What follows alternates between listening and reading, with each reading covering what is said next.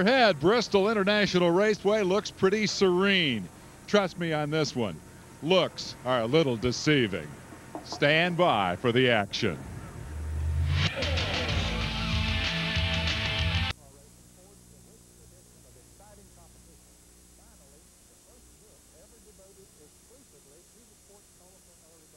Is not what these folks have come here looking for. They came to Bristol for a celebration of speed, and it is about to get underway, ladies and gentlemen. Hello and welcome to Bristol International.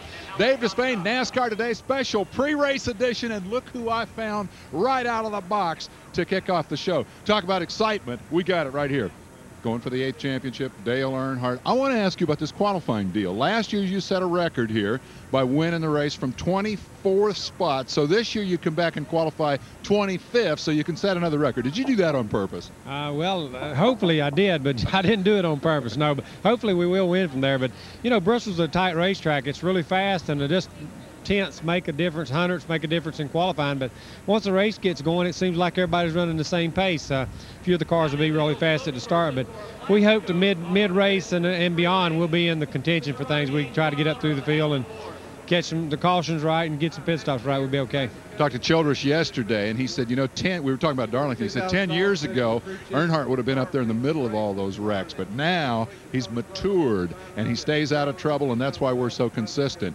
one, do you buy that? And two, how important is that going to be here today to stay out of trouble? It's going to be important I hadn't used up all my luck so far this year. I'm going to need some luck today, and uh, really, it's going to be that's going to be the job at hand to start with is to be out of trouble and uh, watch what's going on and it is a tight racetrack. It's a competitive racetrack. Look at all these race fans sitting right here watching for this show to start. It's, it's really going to be exciting. So we just got to watch it and take it easy and uh, try to be there at the end. That's the program. Be uh, be around at the end. You could win a race. All right, man. I only got to work a half hour today. You got a long day, so you better go to work, half right? an hour? Yeah, I'm off at 1 I o'clock. you were live all day. No, man. I'm, I'm punching out at 1 o'clock. Easy little 500 lapper. We'll be okay. Okay, go get him. That's Dale Earnhardt going for the eighth win. Eighth wins here. He's going for nine and for the eighth championship. Now, it's crazy down here. You got all the photographers. There's no garage area, so anybody with an infield pass can come down here looking for an autograph, and it's nuts. It's a little more calm up on top where Bob Jenkins is going to be calling the action later today. Is it serene up there, Mr. Jenkins? It is serene right now. By the way, why aren't you wearing a tie? Uh, it's serene right now, but believe me, when the green flag drops and we get that first caution, and it's not a question of if we get the first caution, it's when. Ned and Benny are going to be yelling my ear, and we're going to have some real fun here this afternoon. You know, the other thing I like about coming to Bristol, the incredible enthusiasm that the fans show. Unfortunately, John Kernan is right in the middle of them. Not unfortunately, Bob. It is fortunately. They're expecting to have over 75,000 people sitting here in the grandstands today. You're going to watch the race. I'm up on row four. You almost need goggles because you're going to get a little uh, rubber kicked up with dust. But here you got to have your uh, cold drinks, your donuts, but you never know who you're going to meet. I met Juanita. She is from my hometown, 800 miles away, Bismarck, Missouri. Now let's go down to the grid and Dr. Jerry Punch. Thanks, John. You know, aside from safety, NASCAR's number one priority is competition, and they've got to be pleased with this starting lineup today. From first to last in qualifying, just 27 hundredths of a second, less than three tenths. And we told you early in the week they went to the wind tunnel and tested all three brands to see how equal they were. Well, let me tell you how equal they are. Take a look here. On the pole is a Ford, yeah, Ford manufacturer. On the outside front row, we have your basic Chevrolet Monte Carlo. And behind these two qualifying third is Kyle Petty's Pontiac. Ford, Chevy, Pontiac. Sounds pretty even to me, Dave. Here is here is a picture of parity, Doc. We got the drivers of those three cars right here. Driver introductions are on the card right now. We are inside 30 minutes till the moment that they fire the engines. Driver introductions, Jeff Gordon, Mark Martin, meet Kyle Petty. It's been a long time since he was up here in this neighborhood. You usually qualify about 33rd, and you're third today. What'd you do to turn this deal around? I don't know. You're being generous giving me 33rd. I'm going to tell you what. This is the first time I've been inside the top 40 in about uh, two years. I don't know what we did. We just came up here and, and got a good lap, had a good car, and everything worked good for us. Is he welcome to the party? Are you guys okay with him being up here in front with you? You bet. I'm glad to see it. Listen, the kid next to you has been winning all the poles, but Mark Martin, you popped a great lap here to take the pole for this race. What was the secret to knocking this guy off? It was just going to take a great lap. We had a fast car, and I think that was the biggest secret, and we had a good lap. What about that tire secret that you talked about on our show yesterday?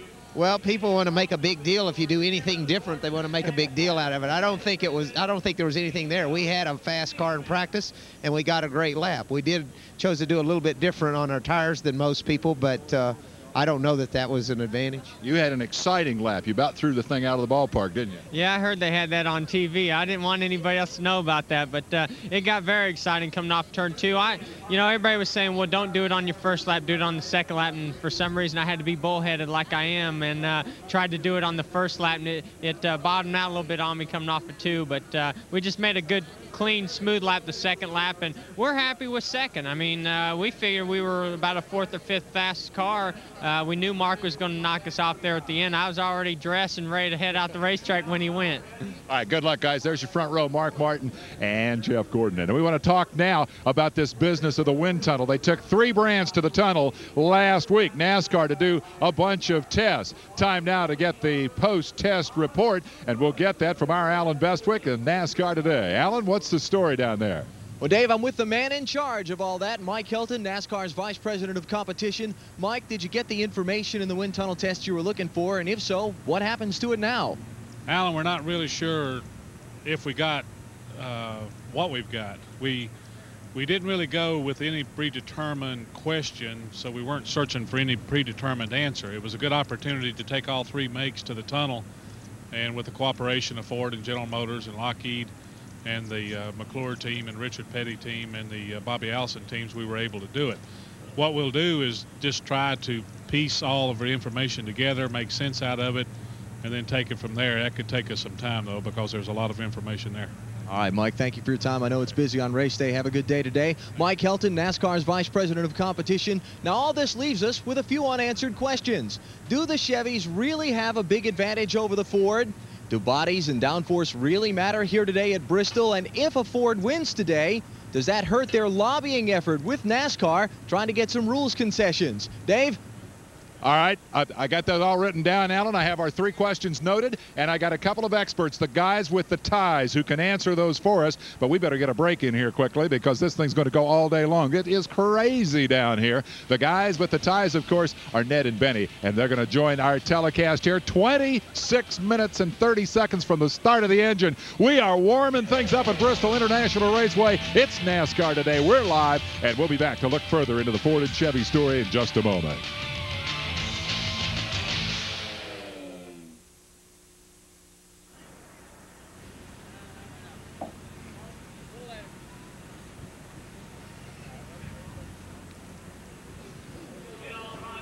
Uh, we just came down from there, so I can't. I'll get be able to see in a second.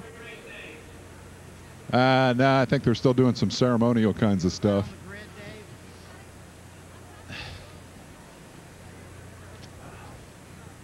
What are you looking for? Scott, what are you looking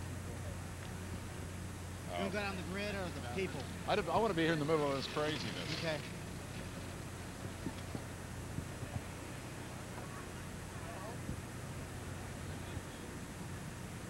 Fact, maybe you can show me that and then reveal me down here in the middle of all of it.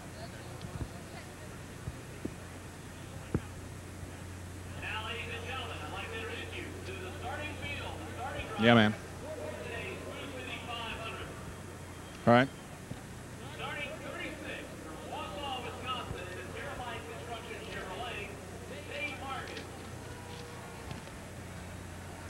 Twenty-four.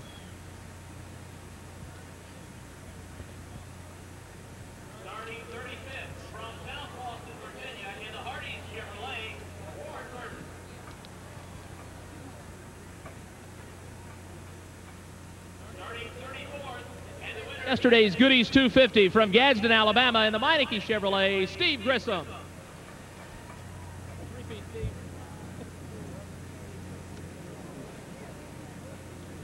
Starting 33rd in the Pennzoil Pontiac. Your Earnhardt introduction is going to come pretty quick. I don't know if you want to try to cover that.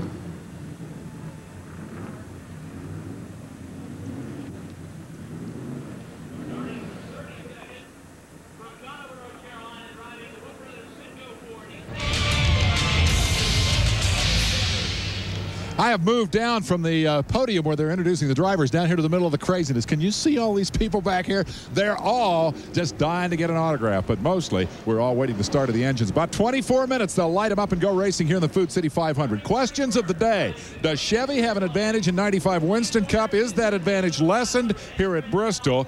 And if a Ford wins here, does it hurt the lobbying effort? We got some different opinions about the aerodynamic impact at Bristol from three different car camps. It's relatively slow. It's high-speed track for a half mile, but it, that's still relatively low speed uh, aero-wise. So I don't think that'll be a big issue here. You're badly mistaken if you think that downforce doesn't matter here. Badly mistaken. It won't make any difference because normally after about 20 laps, aren't you hood and fenders.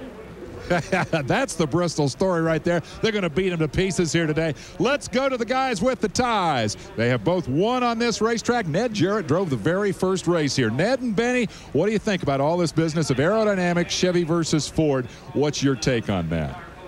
Go ahead, Ned. I can't wait to hear the answer for this. it seems really on the tracks that we've run on so far that the Chevrolets do have an aerodynamic uh, advantage. They seem to have a little bit more downforce than the Fords. It seems that way, but here at Bristol, I agree with uh, Barry Dodson. It really doesn't matter a great deal here at Bristol. Uh, maybe a little bit of downforce, but yesterday my brother Phil in a Busch Grand National race crashed, and he told me his car was just as fast after he knocked all the fenders off the right side as it was beforehand. Hmm. Well, that's interesting because I was going to argue with you because I believe that downforce is important here at Bristol because they're running, what, 135, 140 miles an hour on the straightaways here. But, uh, you know, time will tell how that will work. Well, how about uh, the, if Ford wins here today?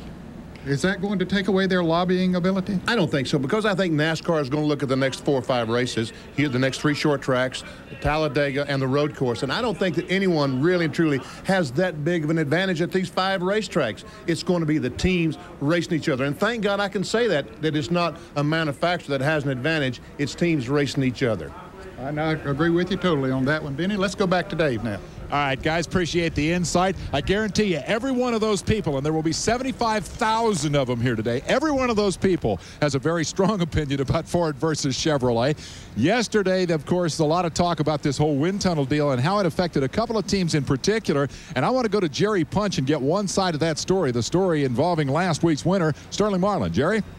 Well, Dave, a lot of drivers at Darlington were going to bring the same car here to Bristol, and a lot of them were saying, man, I'm glad my car got a busted fender, so I don't have to worry about going to the wind tunnel. This guy, unfortunately, or maybe fortunately, won at Darlington last week, and therefore your car made a little trip across the country. How tough was it to get the race car you're going to run today back from the wind tunnel? Well, it wasn't too tough on the guys. They left, I guess, uh, Wednesday night, and it was back 8 o'clock Thursday morning, and, uh, you know, 8 o'clock I had the car stripped, and uh, just did a complete overhaul and uh, loaded at 3 o'clock that evening. So uh, it wasn't too hard on them. Now, you started fifth at Darlington, but today you start closer to Abingdon than Bristol. You're back in 31st spot. What happened in qualifying? We just totally missed it. Uh, you missed it uh, Friday, and uh, we got going good. It was one of the fastest cars yesterday evening, but we're starting way back, and uh, you just have to take our time going through the field and, and see if we can slip up there and get another win. It'd be nice to win here at Bristol. Uh, it's Tennessee, and uh, Abingdon just right up the road, so we sure try. Sterling Marlin will start 31st, but he's got a lot of company back there with him, Dave. You know what happened here? They just introduced Dale Earnhardt a moment ago, and a lot of people cheered and a lot of people booed. It was remarkable. Where are we going next, guys? We're going to talk about Derek Cope. That's the other side of that uh, car that went to the wind tunnel story. Let's go to John Kernan. He's got that. Dave, I'm standing by with Derek. He's just waiting to get introduced and get cheered by all these 70,000, 75,000 plus fans. And Derek, you guys plan to run the car that you at Darlington that you, I mean, let me do that again. The car you ran at Darlington, you wanted to run here but you were unable to do that. But you still qualified fourth, so you came through with a pretty good car. Well, we did. You know, we wanted to bring the Darlington car. Of course, it was impounded, and we couldn't do that. So we brought the Richmond car, which we had a good run with there, and uh, we're hoping to take it to Wilkesboro. But she performed well under pressure, and we'll see if we can't keep it up front today. But I want to thank I want to thank uh, Barry Pearson, who's up in New Hampshire at this time. He's fighting leukemia, and Barry, I uh, I know that uh, you're always pulling for us, and we're here with our prayers for you. Take care as are all our prayers. Let's go back down to Dave. I'm not sure if it's a coincidence, but the fact that the guys who wanted to run their car and didn't get to qualified fourth, and the guys who got to run the car that they wanted to ended up back in the back strikes me as an interesting uh, coincidence. What do we got here? Inside 20 minutes, they're going to light them up and go in Bristol. 500 laps around this place will drive you crazy, but it'll be fun to watch. Stick around. We'll be right back.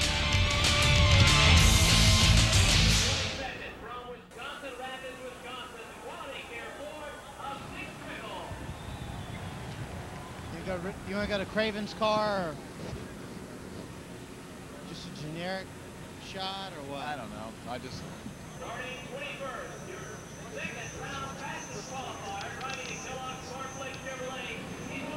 Why don't you just maybe come up cold on a driver introduction? Just hit whoever's there. Billy, have a good day.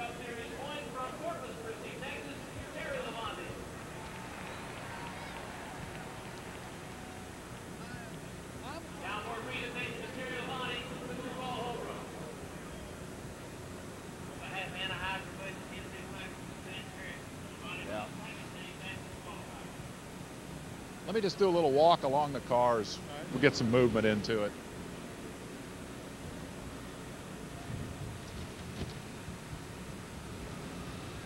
Don't, don't walk too far because John's down there. Let me go tell John. All right. Starting 20th from Dawsonville, Georgia, in the McDonald's Award,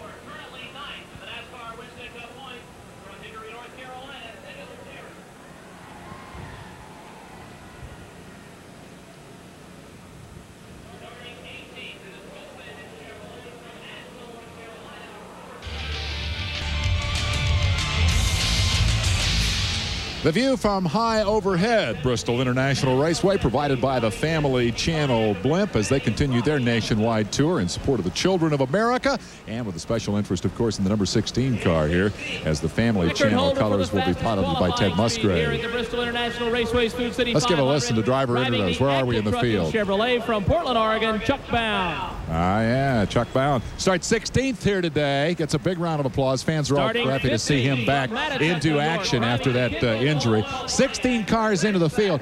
This is going to be a 36 car field, and they're lined up. We're right down here in the heart of the action. I want to tell you about who's not here, though, because that was a big story in qualifying. This is the second anniversary, of course, of the death of Alan Kulwicki, then the Winston Cup champion right here at Bristol, and a sad anniversary it is. And the Hooters team, of course, went with Loy Allen as their driver after Alan was killed. And ironically, on this second anniversary weekend, Loy Allen has resigned as the driver of that car. Hooters says they will stay with the team as a sponsor. Hut Stricklin jumped into the car to try to qualify it and failed to do so. And he was doing double duty this week because he had previously been hired to come in as the coach for the Kinser effort and try to get Steve Kinser up to speed and into the field. That effort failed. Kinser did not make the show. Here is the rundown of the drivers who did not make it. And for Kinser, it was painful. He has only one provisional left, and he was not able to use it here because he didn't have enough points to go with it. So Kinser, notable among the drivers who did not make the field here today. There's been a lot of speculation that he was going to be out of there as the driver of that automobile. But his team says, uh-uh. As a matter of fact, his team manager went out of his way to seek me out yesterday and said, I want to get on television to tell everybody how we feel about our driver, Steve Kinser. the guy's only been to five races, and I just, you know, like the media's been real hard on him, and you know, like they anticipate driver changes, what have you. But uh, Kenny and uh, Steve and I sat down, we discussed all this, and we knew it was going to be hard. And if Steve Kinser's man enough to go out there and take all the harassment and the humiliation that he's been taking, I think ought to have. Uh, ought to be tough enough to stand in there with him, and that's you know that's where I'm coming from. And you know, as far as I'm concerned, there's no driver change in the future for me. Sounds like a vote of confidence if I ever heard one. There is also great confidence, speaking of Winston Cup rookies, in the camp of Ricky Craven. He said, man, it's going to be tough for us young guys these next three weeks with these short tracks coming up. Went out and popped the seventh fastest qualifying lap of the weekend, and he's standing by with John Kernan. John. Well, actually, we look a lot alike, uh, Dave. It's Jerry Punch, uh, but I'm with Ricky Craven. Uh, and Ricky, you know, you talked about the fact that it's going to be tough on rookies to qualify these short tracks. I mean, you've qualified twice in the top 10. You start seventh today. Uh, you got to feel pretty good about your shot. Yeah, you know, it's not only tough for us rookies, it's tough for all the competitors. It's it's the focus going into the weekend. And if you uh, if you're fortunate enough to get through Friday, have a good top 20 qualifying, then you get excused for Saturday. But Friday and Saturday are, are the focus. And then if you get through that, Sunday. Three times he's been the top finishing rookie this year. He starts seventh today. It's a good racetrack for him. Best of luck to you. Thank you very much. We'll let you head to the race car. It's getting ready, getting closer to race time, Dave. Jerry, John, Ned, Benny, Bob, we got so many announcers on this telecast, I can't keep them straight. Pit crews are getting ready for the action. We're getting close to firing up the engines. NASCAR today is live from Bristol, getting ready to light them up for 500 laps. Stick around for the Food City 500.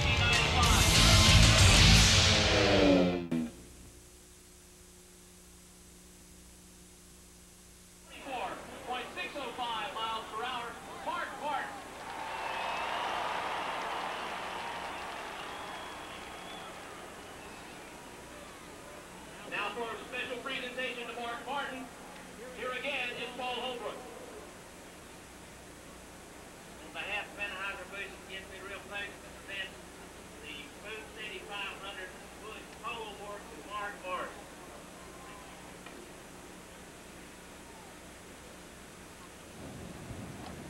Liz, when you see Jerry Punch, how we on time, time-wise? Ned and I still have two minutes.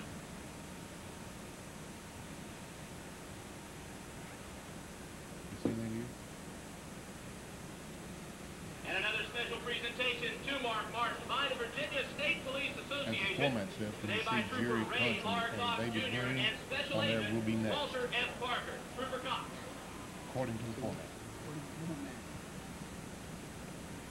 Yep, I hear you. Okay, Yes, thanks. You said we're on time, so I guess that's how to apply.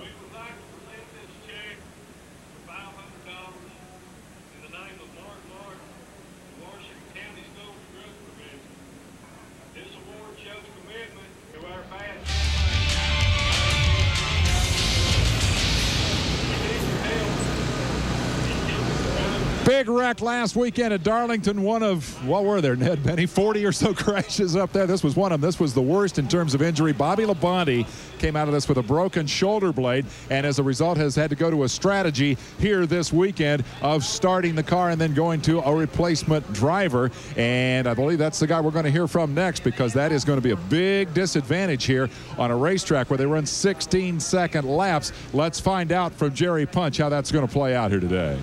Well, Dave, David Green is a defending Busch Series champion. And David, uh, when did you find out that your job description was going to change this week? Well, uh, I was busy working in the shop, you know, and Bobby had me in there, and uh, Donna called me, his wife, and said, uh, we need to go to Charlotte. So I said, what for? And she said, come on, we got to go. So riding down to Charlotte, uh, he said, well, might get to drive that Interstate Battery Chevrolet this weekend. And I just about jumped out the door for excitement. You thought what was a shopping trip ended up being a, a trip to the race car garage. Uh, how are you going to play today? What happens at the beginning of the race? Well, our plan is, as usual, for Bobby to start uh, to get those driver points and even the car owner points for Joe Gibbs Racing. But, uh, you know, Bobby's still sore. Uh, the Interstate Battery Monte Carlo is awesomely fast, and uh, I'm just trying to learn as quick as I can. But I'm going to step in for him uh, when he needs it. Hopefully, he'll go for a long time, but if not, uh, I'll be ready. And gentlemen, they have been very, very pleased with watching this young man in the car. He has been extremely fast in practice here, subbing for Bobby Labonte. Wish him a good run here this weekend. I've been thinking all week, Benny Parsons, about that Darlington deal. I've never seen such a crash fest up there, but then I'm not as old as you are. Did you see that as a dramatically different Darlington based on the fact that they put the new pavement on the place? David, I can't believe it. Everyone says, I've never seen anything like that before. All those crashes. Folks, you should have been going to Darlington in the 70s because it happened each and every time, both in April and in September when we go back there for the Mountain Dew Southern 500. Crash, failed to fair. There we see Greg Sacks backing in the wall. Here's a 33 car. Robert Pressley spinning down in turn one, backs in the wall. And here Michael Waltrip, Mark Martin, and Rusty Wallace get tangled up on a restart. Another crash coming off the corner. It's like that every time we go to Darlington. And coming to Bristol is no piece of cake. It's not going to be much different, Ben. In fact, the, the record was set here for caution flags a few years ago when it's like 20 caution flags. Who knows what will happen? If it's yesterday was any indication in the Busch race, I think that we will see some action here today. Just time after time, there were like eight cautions in the first 100 laps of the uh, Goodies 250 here yesterday, so I think we will see a lot of action. Steve Grissom, of course, came home the winner. Mark Martin second, Chad Little third, Kenny Wallace fourth, and Terry Labonte in fifth place. Sixth through tenth, Johnny Benson, Brad Teague, Mike Wallace, Curtis Markham, and Jason Keller. Okay, we'll be back with more from Bristol right after this.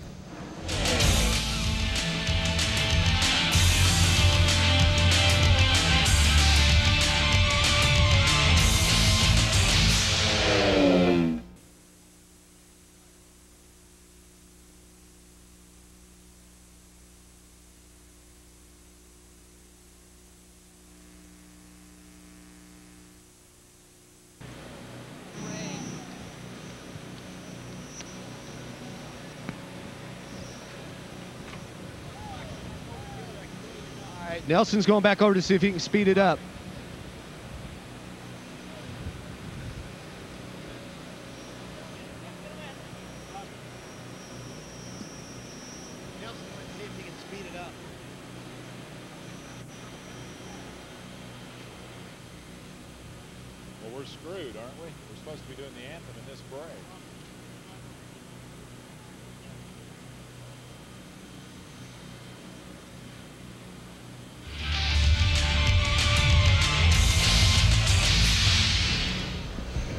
Geoff Bodine has just buckled in, made the unequivocal made the unequivocal prediction on local television last night that a Ford will win this sixth race of the 1995 season. He'll be starting over here on the front stretch pits. There are back stretch pits as well here, and that could be a big story in terms of the 1995 out of the frying pan and into the 500 into the fire 500. And for that story, I want to hear from John Kernan. John.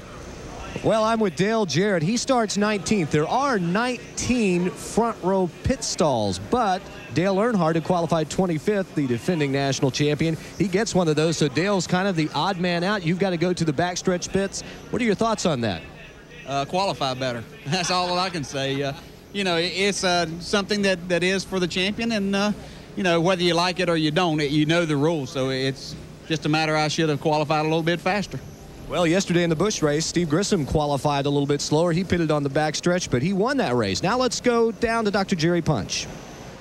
For you fans who want to come to Bristol, Tennessee and have never been here, I encourage you definitely to come. You know, they're trying their darndest to build seats as fast as they can. Behind me, they have put 3,300 additional seats in. They were sold out immediately. And also, they put 10 25 seat suites up in turns three and four. They sold those suites in 38 minutes. And, folks, I am told they had an engineer come and look at the racetrack and predicted they could put as many as 103,000 seats at Bristol Raceway. That would make this facility the largest sporting arena in Tennessee. And for you football fans, that means it's even larger than Neyland Stadium in Knoxville. And, folks, that is some kind of place to watch a race. Dave? All right, clock continues to tick. We're getting close to the start. Five minutes from now, they will fire the engines. Shortly thereafter, they will send them off on 500 tours of this half mile racetrack, the steepest bank track on the Winston Cup circuit is 36 degrees and getting around this place 500 laps safely is going to be the key to victory here today. It's going to be a terrific show. Bob Jenkins will be calling the action. Ned and Benny analyzing it for you. Of course, Doc and John will be pit side with every single bit of it. We're going to wrap things up here for NASCAR today. Remember, Motor Racing Network has NASCAR today on the radio on your MRN stations all week long. Next week, NASCAR today, split deal. I'm going to Tucson. Allen's going to North Wilkesboro, North Carolina, and keep you up to date on all the Winston Cup action. That ought to be pretty cool. That is the bottom line on where we'll be next week. I certainly hope you will stick around here at Bristol because things are about to get crazy. Thanks very much for being part of NASCAR today. We'll say so long and take a quick moment to introduce the guy who's going to call the action. When we come back, it's going to be Bob Jenkins of the Food City 500.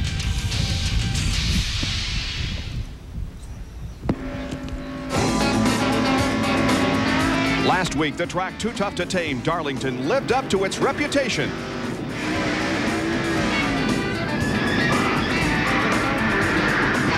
A record 15 cautions took its toll on man and machine. Everyone breathed a sigh of relief when they left. Or did they? Oh, wow. Whoa, was that close? Folks, if you like last week, you're going to love this week.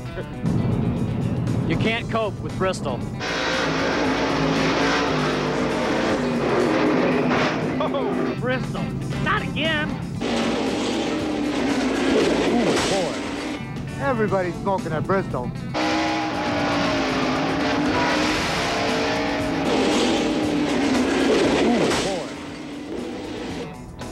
This ain't no Sunday afternoon drive.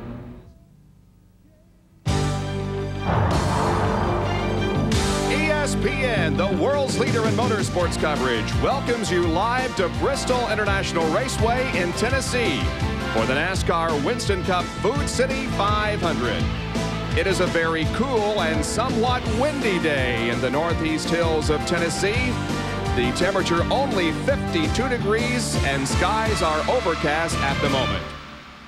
The quest for the Cup standings after five races of the 1995 season show us that Dale Earnhardt has not won a race, but he's on top because of consistency. Sterling Marlin 67 behind, and then things really tighten up with only five points separating third through fifth.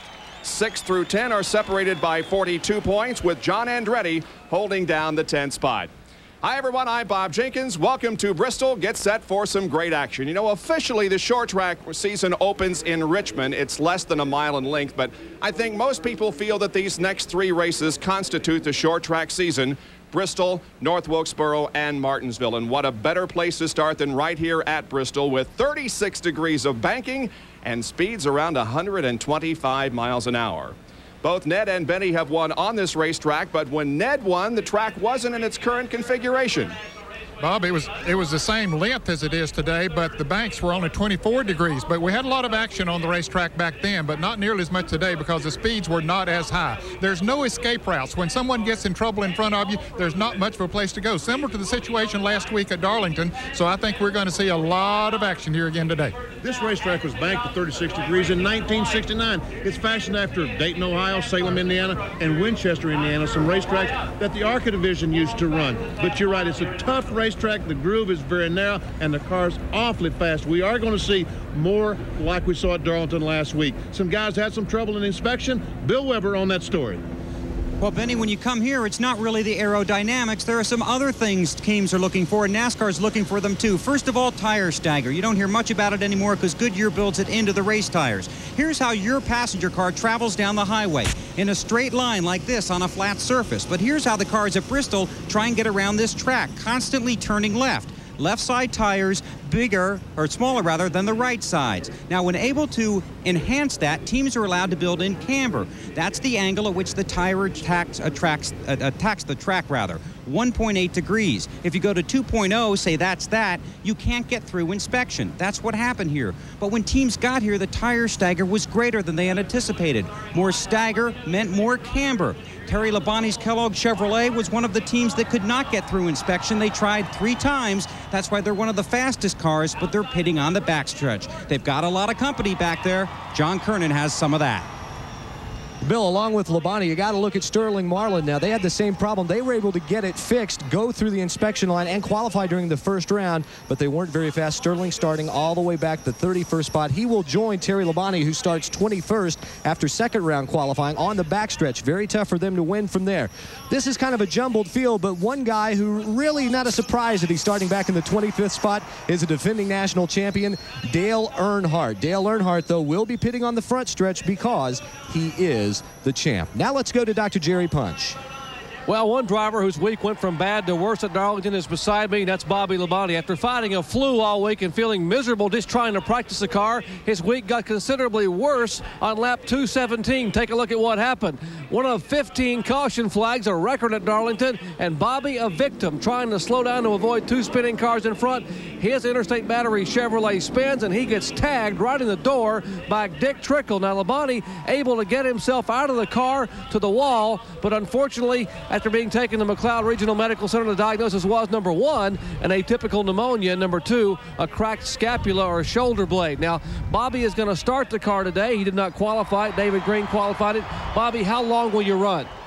I'm sure I'll run to the first caution, Jerry. You know, that's. Uh, you know, here at Bristol, it's so tough, and I mean, it's it's hard. It's going to be hard. Want to get uh, hard to get out of here just because I don't want to, but uh, uh, better for the whole Interstate Batteries race team this weekend for me to give David a shot at it because uh, he practiced all week, qualified the car, you know, and uh, he's got a good idea of what the car is going to do during the race. So just want to get from him. Well, as Bobby Labonte fires him up, then and they have given the command on pit road, Bob, he is one of a number of recognizable names that will miss this race today. Well, that's right. Uh, Loy Allen has resigned from the Hooters team in the past week, and Hut Stricklin was here trying to get that car up to qualifying speed. However, he did not qualify for the race. There are a total of eight drivers that did not make it into the show, including Steve Kinser, who didn't qualify fast enough. The engines have been started. We'll be back with the starting lineup and the Food City 500 in a moment.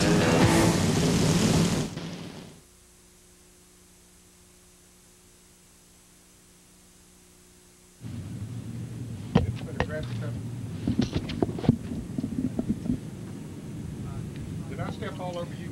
I couldn't tell when my on camera's done. I moved.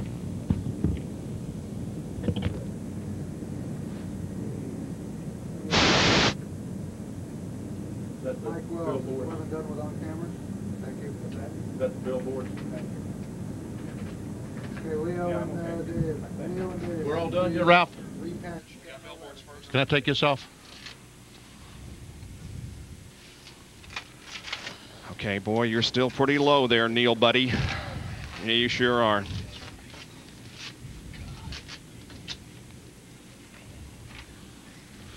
Can you guys see back there? Can you see the racetrack? Tell me when you. Bill, can you see the racetrack? We didn't have the graphic up on uh, on the, uh, or was it not planned on those that were out of the race that did not make the field? Yes, I can, Ron. Yep. okay.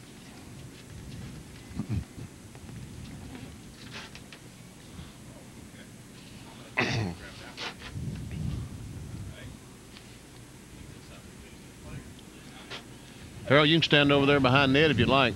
Nobody will be there. Both you guys can if you like. Just don't get drunk, fall on Ned.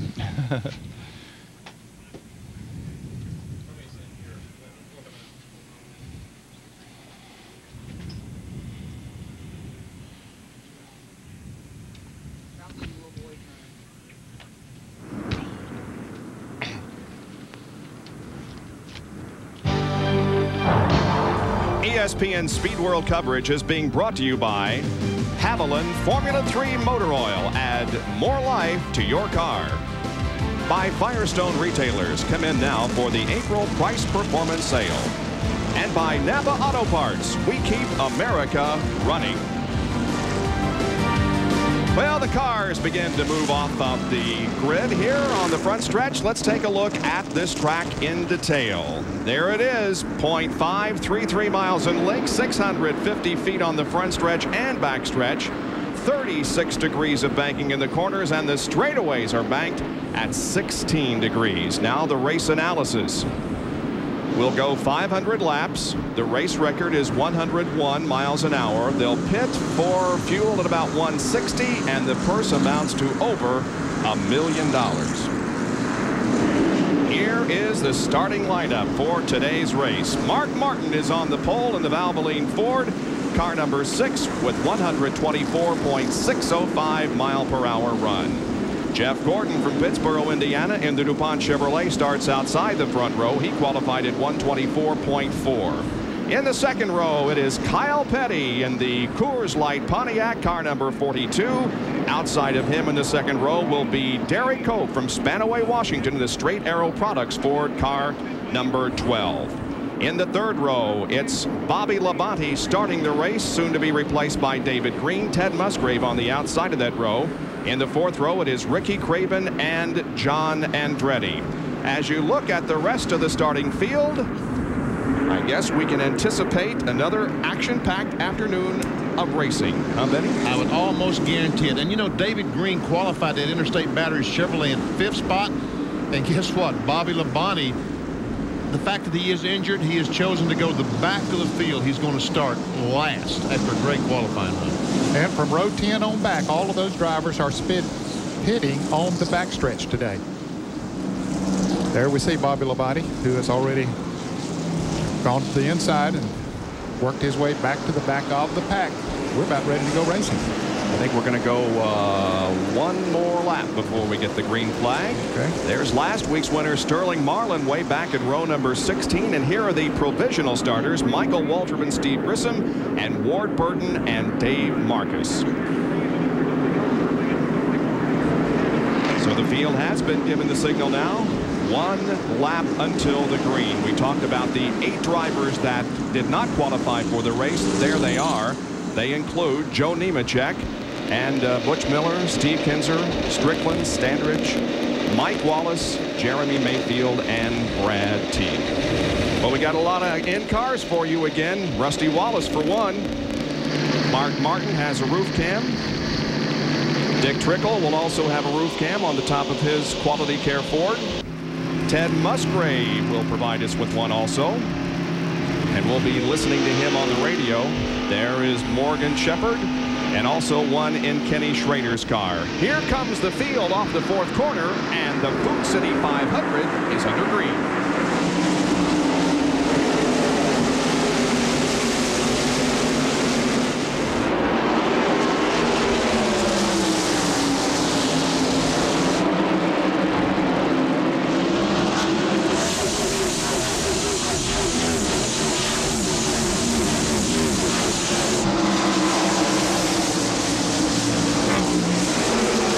Tell you what, Ned, Jeff Gordon ran on the outside about as well as I've seen anyone here at Bristol in the last couple of years. He really did. That outside, especially in the early going, is tough to get traction on. Bill Elliott's caught up there way back in the pack and uh, wants to get back in single line. We hardly saw two groups here at all yesterday afternoon, but perhaps with the with more rubber being put down on the racetrack since then, we'll see two groups here this afternoon. It is Mark Martin leading, Kyle Petty running a close second, and here's the action from Morgan Shepherd's car. Look at oh, this, Kyle Petty noses his way to the inside of Mark Martin and takes the lead, and Cope goes to second. And Mark Martin will go to fourth. He got caught up on that outside once Kyle got on the inside of him. So Kyle Petty has the lead of this race. Kyle Petty led the race in Daytona. Since Indy hasn't led, I don't think so. Got to feel good at the front of the pack. And he's pulling away from uh, Cope, Jeff Gordon, Mark Martin, Ricky Craven, Rusty Wallace, Geoff Bodine, John Andretti, Ted Musgrave, Jeff Burton, and Ricky Rudd. And there Jeff Gordon goes into second place behind Derek Cope. Mark Martin trying to get alongside Cope, and he is, and will take that spot away. Now let's see if Cope can get back down. In yes, he got back. They had enough, enough of a gap there in front of Ricky Craven that he could get back in line. Kyle Petty pulled away a little bit. Yeah, sure is. Again, we talk about the spotters and their importance, but they're real important here because they can tell a driver when he can get back down into that inside line without hitting another car. Kyle Petty'd run awful good here if he liked the place, wouldn't he? yeah, he did tell us last week he didn't like it, did he? In no uncertain terms. Jeff Gordon, of course, dominated the race at Darlington last week, led the most laps before being taken out in an accident. We're inside Mark Martin's car. We were there for a moment as he runs back in third position. Then comes Cope, and then the battle between Ricky Craven and Rusty Wallace, who won his very first NASCAR Winston Cup event on this track. That's fifth spot. Rusty's trying to take it away. He's alongside. And he will take that spot away from Craven. Now Craven's going to get on the outside. Going to be problems for him. Yeah, he's going to lose some positions here because he just can't get back to the inside. There goes Geoff Bodine, John Andretti, Ted Musgrave. And Andretti trying to get alongside Geoff Bodine. Geoff Bodine blew an engine in practice yesterday afternoon, hit the wall. Only got a couple of laps of practice. Had to spend. They were here at 6:30 last night, still working on that car. Yeah, when he blew the engine yesterday in the final practice session, cut an oil line and it went into the pit area, but it didn't strike anybody. Here's John Kernan. Yes, Bob, that was very fortunate. Nobody got hurt. He also, Ricky Rudd got into that oil, but Geoff Bodine, his crew worked till 7 o'clock last night, and they just finished that car up this morning. They had to replace the rear end housing, the left trailing arm, and all of the right front suspension, as well as the motor. Here's the battle for sixth position. John Andretti trying to get to the inside of Geoff Bodine. In the meantime, Bodine catches up to Wallace and Cope. Yeah, Rusty. Oh! Bodine is way up out of the group. I think it must have got just a little bit of a tap from the 37 car of John Andretti. And Geoff Bodine is Darrell Waltrip. Oh, and Jeff finally does spin. Does a 360, and so far, no one is involved except Bobby Hamilton. He spun to the bottom of the tracks, but he too is going, and so no caution. Both drivers doing 360s and going right on. Wow. We see Terry Labonte in the five car. Bodine trying to get some positions back that he lost in this incident. You see Geoff Bodine, he's caught to the outside. Now, Darrell Waltrip has plans of going, and Geoff Bodine comes down. It looks like he and Darrell might have touched, Ed. What do you think? It was very slight, if, if so at all. But uh, anyway, Jeff spins around, does a 360. You see, keeps going. Let's see if we can see here. I think there Yeah. was probably just Yeah. a little bit of a tap from Darrell. He thought he would follow him. You saw his left front smoking as he tried to stop to avoid hitting Geoff Bodine. Yeah, he was on the brakes, uh, trying very hard not to make contact, but he made slight contact. And there down to the right on the inside of the racetrack, you see Bobby Hamilton spinning around, but he also kept going. On a cool Sunday afternoon here in Bristol, Tennessee, there are the top five after 18 of 500 laps in the Food City 500. This is going to be a struggle, Neil. I, we, at least I have just got to turn you up so loud to hear you that it's blasting everything. Are you guys having that problem, or Yeah. is it just me? Yep, he's not not like his normal self today. Check. Check. One, two, one, two. Does my microphone sound okay? Check.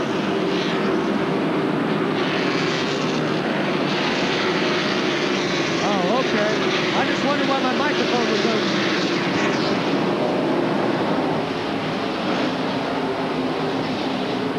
Neil, I hear you fine.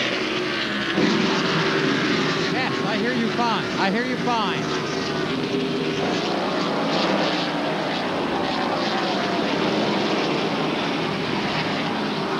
I hear you, Chevy. No, no. I hear you, Chevy. Yes, I do, Neil. It's a little better. You're awfully low. Yep. Okay, that's fine. That's fine. Okay, Yeah. thank you. Okay. Okay. Yep. I think we'll be okay. Okay, Neil. Yeah, I think with better. programming, I can hear you, be but it's uh, it's a struggle. My information was he led at Atlanta also, right? Oh, he did? Kyle did? I think he led one lap, didn't he? Didn't Kyle lead one lap at Atlanta? Huh? It says here Atlanta. Who's right? I think he did lead a lap down there. Yeah. Did too. You can bring the programming down further, Ron, if you will. Chevy, I can barely hear you, Chevy. Much better, much better.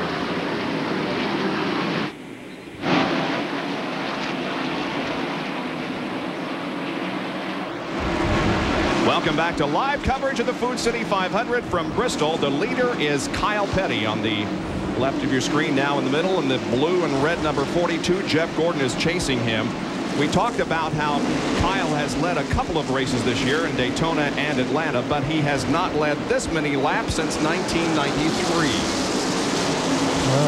here's Dr. Jerry Punch with more Guy, Kyle Petty's crew chief Barry Dodson is sort of rolling the dice when it comes to the engine here today. While most teams have gone a little conservative on their gear, running about a 5.14 after qualifying, Kyle has gone the other direction. According to Barry Dodson, they have put a 5.43 gear in that Pontiac, and they are turning right at 9,000 RPMs a lap. Last time by, we were told Kyle said it's about 8,900 RPMs, and guys, that's going to be awfully tough on the valve spring. As a matter of fact, I saw Keith Simmons and his crew this morning putting new valve springs on that 42 car in anticipation of what Jerry Punch is talking about. They knew they were going to turn it a lot. They needed the best valve spring they could get. now the question becomes can it last for 500 laps around this place That's the next question. Will that baby hang together? There we see Bobby Labonte. He wanted a caution flag early on to let David Green get in the car, but it looks like he's going to be a lap down when that happens. A lot of these cars that they're coming up on, they actually caught the tail end of the lead lap a little bit earlier than they normally would. But when we had that situation with Geoff Bodine spinning, everybody had to back off back there. The leaders were out there running in free traffic, free off traffic, and so they were able to really pick up a lot of speed on the other cars. Watching from Mark Martin's roof cam now, he's running in third spot. Up ahead are Jeff Gordon and Kyle Petty. Now Jeff looks to the inside of Kyle into turn one. Cannot make the move. As a matter of fact, that group has pulled away from Kyle Petty. Bobby Labonte and that group of cars has put a couple of car lengths on Kyle. It's like uh, his car's getting loose, pushing something is happening to it. And Jeff trying to look once again inside.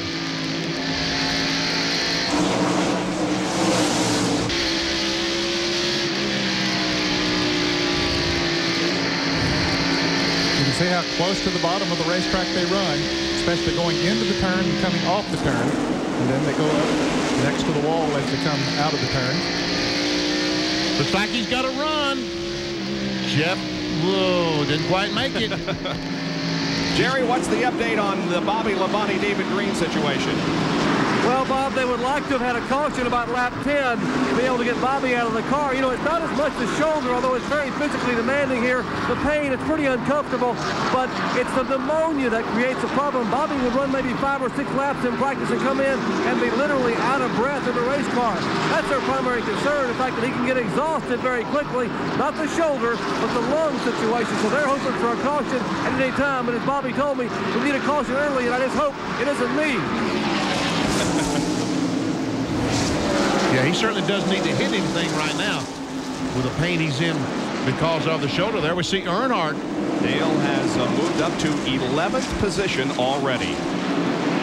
There's our first three cars, Kyle Petty, Jeff Gordon, Martin Martin. And you see that black car just coming into the picture, Rusty Wallace, now running fourth. And John Andretti is in fifth position. There's Rusty and Andretti. Dale Earnhardt is six and seven tenths seconds behind the leader. And I'll tell you, coming from what, 24th position? And here's a battle for the lead coming off turn four. Jeff Gordon will get the lead. Let's see if Mark Martin can go to second as they keep Petty high on the track. But Kyle fights back and prevents Martin from getting second spot. But we do have a new leader, Jeff Gordon. Now, Mark Martin moves alongside Kyle, and they race side by side down the straightaway. I believe Mark is going to get second position here in turn number two. So once you get on that inside, they're touch the fins off. Now look at Rusty has- Wallace. Yeah, he has caught them. John Andretti coming right along with him. Sean Parker, one of the Penske crewmen last night told me in the hotel that Rusty's car is running awfully well. They felt like they could win today. Well, Rusty is the master of the short track. He has won nine of the last 20 short track races, and Dale Earnhardt picks up another position. That puts him now in ninth. He started 25th. There is Jeff Gordon, whose best finish here at Bristol, 17th. It occurred in his first start here in April of 1993. By the way, Jeff has led at least one lap in every single event so far this year.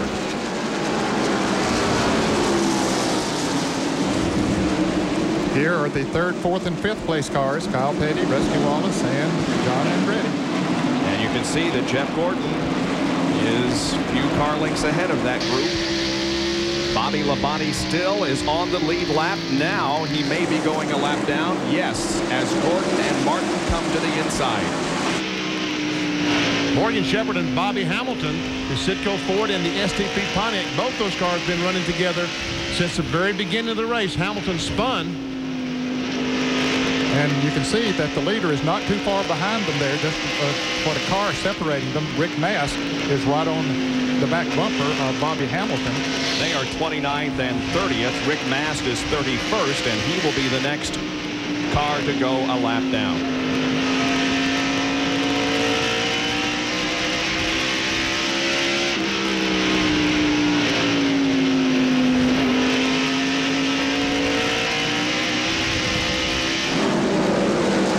There's Gordon right behind Rick Mast.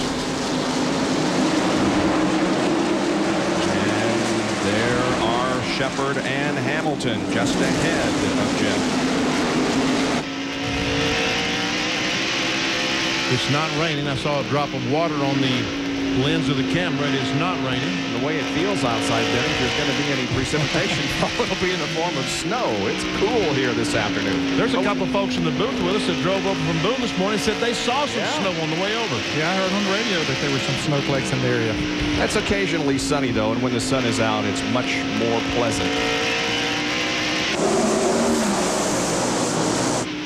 Doesn't take long to get down that front straightaway, does it? Man. What are they on the straightaway about two seconds or something like that? Two and a half seconds, something like that. But in that two and a half seconds, only about a second of that you can really relax. The rest of the time you're steering off the corner or steering into the corner. And Hamilton just needs to get by, wants to get by desperately. They continue to run in single file at the moment with Jeff Gordon leading, Mark Martin, Kyle Petty, Rusty Wallace, and John Andretti. We'll be right back.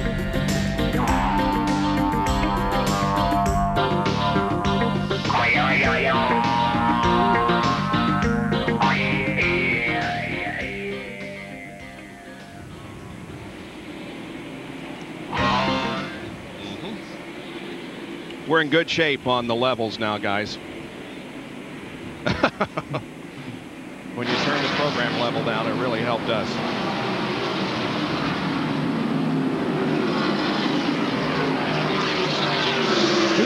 helped us. Hey, Chevy. Go ahead, Chevy. I, I, no, I, if he's talking, I don't hear him. I hear you.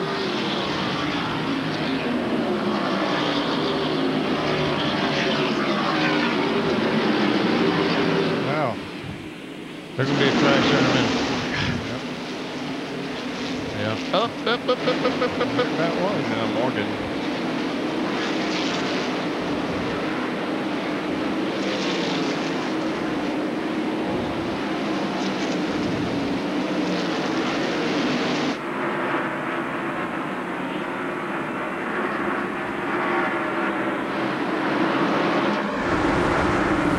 Back at the Food City 500 NASCAR Winston Cup race from Bristol International Raceway in Tennessee. See, Jeff Gordon's been able to pass Rick Mast, put in the one car, the Skoal car a lap down. And then he went up on the outside and did it, too. That was pretty impressive that he could move up on the outside. Of course, Rick gave him plenty of running room up there, but still, that outside groove is still not the best. Michael Waltrip, the 30 car, won a lap down to our leader. And 43 car, Bobby Hamilton, trying all he can to stay in the lead lap. See, Bobby Labonte has been able to keep up with these guys since they passed him, put him a lap down the interstate battery car. For somebody with a broken shoulder blade, he is performing very well on a physically demanding racetrack. Michael Waltrip just almost lost his car there going into turn two, went high, and Bobby Labonte was able to dip under him. Now here comes John Andretti. From Ted Musgrave's family channel 4. he goes to the inside of Michael Waltrip, and here comes Dale Earnhardt, who is up to seven. That is unbelievable. I noticed him in practice yesterday. He was very, very fast. I told some people this morning, they asked me who were the good cars here. I said, well, the uh, six car, of course, Mark Martin, the 24 car, and Dale Earnhardt. Even though he started back in 24th place, he was awfully fast in practice there yesterday. Just went to sixth. By the way, this is the place that Dale Earnhardt won his first NASCAR Winston Cup event back in 1979 in only his 16th start. Here's a Napa Field summary. The entire 36-car field and how they are running at the moment. And every car is still running. Don't think we've had a car go in the pits yet. I don't believe so. Look at Sterling Marlin up to 15th already. Yep. No caution so far. The laps clicking off very, very quickly. Boy, if we could run this thing without a caution, which, by the way, has never been done, this thing could be over in a couple of hours. But uh, what would we do then? Yeah, Dream on. just wait. Yeah, right. that ain't gonna happen. One car is two laps down. Ward Burton is 36th, is two laps down. Everybody else on the lead lap or just one lap down. Ooh, Kyle. Kyle, a little sideways coming off the corner. Car is loose.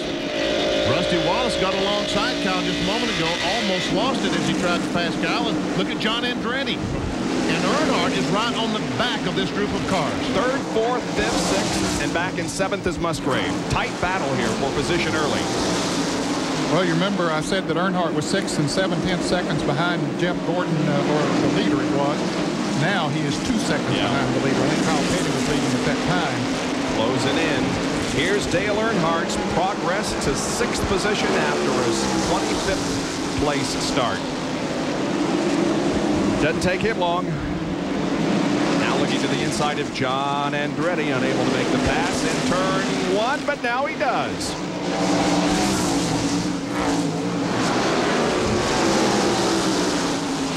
By the way, our congratulations to John and Nancy Andretti because on Wednesday afternoon they became the parents of a new baby girl. Olivia Elizabeth, and it says on the back of his car, it's a girl. Right on the back. Seven pounds, 11 ounces, and 19 and a half inches long. Good, healthy baby. We wish Nancy and John the best. Here comes Sterling Marlin, who has moved up to 15th position at the moment. Make that 14th. He started 31st.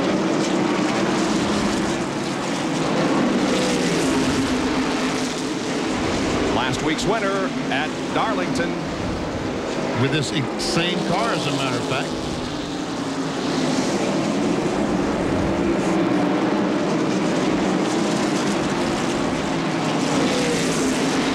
Bill Weber has more on Sterling Marlin. Bob, that's the same car as Benny mentioned that they won with last week at Darlington, but then NASCAR took it to two wind tunnels. Tony Glover told me they got it back Thursday morning, did a complete overhaul of the car, which normally takes three to four days. They did it one day and got it here. They said they weren't good in qualifying, weren't happy with the tires, but they had practiced well and they expect to do well. They are doing well, but Rusty Wallace just lost, what, one position, Benny? Two positions. Both Earnhardt and John Andretti was able to get by Rusty. It looks like Rusty is fighting a loose, loose condition. We're watching from the roof cam on the Family Channel 4, driven by Ted Musgrave. Here is Earnhardt. Oh, he gives a Kyle Petty a little bit of a love tap. Well, Kyle got a little bit sideways coming off the turn. Earnhardt had a run, so he just ran right up on him and bumped him. And Geoff Bodine, ooh, almost loses again off of turn two as Earnhardt gets on the inside of Kyle Petty now to make the pass. And the Bristol race fans are on their feet cheering for Dale Earnhardt, who picks up another position, and John Andretti is going to try. Man, I thought Kyle was coming down right in the nose of that 37. We was going to have a wreck right there. But They survived. they survived. Thank goodness. Yeah. Good driving, guys. But I was talking to him. I, that's what I told him. From inside Rusty Wallace's car, you see he's turning, turning as he comes off the corner. That time he did not have to catch the back end. Now Andretti once again tries to position himself inside of Kyle for the fourth position. And battle for the lead. Mark Martin is to the inside of Jeff Gordon in the backstretch, and they touch. Jeff holds on to the lead. Yeah, Mark backed off. Didn't didn't drive. He could have driven on him to turn real hard and maybe wrecked both of them. He chose not to do that. Smart. What happened is Jeff Gordon tried to. Oh, here we go. What, the, what position is this? Fourth. The fourth spot. Yep, John's got it. And up front, Mark is going to try it again, and this time he makes it. Mark Martin becomes our third leader of the afternoon. And I think that Jeff Gordon, I think, really got tired of trying to pass that traffic. Oh, Boy, Rusty and Kyle almost wrecked over there. I'm telling you, Ned, they sure did. It's glorified bumper cars at the moment, but everybody is hanging on and not spinning. Man. Here it is again, off of the second corner. Well, we're going to see Rusty get his left wheel down on the pavement. He and Kyle touch a little bit. Kyle goes high. Rusty gets by on the inside. John Kernan has more on Rusty Wallace. Bob, I just talked to his crew chief, Robin Pemberton. He said that Rusty's complained the car is fairly loose. He's having a hard time driving it. They're about 70, 65 laps away if we stay green from pitting. At that point in time, they'll make some adjustments to try and tighten the car up. 85 laps laps have been completed. About 160 to 65 is the pit window. Here is a battle between Bill Elliott and Dick Trickle. And let's see, where are they running? They are running 24th and 25th. Oh, and Elliott spins. No, he didn't. Well, I thought he went. How could he save it? He lost a lap, but he didn't spin. He got sideways, and Mark went under him, and now Jeff Gordon does, and others, but Elliott saved it. Man, oh man, how can he save the thing? It's 90 degrees. Like Terry Labonte and Darlington last week. Now watch this, folks. You tell me how Bill Elliott's able to keep this car going straight. Here he goes down in turn one. Down the straightaway, I'm sorry. Into turn one. Goes in the corner, and the car just goes sideways. Mine got a little bit of a nudge there from Oh, yeah. I believe they touched going into the turn. Bill Elliott, a winner of this race back in 1988. One win at Bristol. The lead is held by Mark Martin, who also has a win at Bristol. That came in the Budweiser 500 in 1993. Back in just a moment.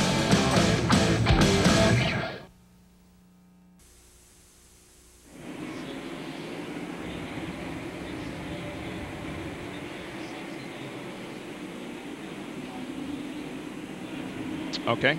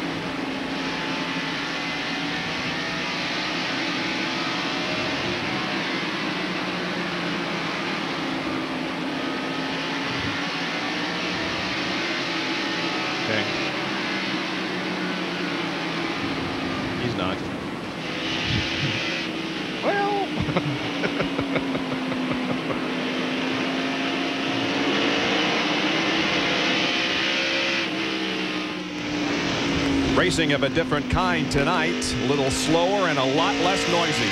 A special presentation of America's Cup 95 as Team Dennis Conner takes on America Cube's Mighty Mary. Now, if Dennis loses, it'll be the first time we'll be out of the America's Cup this early. Join us at 8.30 tonight for same-day coverage here on ESPN. That's 8.30 Eastern Time with the eastern part of the United States now on daylight saving time. And this is Ken Schrader, Brett Bodine, and Chuck Bown. And that is a race for 15th, 16th, 17th. And Bown moves into 17th. Derek Cope also goes by Brett Bodine.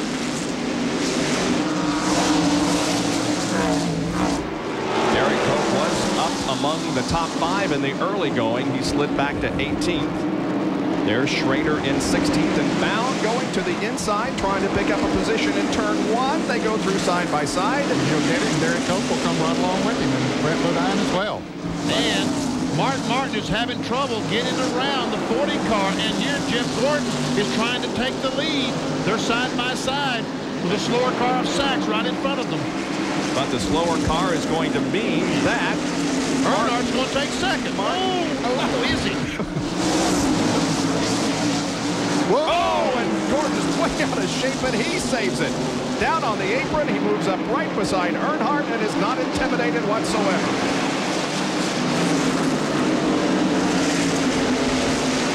Once again, the 40 car of Sacks is in the preferred line, so Gordon backs off, lets Earnhardt go by, and Dale Earnhardt is now in second place. Yeah, with all this, Mark Martin has the lead. In fact, quite a, a nice lead. And Dale Earnhardt is in second position. Here's how all this occurred.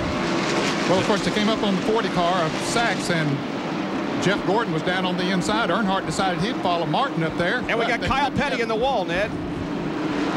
No caution. Still no caution. He bumped the wall in turn number two, but kept going. Sorry to interrupt you there. Yeah, he's still uh, still going fine. His car seems to be awfully loose. He's definitely having handling problems. He had dropped back to about 11th position. He was uh, had some contact with a 41 car, I believe. Let's let's look at it. Ricky Craven. Yep. Down Yep. on the inside, a little bit of a nudge, and again, Kyle did a heck of a job of saving it. Touches the wall a little bit. See, Ricky Rudd went by. And ladies and gentlemen, we have completed 106 laps, caution free. That's a surprise. It really is. Here's the leader, Mark Martin, put, trying to put a lap on Ken Schrader with second place Dale Earnhardt just behind. Schrader is in 21st position. Now there are 20 cars on the lead lap. And we saw Kenny Schrader's car, the rear end of his car, as Earnhardt goes by. The back of Schrader's car wiggled just a tick as he went in the corner. That means that most of these guys are fighting a very, very loose race car. This is Ted Musgrave's suspension cam. Remember, the track is cement, concrete. And the black thing in the middle, that yellow thing is the spring, the coil spring that holds the car up. The black thing in the middle of the spring is a rubber that they can take in, take out to let that spring, uh, to weaken that spring and change the chassis. That hose you see, the red hose, is a brake duct. It carries air into the brakes and cools them off. He passes the Dick Trickle car, and here's our camera underneath the Trickle machine. And you can see just how the right front wheel goes up and down and how much the can how much camber the wheel has in it. We can see how the wheel is leaned in at the top. Now we're in the corner, so the wheel is the tire is flat on the racetrack. As it goes down the straightaway, see air under the outside of the right rear tire. That's the camber. Finally have a car making a pit stop. Michael Waltrip is in on the back stretch. When Dick Trickle made some contact earlier, we'll watch from this camera as he goes sideways. Whoa! Oh, look how he turns that thing to the right. Ooh, man. That's a good shot. That's a good shot. Michael Waltrip now coming out of the pits after making a stop on the back stretch. The Pennzoil machine. That's the first car. That's the first car that's been in the pits, isn't it? Yes, it is. And I guess he was so loose that he just couldn't drive it. Yeah, he had already gone a lap down out on the racetrack, and uh, so he fought it as long as he could. He run about 112 laps before he came into the pits. Be interesting to see how far we see others go. As far as gas is concerned, they should be able to go about 160 or so laps. The leader, Mark Martin, coming up on Jeff Burton, putting a lap on him. Jeff in 18th position. There's 17 cars now on the lead lap. The next one that uh, may go a lap down is Bobby Hamilton.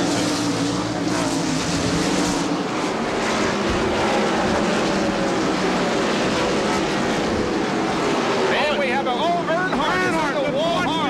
He is in the wall hard in turn four. He has really messed up the front end of the GM Goodwrench Chevrolet, but able to drive it. Heavy, heavy damage to the left front and the oil cooler back there. If you saw the Busch race yesterday, you say, well, they, the oil cooler's in the radiator. That radiator is not legal in Winston Cup. The oil cooler's back there or underneath the radiator. Man, heavy damage to that car. And this is exactly what Dale Earnhardt does not need this year if he's going to stay consistent and win that eighth championship. But the caution is out for the first time today, and it comes at the end of 117 laps. Pace car is out to slow the field, and a lot of cars will uh, be very glad that this caution came out because they needed some, uh, some adjustments. Yes, they welcome this opportunity, no doubt about it, to come in and get some new tires on and make some adjustments to the cars. There's still 18 cars on the lead lap. We see the 27 car, 28 car, I'm sorry, of Dale Jarrett. He's worked his way up to sixth spot. From 19th, not bad. 19th. Very nice run. Here they come. Mark Martin, Jeff Gordon leading him down the pits here on the front stretch. Here comes John Andretti down off the banking. Rusty Wallace and Dale Earnhardt.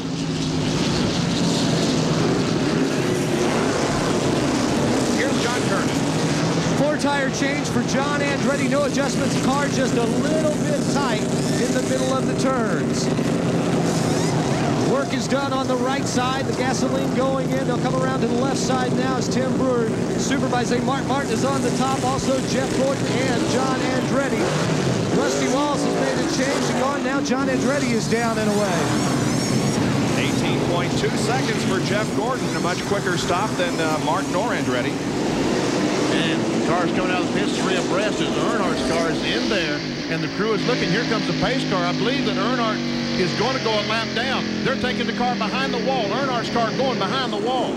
And we'll show you in replay what happened as the three car goes behind the wall for repairs. Here it is. Well, it was already in a spin, Bob, as he came off of turn four. I wondered if he was up on the outside of a car lapping maybe and, and got up in the loose stuff and lost it. Let's watch from the Citgo in car, Morgan Shepherd's in car, and see if we can see what happened. There he is. That's the 12 car, Derek Cope. Just a little bit of contact between the 12 and the 3 car. Earnhardt runs down there and cuts in a little bit too quick going into the turn and clips the car of Derek Cope, and uh, round he goes. There is the smoking number three machine as it's behind the wall for repairs in the early going of the Food City 500.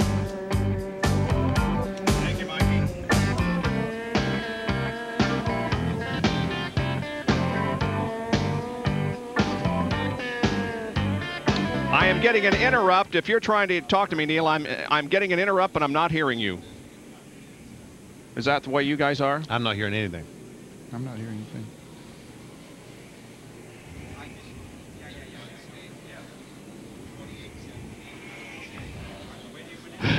I'll bet it was. we got to get Neil back with us. No, no. Oh, Yahoo! Thank you. Break the tension here a little, huh? Well, I think I'll sit down and relax. Yeah, well. Okay, now I I, got Neil. Neil. Now I got Neil. Okay.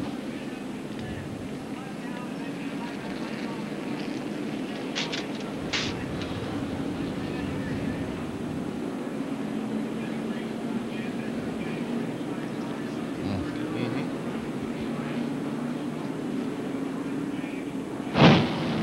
Yeah. Okay. I'm got, I've got Neil now, I believe. Thanks for your help.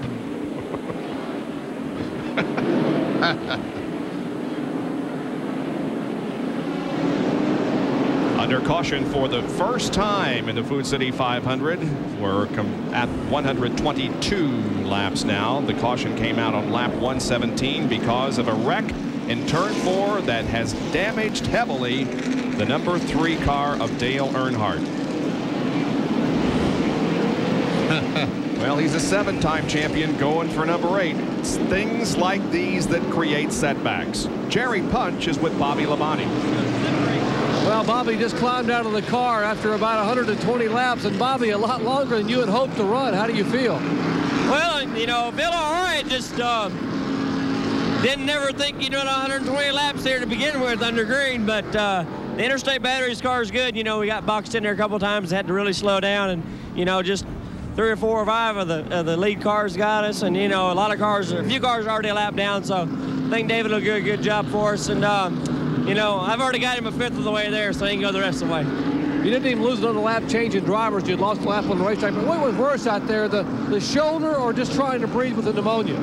Uh, basically, just trying to breathe was the biggest thing. Uh, but you know, I kind of really didn't want to get out of it, but I knew, I knew one fifth how tough it was on my shoulder and stuff. So I figured the whole way would be long, be pretty tough. So we'll try to get really good for Wilkesboro next weekend and try the whole the whole distance.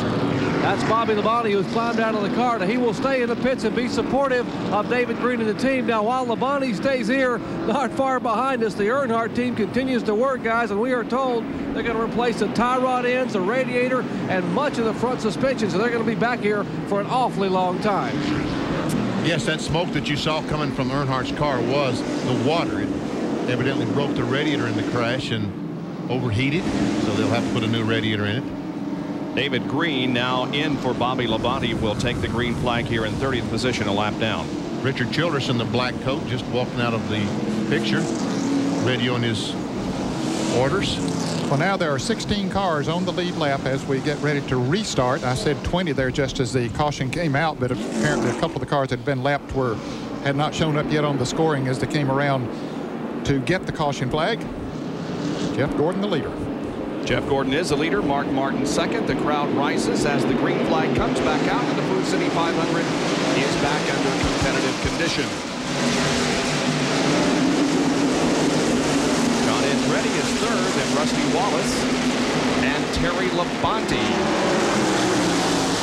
Terry pitting on the backstretch had a good pit stop back there. Boy, Jeff Gordon got quite a start as he has put some space between himself and Mark Martin. Now, a race for, uh, what is it, third spot between, uh, was a race between Andretti and Rusty Wallace. I thought Rusty was going to get the position because John drifted high in the corner. And Rusty got the nose under, but John held him off. The Kmart Little Caesars Pizza Pizza Machine driven by John Andretti. And now we're in the Miller Genuine Draft 4 driven by Rusty Wallace. Well, the lap cars, of course, were able to go up on the on the inside, and uh, that made it, some drivers back in the pack a little bit tough for them here on the restart. There's Terry Labonte, who has made also a nice move to the front. He's currently in fifth position. And started way back there. Started 21st. He was the fastest second-day qualifier yesterday and had trouble during his uh, initial session on Friday because of the inspection thing. So our sixth-place car, Ricky Rudd, tied fourth. 98 car Dale Jarrett is the next car in line, followed by Darrell Waltrip. DW. And Sterling Marlin is doing a nice job. Yeah, he had a good pit stop as well back there on the back stretch and gained several positions. He had worked himself up to about 10th or 11th before the caution came out and then picked up the two spots during the pit stop. I wonder if the fact that Earnhardt is in the pit area, garage area, working on his car, is going to have any kind of uh, Psychological? Advantage for how the four car is going to run their race today. Are they going to change their strategy on how they run the race today, the four car? Oh, and a crash down in one Todd Bodine. And the 23 car is spinning, the 43 car, and the caution flag is out. Second time this afternoon, the caution is out. Both cars, however, able to drive away, but considerable damage to Bodine's car. And the 32 car also of Chuck Bown. Yeah, he has a lot of damage on his car, too. And we see, I saw a lot of fluid coming from the 25 car. He drives directly to the garage area. There's Chuck Bown, whose car is smoking, and here is a replay.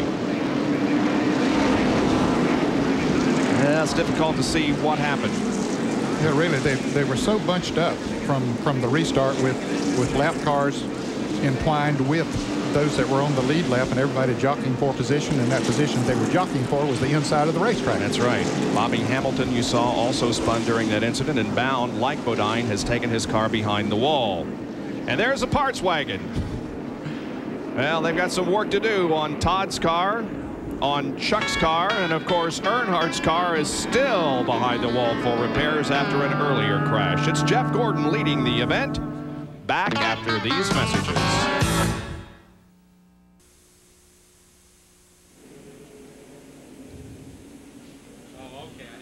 Have anything from the end cars? Yeah. Mm-hmm.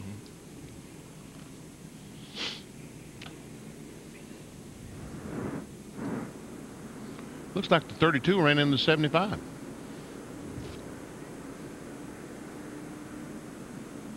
Okay, this is the second round, right? Thank you.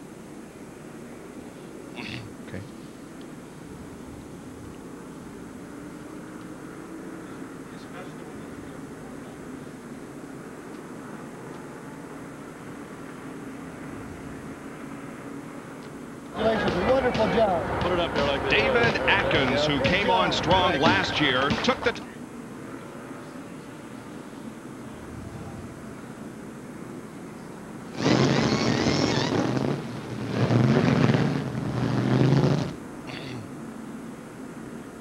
Oh, okay, sure.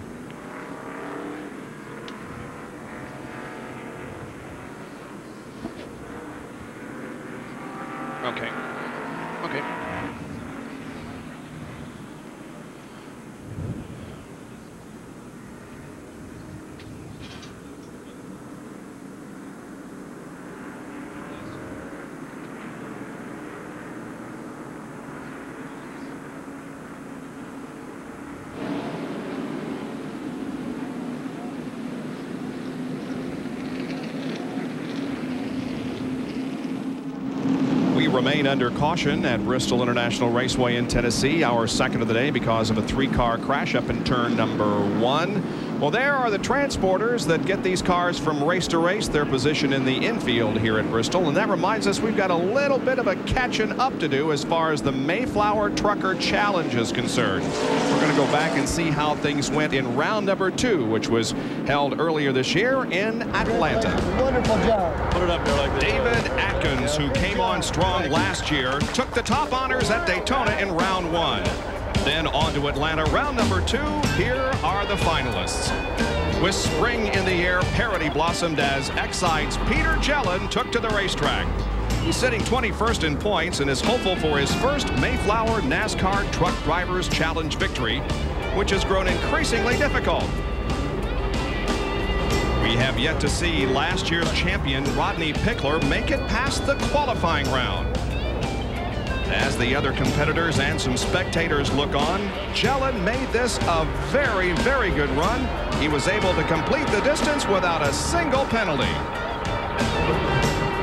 Well, felt great. Felt real good. No, no problems, I don't think. After a sixth-place finish in Daytona, Pennzoil's Tommy Rigsby pushed his rig hard, careful to stay clear of the penalties. This was Tommy's best run to date. He hopes it'll lead to a victory and a shot at the Mayflower $20,000 bonus. I think that was a pretty good run. It felt pretty good. I just hope I didn't have any penalties. But it would be Peter Jellin taking the top spot for the day, moving him to 11th in points. Tommy Rigsby would have to settle for second, but he has the points lead heading into round number three at Sears Point. We still wait to hear from last year's trio of Pickler, McCrimmon, and Culbertson as they hope to push their way back atop the point standings. So our congratulations to Peter, who drives the rig that hauls this car. And John Kernan has more on the seven car.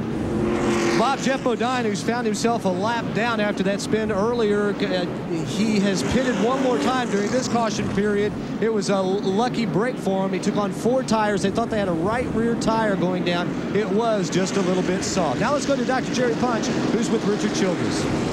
Well, the good news is the car is back on the racetrack, and Richard Childress is talking to his driver. And RC, sorry to meet like this, but uh, how bad is the car hurt? Well, you know, it, it knocked everything off the front. It looks like the chassis is pretty decent. You know, we had to straighten a couple of things, but I just told him go out and try to make the best of it we can right now. That's all we can do. Any idea, did he say anything about what could have happened up there? No, nobody ever said anything. We just seen him spinning. A lot of debris here in the Childress pits, and that caution flag was a break for the Earnhardt crew and able to make some repairs and get the car back out without losing a lot of additional laps here under green.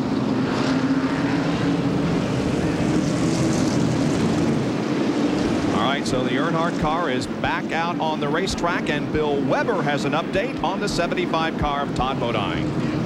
Bob Todd is still sitting in the factory stores Ford. They've cut away the end completely.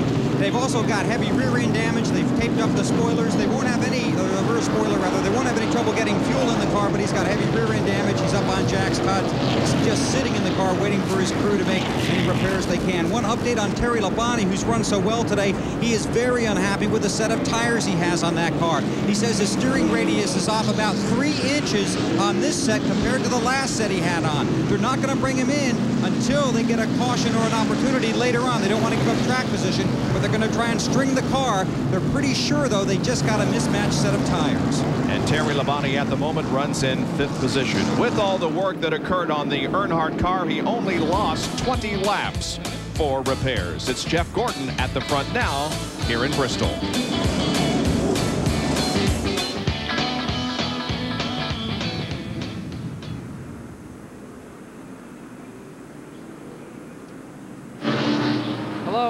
Got you, Neil. Talk to me, Neil. Barely. I, I got you. I can hear you. Yeah, I can, I can, I can barely hear you, Neil. Chevy, I'm going to Did the you see that, 24 pit. Brian? There are, there are two messages in there, and I hit next. Nothing happened. It erased everything but the one that was on the Fans board. have crowned the most popular NASCAR driver of the year, a record nine. What promo? oh, okay. Oh, by the way, by the way, when is the Elliott shop talk After be our show today. It is? Yeah. We need to mention that because I had a letter this week. I had a letter, some Elliott fan wanting to know when it was going to be on. It wasn't, I guess, uh, publicized very well last week. We promoted several times yesterday. so- Oh, did you? Yeah. Okay, good. Good. Probably not. I know. I know. Oh! No!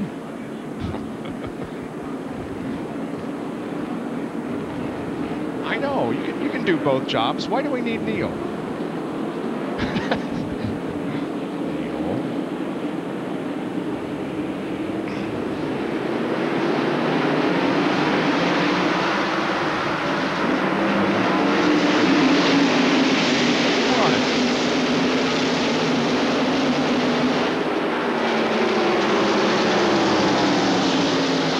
Oh! Lift your nose.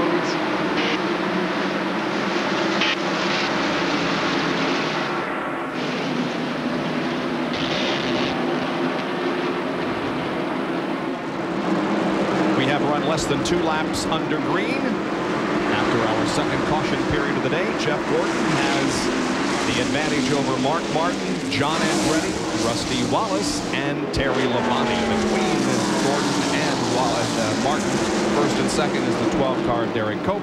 He, however, is a lap down in 16th. And once again on the start, Jeff Gordon jumped out to a good lead. Uh, however, Mark Martin was on the outside of Derek Cope and had to to uh, deal with that on the first lap. And Cope, of course, on the inside got the position. But it's not for position on the race. but It's position out on the track, but not. Uh, Cope is running in 16th position one lap down. Would you guys agree with me that if there has been a surprise as far as first year teams is concerned, it's John Andretti? He's doing very, very well, particularly here today at Bristol. This is a very tough racetrack, very demanding racetrack, and he is doing a great job in that Kmart car. He is 10th in points going into this event.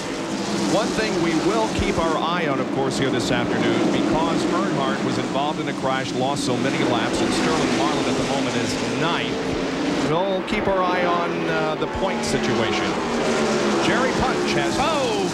David Green crashes down in turn one. Heavy damage to the rear of the interstate battery car. Caution is out. So after going over 100 laps without caution, we've had three pretty close together here. David Green substituting for Bobby Labonte into the fence in turn one with heavy rear end damage.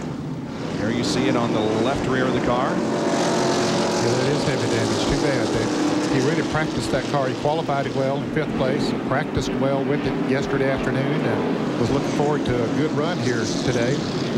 Even though Bobby had lost a lap, got caught up behind traffic there early in the race and had lost a lap, they still were in good shape for a good finish. It around to the pit area. Here's the tail end of it already into the wall when we picked it up. Here's Jerry in the pits. Well, the Interstate Battery Chevrolet comes in and has been considerably shortened. As you said, Ned, they were very pleased with what had happened yesterday in practice. They said that David Green's laps had gotten very consistent. He was running with Mark Martin and Jeff Gordon and some of the others very consistently, but apparently he had trouble, and they are looking as they have the car up on the jack, surveying beneath it. Jimmy Makar looked and said apparently they're going to have to go back behind the wall and do some repairs. The entire back clip has been pushed down and some of the sheet metal has been pushed against the left rear tire. And also the question is the fuel cell has been look, like it's partially been disconnected from its mount. So the car has some significant structural damage in the rear and they bring him back behind the wall for repairs. Bob?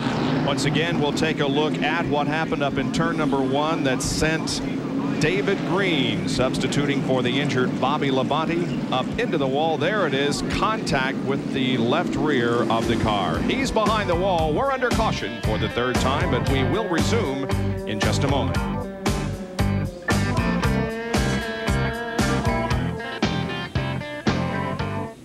Man, guys are something. Oh, the freeze there when the caution flag was just Neil, that's you? over perfectly. Neil, I got you now. Go ahead. No, I didn't hear you say anything.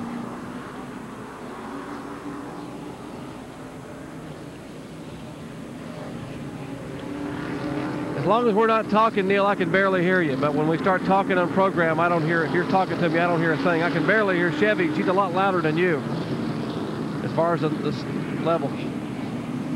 We talking about the three car here? Three car?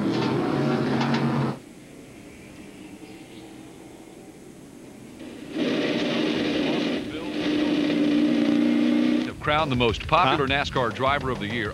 Okay. He's known as Awesome Bill from Dawsonville, and the man fans have crowned the most popular NASCAR driver of the year a record nine times. He's Bill Elliott, and this year he returns home to Dawsonville and starts out on a new high as the pilot of the McDonald's Ford and the owner of his own team. This They tell you to do that for your back.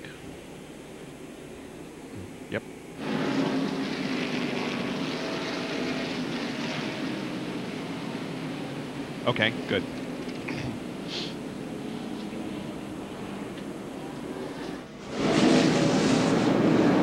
Back at Bristol, and we had hoped to run this shop talk last week after Darlington. We ran over so much, we postponed it until right after our race this afternoon. Had a letter from a Bill Elliott fan earlier this week saying, when's it going to be on? It's going to be on right after our race here this afternoon, ma'am, so stay tuned. By the way, your driver, Bill Elliott, is 21st a lap down. Here's the green.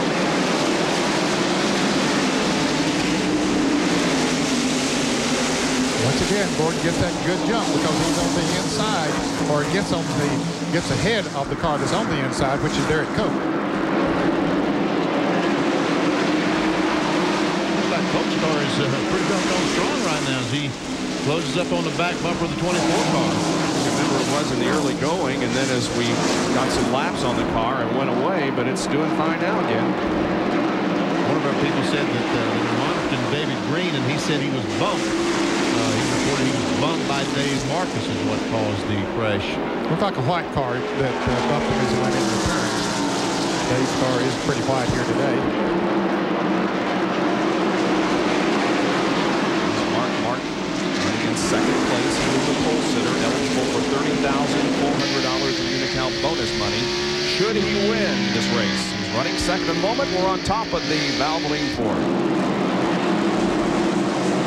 Here is 8th, 9th, and 10th position. That's Darrell Waltrip, Sterling Marlin, and Ted Musgrave.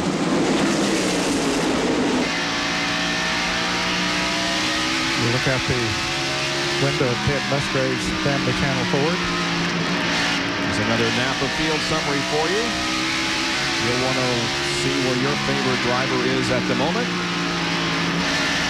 And you will notice that there are 15 cars on the lead lap.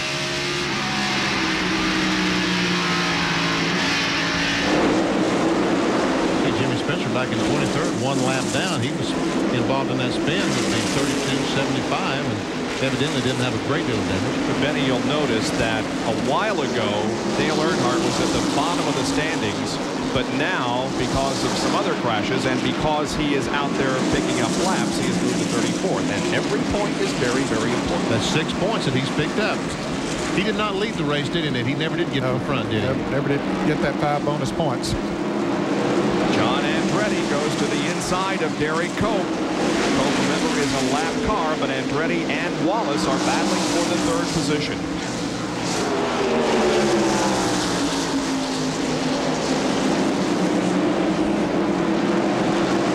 Shot Rusty Wallace. He goes down in turn one.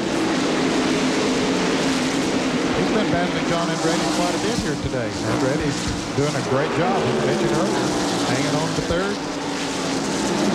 Tim Brewer, the crew chief on the 37 car, a longtime crew chief for Junior Johnson when he had so much success here. He knows how to set up a car for the speedway. There you can see that the difference between first and second, eight tenths of a second and 2.6 separate one through five. With more on John Andretti, here's Dr. Punch. Well, as Benny mentioned, Tim Brewer is the crew chief, and Tim and John came here to test for two days after Atlanta, the Wednesday and Thursday after Atlanta. The test really wasn't that beneficial. They really didn't know what they had learned because both Andretti and Brewer had the flu, and they couldn't run that many laps consecutively. And Tim said, we won't know until the race starts if what we learned will help us. But Andretti was the other driver. I told you Kyle Petty went to a different gear this morning. Andretti also has the 543 gear in, so he is turning a lot of RPMs, but apparently it's helping him off the corner. Bob? He is staying ahead of Rusty Wallace in third. Wallace sneaks up in him at the uh, exit of turn number two. Good battle here for third and fourth, but there's also a battle shaping up for the lead. Oh, and into turn number one, it is Mark Martin passing Jeff Gordon and going back to the front. Wow. It just seems like a lap ago that Martin was five or six car lengths behind. Mark Martin has four top tens in the first five events of 1995. Here's how he went to the lead. This is coming off turn four to the front straightaway. As they come down, Mark gets a great run, gets position on Jeff Gordon, and wise that Jeff Gordon decided not to come down. Yeah, and he had been gaining about three car lengths uh, each lap, and so Gordon had to see him coming and knew that he had a lot of momentum. Back to this battle for third spot between Andretti and Rusty Wallace. And don't forget about Terry Labonte, because yes. he's, he's, right there. Oh. Trust me, there he is. There he is. He's gaining on this two cars, I do believe. Yes, he definitely is, Benny. He was, uh, a minute ago, he was about a half a straightaway behind. Maybe a little more than a minute ago. About eight or ten laps ago, he was about a half a straightaway, but he's gained up. He's pulled up on him. Once again, we have a three-car tussle between, or among, I should say, Waltrip. Yeah, making a four-car battle. Yeah. Waltrip is called Ricky Rudd, who is running in the seventh position. Ted Musgrave is watching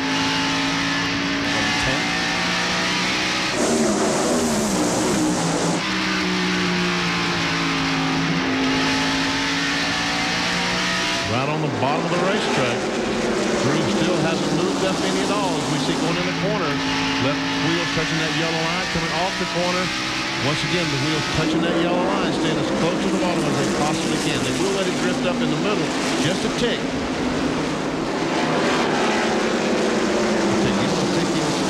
About that much. Yeah, just small. Yeah, small amount. Not, maybe not quite that much. The car, by the way, at the end of this line is Dave Marcis. He is a lap down in 20th position. The others are battling for position. John Kernan has a comment on the number 10 car. John? Well, Bob, as we see Bristol can tear up a lot of race cars, and Ricky Rudd's crew decided to, to bring a sacrificial lamb, if you will, the oldest car in their shop, they brought to Bristol. Well, yesterday afternoon when Geoff Bodine lost an oil line, Ricky got into the oil, scraped the wall. They didn't do a whole lot of damage other than sheet metal damage. Bill Ingle told me this morning that actually, after he scraped the wall, they brought it in and straightened the sheet metal out. The car was running better than it did before. Sometimes that happens. yeah. You don't know why, but it sometimes it, it just happens that uh, some little something that you were lacking maybe gets knocked into the right position makes the car go faster. Happened to me at Dover, Delaware one time. I just had an average car. I was involved in a crash, and I bent the fender, the hood and the right front fender all up, and from then on, the car just flew. Huh. Did you win the race? Yeah.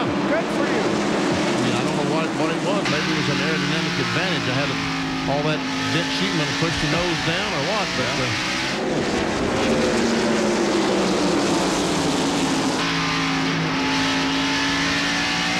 Jeff Burton, we understand, uh, is reporting to his pit crew that he may have a tire going down. He's a lap down in 25th position.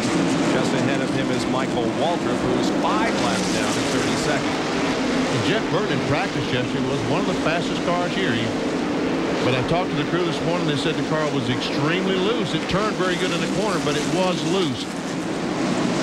And now the car they say is pushing badly, so that is indicative of a flat tire or at least a low tire. A low tire. It doesn't take many pounds of pressure that you lose to pick up push type situation. That means when you go into the corner that it just simply don't turn the way you want it to. Sometimes you have to back off the gas coming off the turns. Just behind those cars, the leader of the race, Mark Martin, with about a five or six car length advantage on second place. Make that an eight or nine car length advantage on second place, Jeff Gordon. 185 laps out of 500 completed here at Bristol. And we'll look at the in cars as we go to break. There's Rusty Wallace in fourth. Ken Schrader is in 17th. Dick Trickle runs in 19th position. Ted Musgrave is on the lead lap in 10th. And there is Morgan Shepherd, who is in 28. We'll be right back.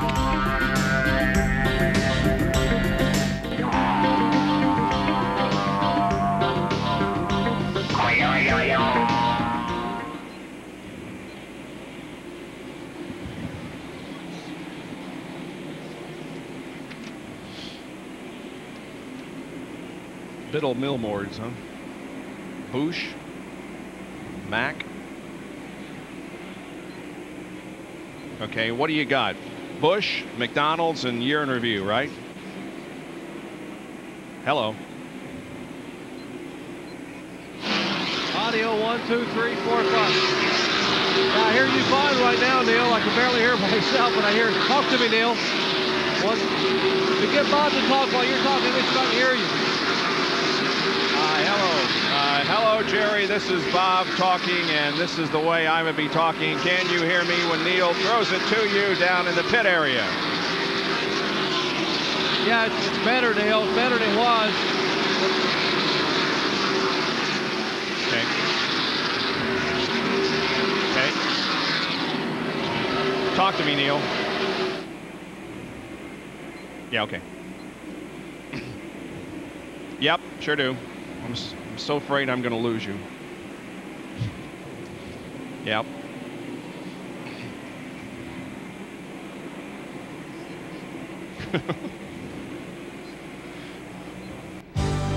ESPN Speed World coverage of the Food City 500 is being brought to you by Smooth Busch Beer and Easy Drinking Busch Light. Busch, the official beer of NASCAR. By McDonald's, have you had your break today?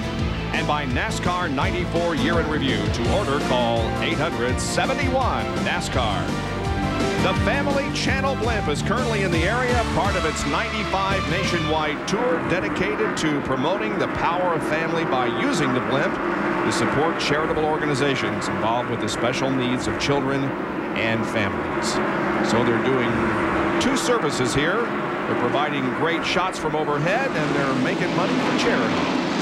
Well, here's the leader, Mark Martin. Coming up on Lake Speed, who is currently two laps down in 29th position. Taking the Spam Ford.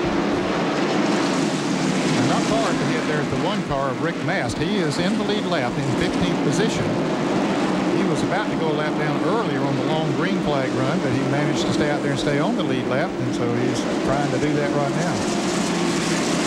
That's Steve Grissom in the black and gold 29, the Meineke car, trying to get by the one car. Steve Grissom, the winner yesterday of the Goody's 250 here at the Busch Grand National race held yesterday afternoon. Beat this fellow, as a matter of fact. Mark Martin finished second, and Grissom yep. was first. 6.6 seconds separates the first five here at Bristol with almost 200 laps gone.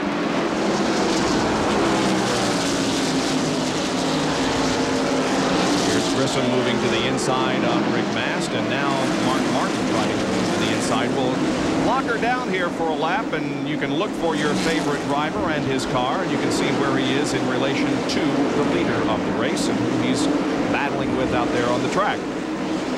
See Kyle Petty going by the 16 car, taking that spot away, or trying to take that spot away. That's 10th and 11th. Yep. Back to the leader. There's Mark Martin. Now we'll focus in on Kyle Petty and Greg Sacks. Randy LaJoie running in this group. So's Ted Musgrave. And Kyle did take that spot away from Musgrave. Kyle up in the 10th spot. Here's a Fran field summary.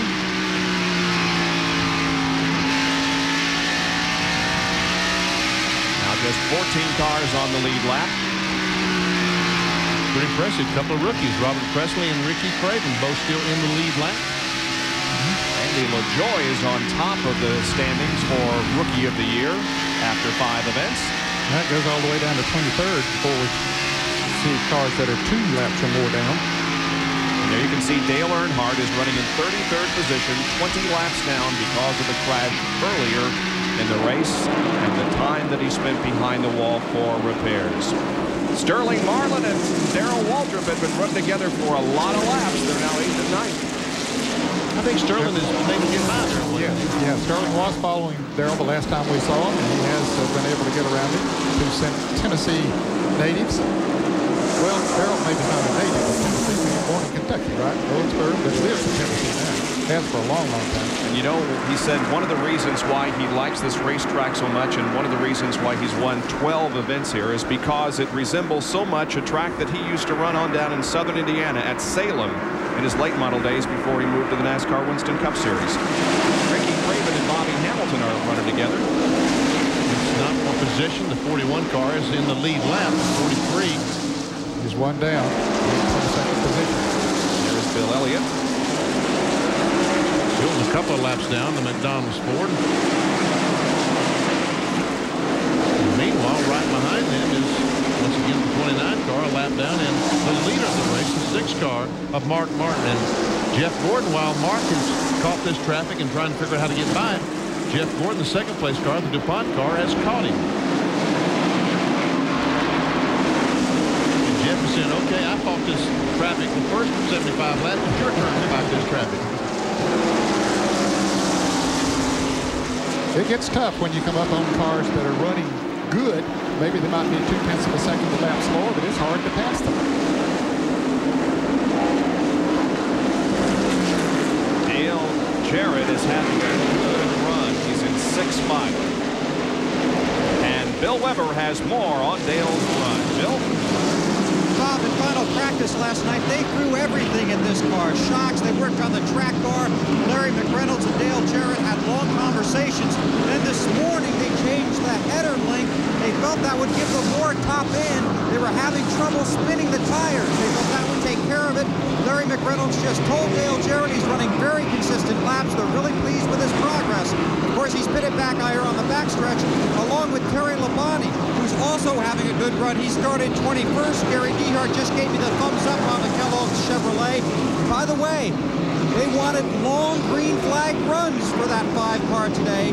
The longer the green, the longer the run, the better the car, and Terry's coming. And we have Sterling Marlin, who's also coming in a crash in turn four. Right in front of the leaders, it's Dave Marcis, but the leaders were able to go by on the inside. Dave stays up against the wall in the Terramite car. So that long green flag that Bill Weber was just talking about sort of went out the window right there. Our fourth caution of the day comes out on lap 215. I see some pretty heavy damage to our a lot of tire marks on the right rear of Bill Elliott's car. I don't know if that means anything or, or that was some earlier. Okay, here we go. The first three coming into the pits. And here is Mark Martin, Jeff Gordon, and John Andretti coming in for pit stops. Here's John Kernan in Andretti's pit. It'll be a four tire change. John still playing the car just a little bit tight in the middle of the turns. Let's go down to Mark Martin's pit and Jerry Punch. Right side tires already on. Left side going on now. They got all the lug nuts on. Second can of fuel in. He's also jacking away as Mark Martin is down. Here is Jeff Gordon down. Here is Rusty Wallace down. And the 37 of John Andretti is now moving down pit road. Let's go to Bill Weber in the back pit. Dale Jarrett and Terry Labonte are back here. Four tires and fuel, looking to beat the leaders. Mark Martin goes by. The 24 is by. The 2 goes by. Now the 28 is down here. Long stop for Terry Labonte. They're working on the left side tires. Now Terry pulls away 28 pit, but he lost valuable positions pitting back here. Sterling Marlin, the last car of the leaders off the backstretch pits. Dale Jarrett picked up two positions back there pitting on the backstretch. He came out ahead of uh, John Andretti and of uh, Terry Labonte, who was in front of him. Course, Terry pitting on the backstretch too, so he only beat one car that's pitting on the front stretch. And the 40 car Greg Sacks is nearly stopped here on the main straightaway. We will take a break here. Apparently the battery has gone sour on the Kendall car. We'll check out that story in just a moment. Meanwhile, we'll take a break and be back with more from Bristol.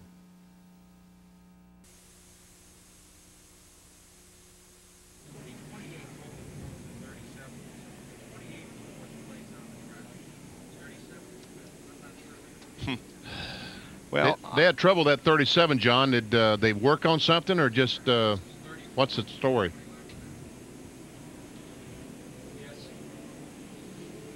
I, I, I'm still waiting to find out from Tim Brewer exactly what happened. I'm looking at the replay right now. They're... Hey, Tim. Len, here. Now, I want you to look at this. It says three unread messages, right? I'm supposed to be able to, to go through them and look at which one I want. It doesn't change, but instead it goes to two. Now it'll go to one. Now, you guys have seen that with your own eyes, right? Huh? No, it's...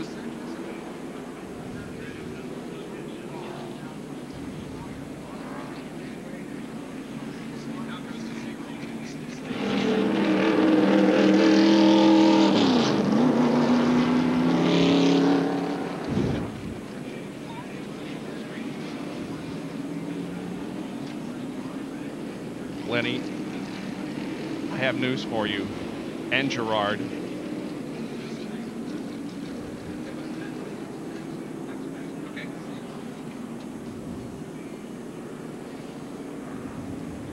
Do we have anything?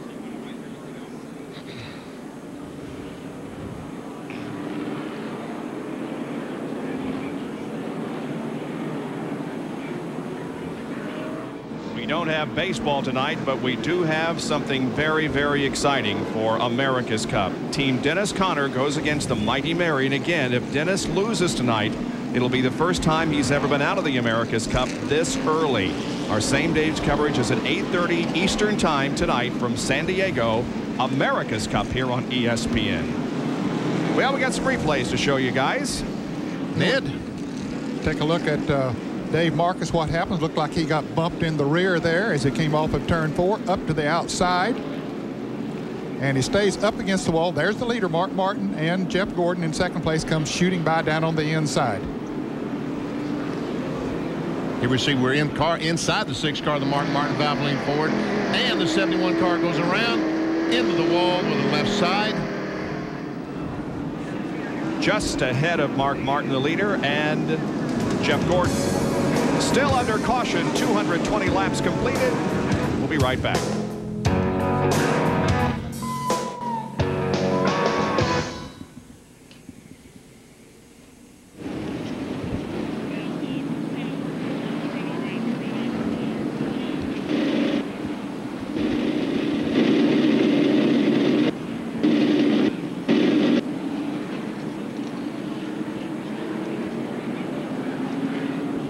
Doesn't delete it.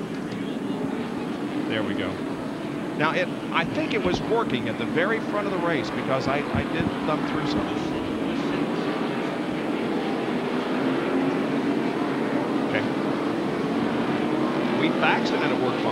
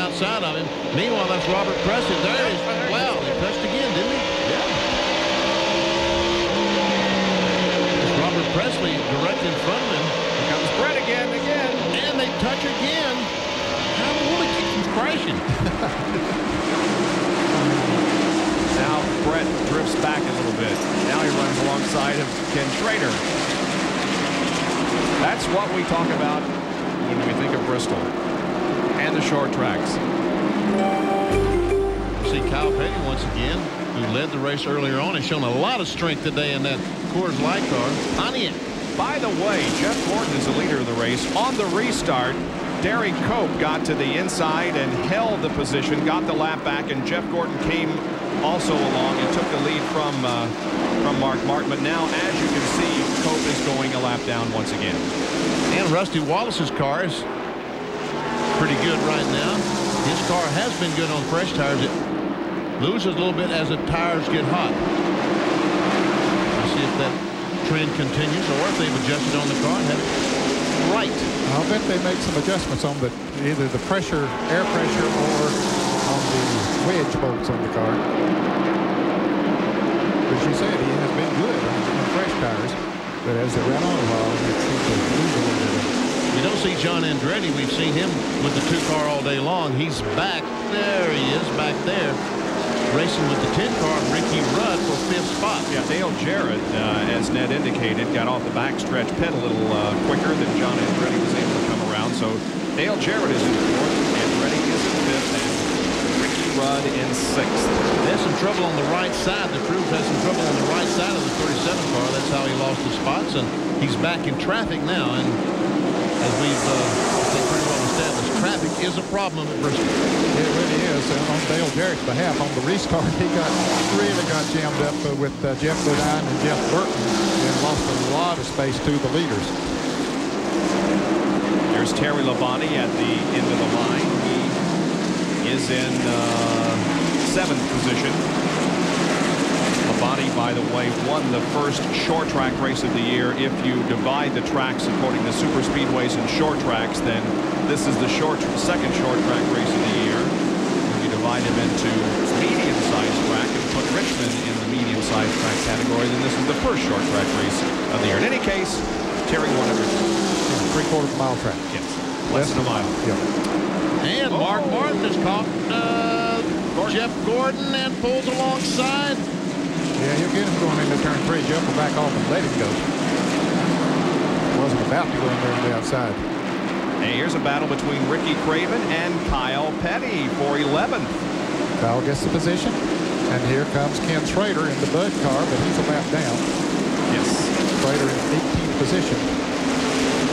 14 cars on the lead lap. Average speed of the race at this point is 91.955 miles an hour. Now the 25 and the 15 are racing for position. Of course, is uh, Ken Schrader and the 15 car of Dick Trickle. They're both a lap down, but they're battling for the 18 spot. And they have the Kodak car sandwiched between them that is in the lead lap. Mark Martin up front has led 94 of the first 237 laps.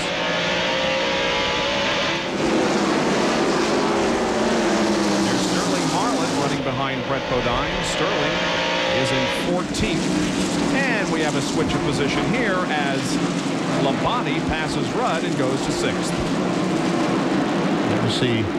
Sixth, seventh, eighth, and ninth. Darrell is in the eighth spot. Musgrave is in ninth.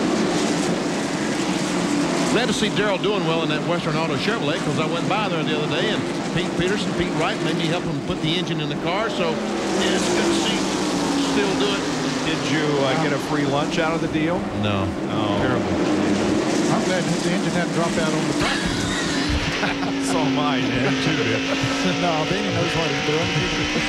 They didn't have you get up under the car anyway, but he just did the top. No, he just lifted it into position. I tried to get between the fender and the and the roll bar, but I had a little trouble with that. Well, how come? My midsection got in the way.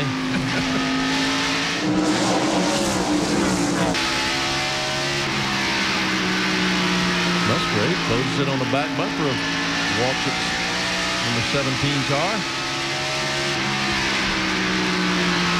Jack Roush cars, two of them in the top 10. Both of them are in the top 10. Michael Waltrip, by the way, has pulled off the racetrack again. He was back in 29th. As we watch this, I'll tell you that David Green is uh, pulling the Interstate Battery Star back on the racetrack after spinning a long time, about 90 laps in for damage. Yeah, he's being shown in the last position right now.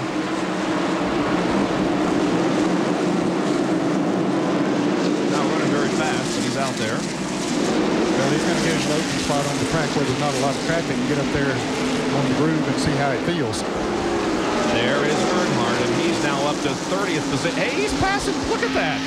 Yeah, he's running pretty good. Since he came back out, he has stayed uh, on the same lap. He's still just 20 laps down where he was when he came back out on the track. Now, somehow, I think your aerodynamic argument goes out the window right there. Huh? I tell you what, that car is not very aerodynamic. It looks like a boat running around the racetrack. Watch that. But again, he's up to 30th position, so he has picked up six spots since he came back out on the racetrack. That's 18 points. And boy, you never know how much that might mean at the end of the year. And he's going by Darrell, and that lets Musgrave get on the inside. That's for position. Position eight, Musgrave has it. If points were awarded now, Earnhardt would retain the points lead by 13 uh, until just a few minutes ago. Sterling Marlin was in the points lead if points were awarded now. So it pays to stay out there, and we are approaching the halfway point, aren't we? Yep. Next time by. Right here. Right there. There it is. Yep. And cross flags being shown by Charles Moore and Mark Martin is leading at the halfway point. 250 down, 250 to go. Isn't there a prize now for leading at the halfway point net each and every race? $10,000. Gatorade. Ten thousand. He just won ten grand. Yeah. Yeah, somewhat. Man, oh man. Who's paying that? Gatorade. Gatorade. Yep. John Kernan has a story on Rusty Wallace running third. Guys for Rusty Wallace leave no stone unturned. This is the right front tire that came off the car after the pit stop. Look at it. No, that's not what happened onto the tire on the track. That's what happened after it got back here. They cut it away so they could get a look at the sidewall to check out the damage. A lot of damage to the right front sidewall here, in particular in the shoulder area. They want to see if it's flexing too much and causing a breakage inside here. But as you can look all the way around this tire, and it's also on the other side, Tire looks really good. They tell me they don't have any problems with uh, these tires as far as breaking the inside around the shoulder area. So they feel like they're in pretty good shape. What happens when they underinflate the tires? They break the shoulder like John Kernan was talking about. So that's an indication. That gives the crews an indication whether or not they can have to up the air pressure or they can let it down some more. That's what they're doing, cutting the tire apart so they can see. And we see Musgrave going by Labonte. And also Kyle Petty has worked his way back up there. Yeah, Ricky Rudd going by. Darrell Waltrip will go by. A lot of cars there in the lead lap. And the 33 car of Robert Pressley goes by as well. So once Rick Terry Labonte got up in that outside groove, boy, the train went right on by. By the way, speaking of Goodyear, this will be their 1,000th documented win in NASCAR Winston Cup competition here this afternoon. Ooh, look at uh, Pressley coming up on Waltrip and uh, getting on the brakes. Now, oh! Dick Trickle almost speed does crash. Dick Trickle has spun. And the Brandon 22 LaJoie. car, Brandon LaJoie, has crashed. And the number one car of Mast hits Trickle in the backstretch. There's Trickle's disabled mount off of turn two. And five cautions have now waved over Bristol. Dick Trickle is the victim.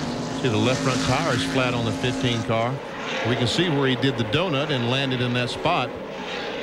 Man. Tell you what, when the wheel is bent like that, like it is on the 15 car, normally there's some pretty heavy damage to that car.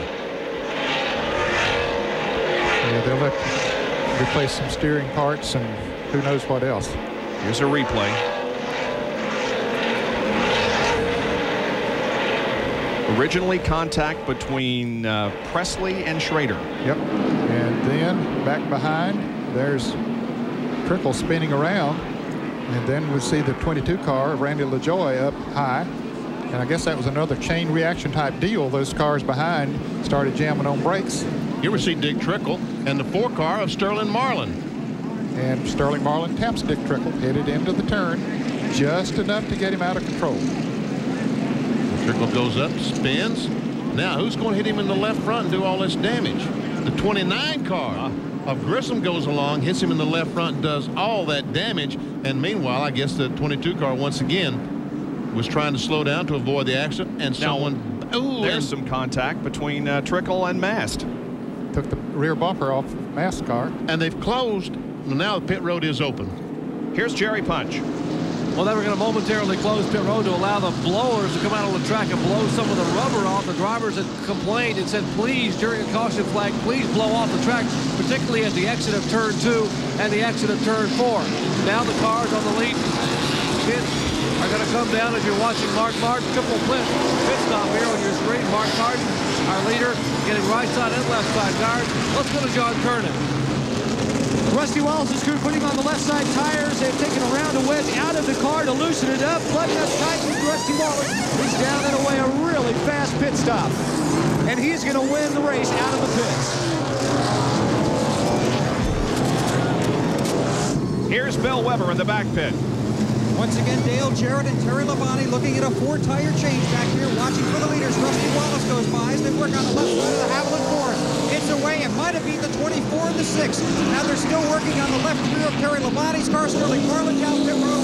The Kodak Chevy meets the Kellogg Chevy, and they return to the track. One quick story on Sterling Marlin. The reason he was back there mired in traffic was because during the last caution flag stops, they failed to clean the windshield. Sterling was very unhappy. He had to come back in, clean the windshield, and that's what put him back in traffic after he'd been running so well. And no crewman wants to listen to an unhappy driver. Trust me. Irritated race driver. Trust me. Well, Dick Trickle's car is on the hook. He is still in it, and now we go inside, actually on top of it, to see what happened when Dick got in trouble in turn one. He got bumped just a little bit, and boy, you can see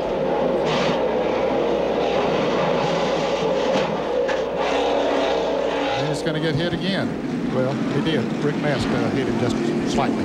Well, the 15 car goes behind the wall for repairs. We've seen that scenario several times this afternoon, and the track crew comes out to clean up Bristol International Raceway.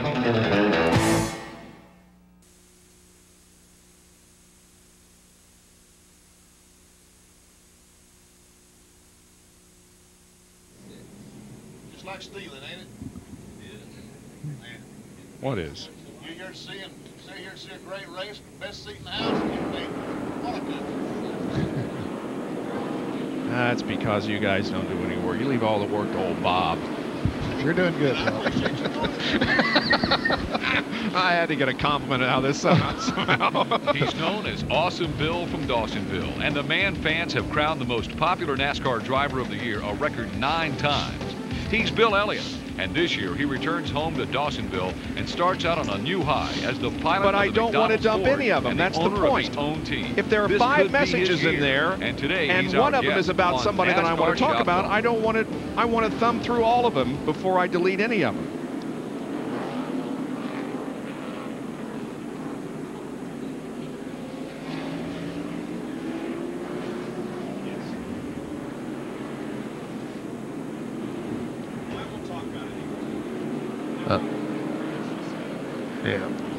I'm sick of you talking about it anymore. Computers. Man, what do we need? They'll never replace humans. That's right. When we got a good race, what do we need with computers? That's right. By golly.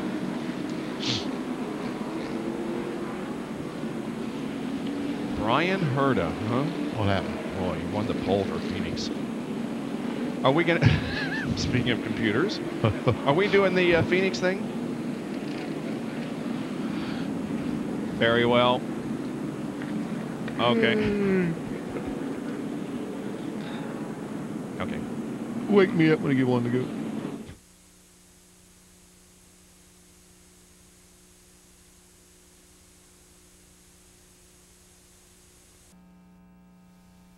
He's known as Awesome Bill from Dawsonville, and the man fans have crowned the most popular NASCAR driver of the year a record nine times.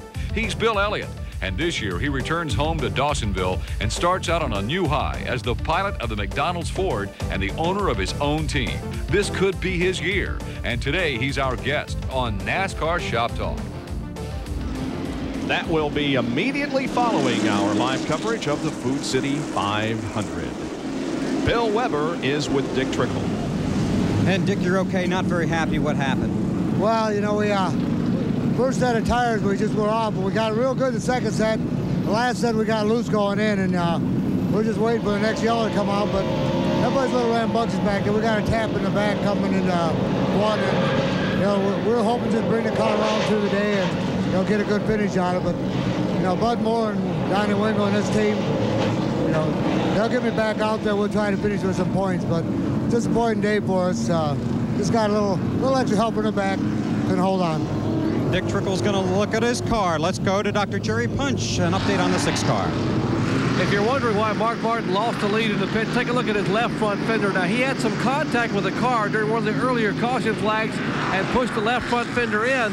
When they came down pit road, Steve Mill, who changes the left front tire, had trouble getting the tire on. He had to have Mark, tell Mark on the radio to turn the steering wheel to the right side, and they were able to wedge the left front tire in. That wedging of the tire cost them an extra three and a half or four seconds in the pits, and also cost them the lead. Bob? Yeah, it sure did. Rusty Wallace is now in the lead. Let's show you the pit summary. Mark Martin lost one position. Jeff Gordon lost one. Rusty Wallace gained two. Dale Jarrett lost one, and John Andretti gained one position. The difference is Andretti's pitting in the front and Jarrett is pitting in the back. That's correct. Still under caution, the cleanup continues down in turn number one where Dick Trickle was involved in the incident. So we'll take another break and be back with more from Bristol, Tennessee.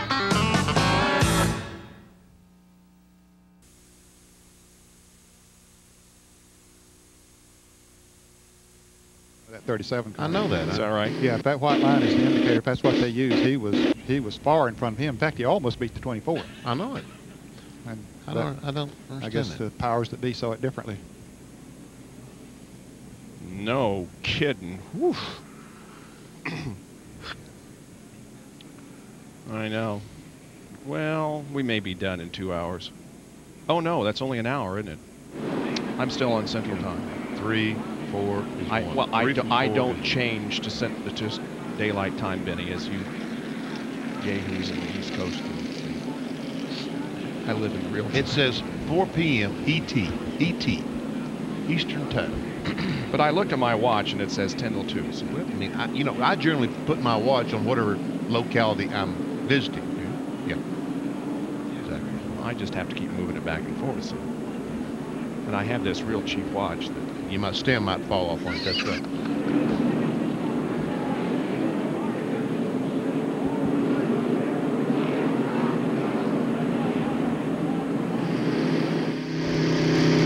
Welcome back to Bristol and some NASCAR Winston Cup stock car racing on ABC at 4 o'clock. The IndyCar Phoenix 200 will be held, and quite a surprise on the pole. Bryan Herta with the Chip Ganassi's team is on the pole with Emerson Fittipaldi, Jacques Villeneuve, Paul Tracy, and Michael Andretti making up the top five. That race will be on at 4 o'clock Eastern Time. Well, there are the loyal Bristol race fans, the most enthusiastic of any place I think we go. Man, what a crowd of folks we have here today as we see the Ram field summary. While we're watching that, an interesting statistics has popped up. When we're talking about the modern era and drivers' performances at Bristol International Raceway, you got it?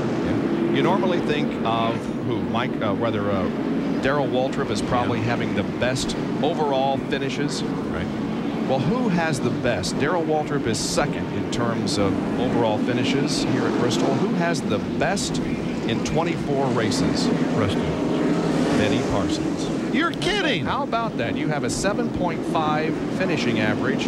Darrell has a 7.6 and Earnhardt is 7.7 in the modern era.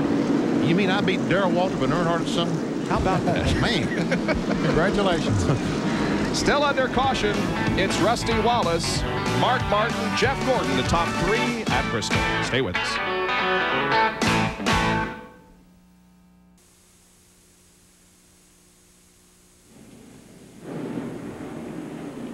I'm. How about that? Yes. Yeah. Yeah. Because it, it had been a 7.9 now, and then an 8.3, and then.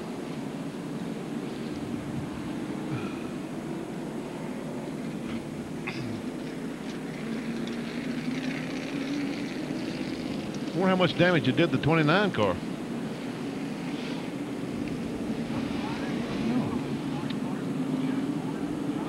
Huh? Blimp pop? Okay. Where's the 29? There he is. Looks like he hit it with the roll bars, right roll bars. Got some bungee cords holding bungee cords holding the door on. Looks like. Not very aerodynamic.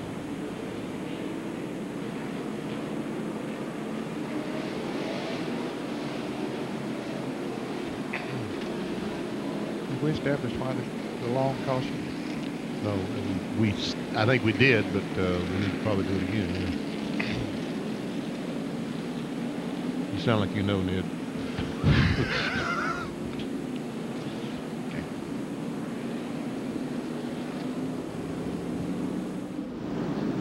It's the Food City 500, sixth race of the 1995 NASCAR Winston Cup Series, live from Bristol, Tennessee. Overhead is the Family Channel blimp. This is one of a few light ships. This thing is internally lighted at night, and man, is it pretty. Anyway, it is 132 feet in length, 44 feet in height, 37 feet wide, and almost 3,000 pounds. Reaches a top speed of 56 miles an hour. Now, let's go to the Bud Race recap. At the moment, Rusty Wallace is the leader. He has only, however, led 11 of the first 271 laps. We've had eight lead changes, five cautions totaling 45 laps, and an average speed way down to 88 miles an hour. Those that have picked up five bonus points for leading include Mark Gordon, Petty, and the current leader, Wallace. Out of race, not too many. Greg Sacks and Dave Marcis are the only ones officially out of competition, but there are still some cars that sit behind the wall getting work done. Well, Ned, it's been a rather lengthy caution period here. Yeah, this is the reason the drivers asked NASCAR to ask the track officials to bring the blowers out and blow some of the rubber down off the track because they say if you get out of the groove that you're history. And uh, so they have two blowers out there, and they've made uh, a complete lap around this track, one on one end and one on the other. So it looks like they're getting pretty good shape. Petty is back up to seventh position, Jerry. They've been, they've been battling. The car's been awfully tight, Bob. They took a rubber out of the right front. The car was still too tight. They put a rubber in the right rear. The car got too loose. They just came in and put a round of bite in the car and put four tires on it. And Kyle said, hey, I think we're in good shape right now. We should be able to make our move back toward the front after qualifying third. Bob? All right, we're just about to go back to green. Rusty Wallace will be at the front of the field. We mentioned that Terry Labonte won the race in Richmond, but Wallace led 248 of the 400 laps, 62% at Richmond in the first short track race of the year. The crowd once again rises as the green flies. And the scramble begins as they're starting two abreast, which is the way they restart the races. You get down to the last 10 laps, the more if you get up on that outside, which the lead cars are, it makes it tough. Oh, and Kyle Petty bangs the wall. Several others scramble and lose control, but gather it in, and once again, the caution flies. That all started and fire momentarily on Kyle's car, but it, but it got out. Brett Bodine is smoking heavily. Yeah, Brett, Brett has come- hit something pretty hard. He spins off of turn two over there. Just Yeah, the 11 car just spun coming off corner number two after going down into one with a lot of smoke coming from the car. I think we'll see on the replay that what happened, Dale Jarrett got on the inside going into turn three over there on the inside of John Andretti. and John went very high.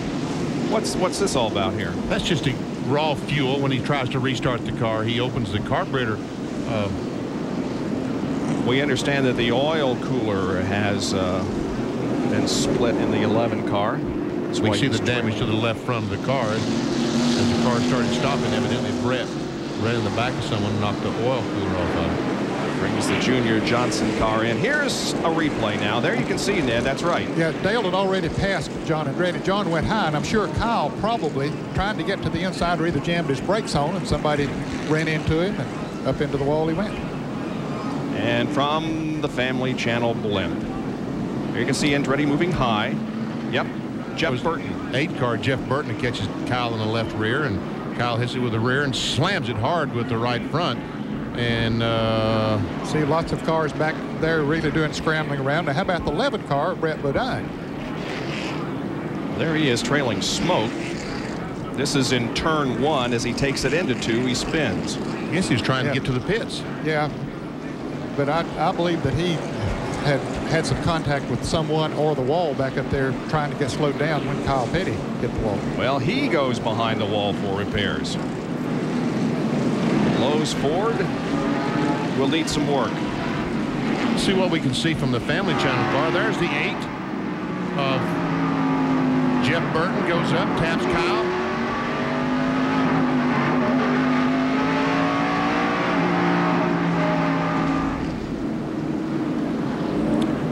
Well, Kyle Petty had such a good beginning to this race. He led early on, but uh, has a contact with the wall.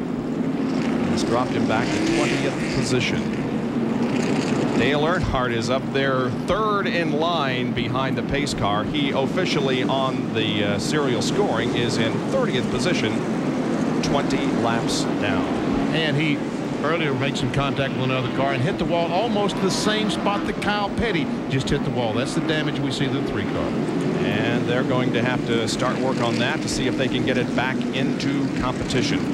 We understand that Brett Bodine hit the back of the 33 car. That's the reason that the uh, oil cooler was damaged on that car. And there is Robert Pressley in the pits here on the main straightaway. And they're working on the rear spoiler, trying to attach it, reattach it, I guess, where the 11 car hit it. Brett Bodine hit it. And Now, from uh, Ken Schrader's car, let's see what we can see.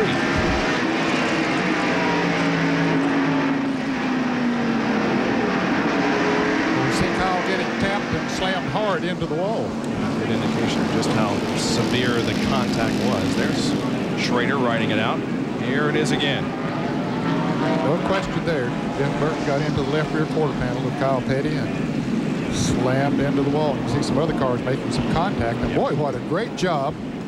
Yeah, that was Pressley, Ned, after he had been hit by Bodine. Yeah. And John Kernan is with Brett. Brett's crew is working underneath. You just see all the oil that is just shot back under all over the engine and on the hood. And Brett uh, couldn't slow down in time. Could you got into the back of the 33? Yeah, they, you know, evidently they crashed up there in front of us, and uh, Robert checked up, and I just couldn't get stopped in time, and you know, I hit him hard enough and broke the fitting off the oil cooler. Uh, it's a shame that Lowe's uh, car was running awfully good today. Finally, we got ourselves where we could be competitive, and uh, you know, it's just terrible. Restarts, you, you know, the fast cars are, are stuck in the outside lane. You know, I was running 10, 12, and I ended up starting 24th on a restart on the outside. It's just really hard to, to stay on the lead lap under those conditions. You put new tires on the lap down cars, and they can run awfully good down there in that inside lane. Well, that's Brett Bodine. This crew is working. What the, we're being told they're planning to do is bypassing the oil cooler so they'll save some time. They won't actually replace the whole thing. They'll just bypass it and get it back out on the track as soon as they can. And the work also continues on the Kyle Petty car. The 75 of Todd Bodine is back into the race. He is 40 laps down in 32nd. And some fans of the young age are here enjoying this race at Bristol.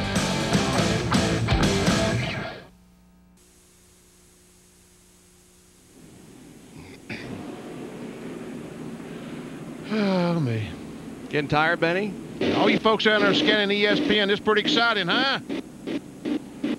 Nobody's listening to me. Nobody listening to us. I thought somebody. Been, is anybody here in the grandstand, the front? Grand, oh, that guy's listening to me right there in the white switch. No, Aren't you, he buddy? He's just looking up here to see. Aren't you listening to me? Yes. Yes, he ain't. Thank you. If you listen to me, wave. Bob, Bob, See, I Bob, told you he's listening Bob. to me. Thank you. Yeah, really. Thank you, sir, very much. Where are you from? Tennessee, I bet. Yeah, I Okay. see that. All right. Boo hiss on Tennessee. Jerry has Kyle, correct? Only kidding. Only kidding. okay. How come you put up the four car and you got a three hat on?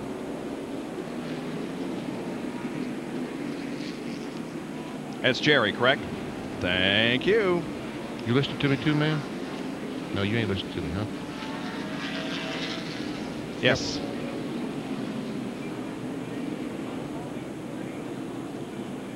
But it was just a racing accident. That's like Chris Hussey said. Hmm.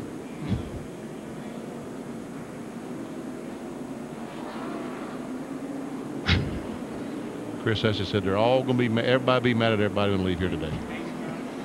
Who said that? Chris Hussey said everybody's going to be mad at everybody. That's a good point. You know, that's a. Why don't they start the fast cars on the inside? They should change that. Never done it. Push. Why don't you use starters on midgets? They do in USAC.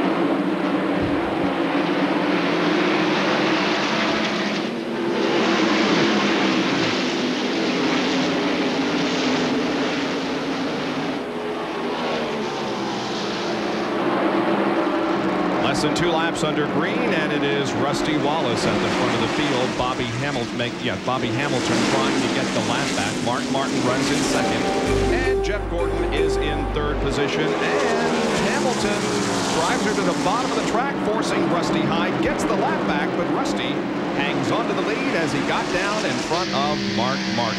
Man, that old Bobby Hamilton going some playing that STP Pontiac. Yeah, that's uh, puts 14 cars or 13 cars back in the lead lap. We were down to 12. Let's see if he can stay up there for 30, 40 laps. I hope we run 30, 40 laps on the green. John can update us on the 43 cars back on the lead lap. Bob, you remember earlier I told you about Ricky Rudd's crew bringing the sacrificial lamb to the track in old car because of how this place will eat up cars? Well, not the 43 team. Robbie Loomis said that is a brand new car built especially for Bristol. What they've done is they've strengthened the chassis with some X bars in, in the rear, some Y bars in the front. The problem here at Bristol, just the force, the sheer force, caused the firewalls to actually twist from the and flex, and they would be out of shape when they get the car back to the shop. So as the race went on, the car would lose its setup. He said with his firmer chassis that they should be fine throughout the entire 500 laps. Well, Kyle Petty is behind the wall, and Dr. Jerry Punch is standing by with him. Speaking of good runs by Pontiacs, Kyle, you had had a great one going, and I think I jinxed you, partner. I just said during the break that uh, we're going to watch Kyle because you got the car dialed in, and then boom, you're in trouble. What happened? Well, we started, we were a little tight. Then we took that out and we got tighter. It seemed like we took a rubber out. So finally we said slamming in the right rear and the car got pretty good. But Oh, on that restart, somebody got into the 37, the John Andretti going into turn three, and I checked up and somebody got in the back of me. But hey, that's racing here at Bristol. There's nothing you can do. It's nobody's fault. It's just one of those deals. When something happens in front of you, and things happen so quick, like we talked about yesterday during that race, it's going to take out two or three people, and it took out me this time. You had a suggestion that we go bass fishing at Darlington. Any thoughts about here? Yeah, this place ain't good enough for bass. They need to put carp in this place. Kyle Petty able to smile after a tough day in Bristol, guys. Kyle has his opinion of the racetrack. Sure does. He wastes no words either.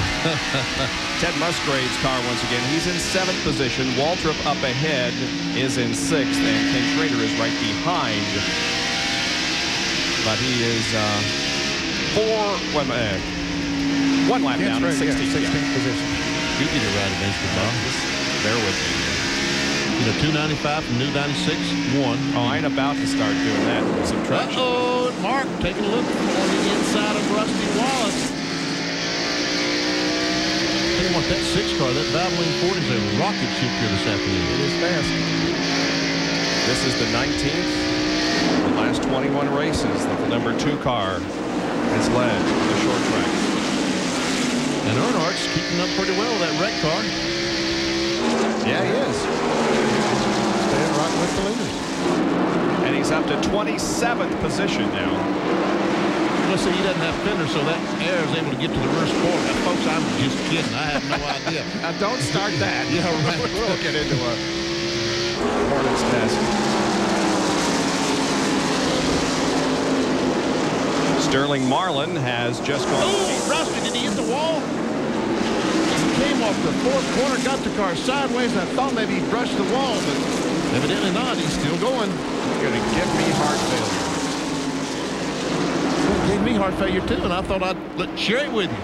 Well, let's take a look. Here he comes off the turn. Gets her sideways. No, he's not oh, close Oh, he to the wall. even close to the wall, BP. Oh, I just happened to catch him out of the corner of my eye. Sorry.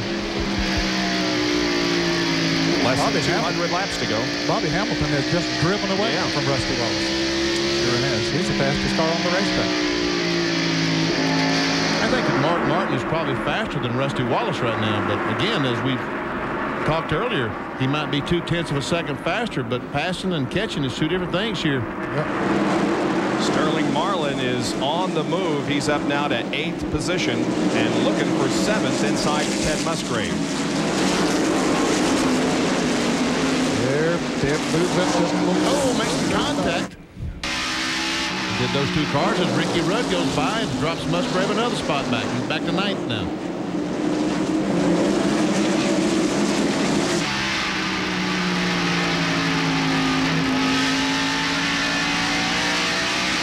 Well, let's count them up. How many Fords we got in the top 10, Benny? We got first and second for Ford, then uh, fourth, fifth, eighth, ninth. That's it. Yep. Not bad for the Fords today.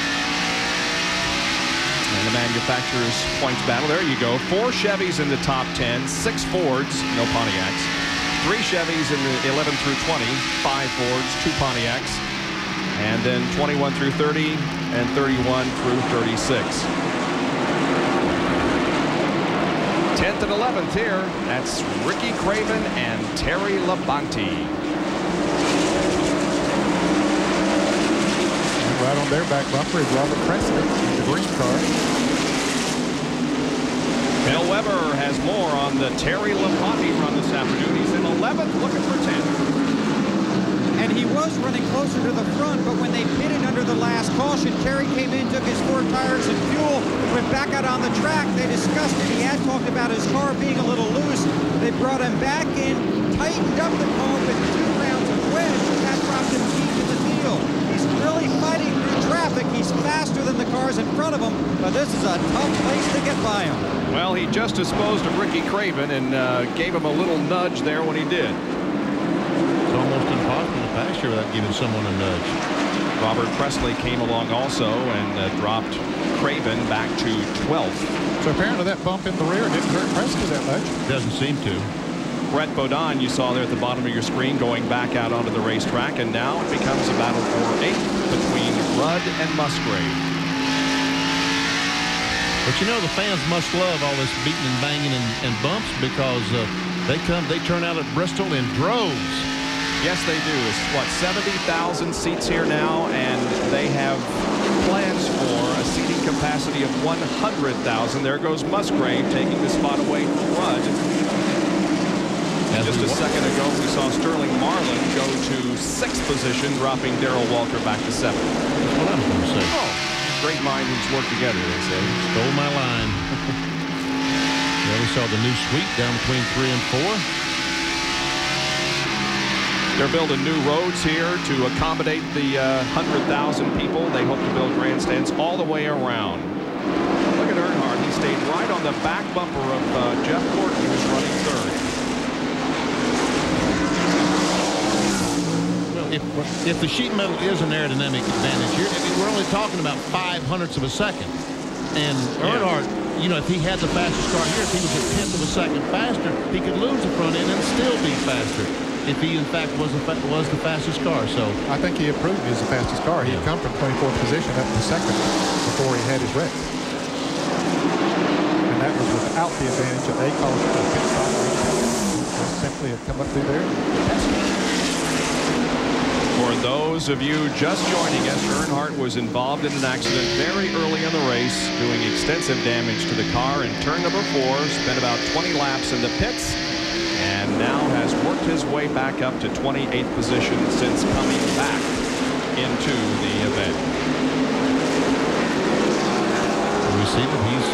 again just getting right on the back bumper of the 24 car. First three cars, Rusty Wallace, Mark Martin, and Jeff Gordon.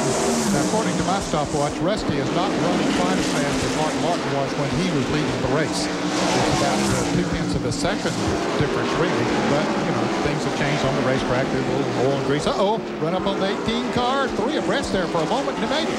Man, I tell you what, that was some heads-up driving by all those guys. David Green including. That, that was the 18 car that was three deep on the outside.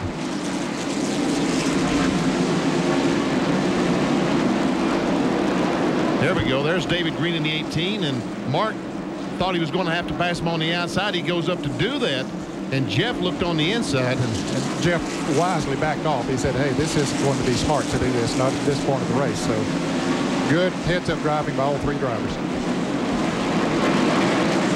Now we're going to go back and show you exactly what happened to Dale Earnhardt. There he is going by the Derrike Cope car going down in turn three. He goes down and they just touch and Earnhardt goes around.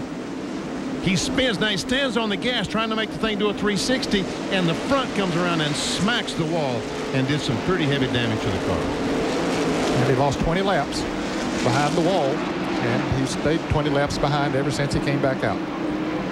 It is still Rusty Wallace in the lead. Mark Martin is running in second position and Jeff Gordon third with 323 of 500 laps completed at Bristol.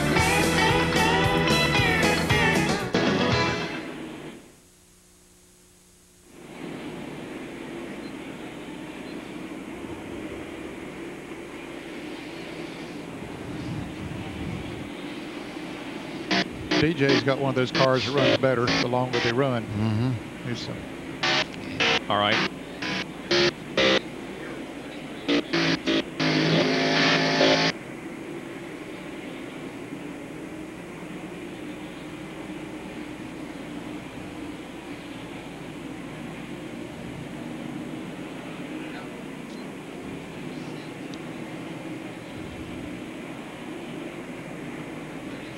Time we schedule off today? 4:30. Okay. Yes, sir. yep. Okay. Raymond Floyd is the.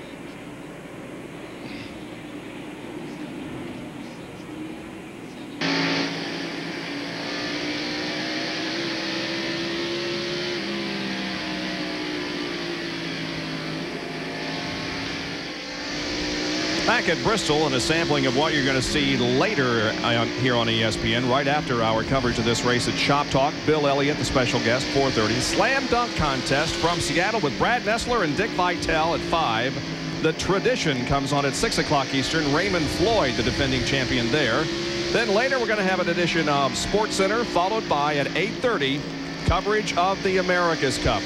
And then the big shoe at 11 o'clock tonight with all the latest news from the world of sports on Sports Center. Is that the big show or the big, big show? Well, it's at least big. Uh-huh. Could be the big, big. Dick Trickle's back in the race as we watch Wallace leading Martin.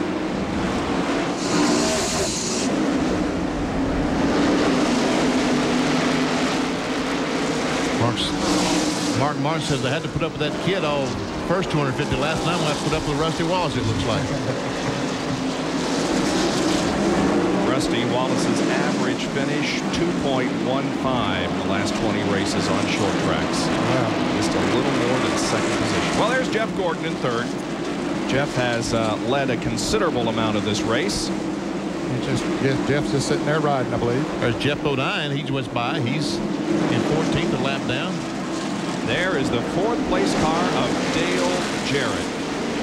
And Dale is having a good run in that car today. And really, overall, the season has been good for Dale as they're high up in the points. And the four car just passed John Andretti to take over that fifth spot. So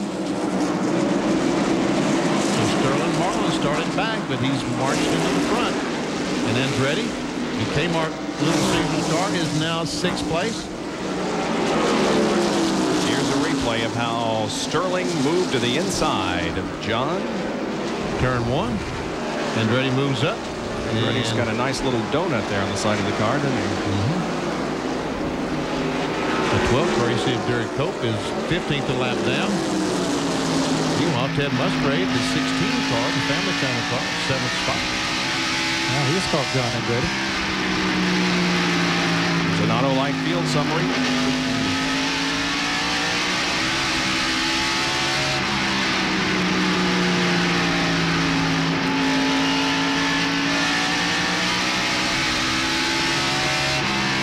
Apparently, Tim Brewer has told John Andretti, Andretti to baby the right front tire.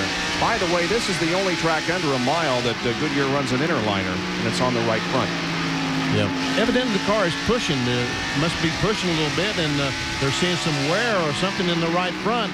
And Brewer's telling Andretti, take it easy, take it easy, because uh, you know they're figuring there'll be another caution flag. They'll be able to change tires. And Well, I think they're definitely going to have to make one more pit stop before this race is over, whether it's under caution or green or whatever. And so he wants to take care of because if, if you abuse that tire, the more you abuse it, the worse the problem's going to get. It'll just keep heating up and keep pushing more and more. So that's good advice that Ken Brewer's giving you. because the harder they drive in the corner, the, the hotter that right front set, as Ned says, it, the hotter it gets, and the hotter, the more air pressure that it builds up, and the harder the tire becomes, the more the car pushes. It's just a catch-22 situation. It's just cycle. The eight car, Jeff Burton, came into the pits. I thought he was going to come in for a routine pit stop, but instead has gone behind the wall. Jeff Burton behind the wall. They have the hood up on the car and working on it, Bob, so they'll try to get him back out as we watch this battle here for the sixth position. There's, There's- there's Bestus Ford. Yep. And there's Peter Jones, look like staying on the wall, the truck driver, the winning truck driver from down in Atlanta, the Mayflower Challenge. Driver.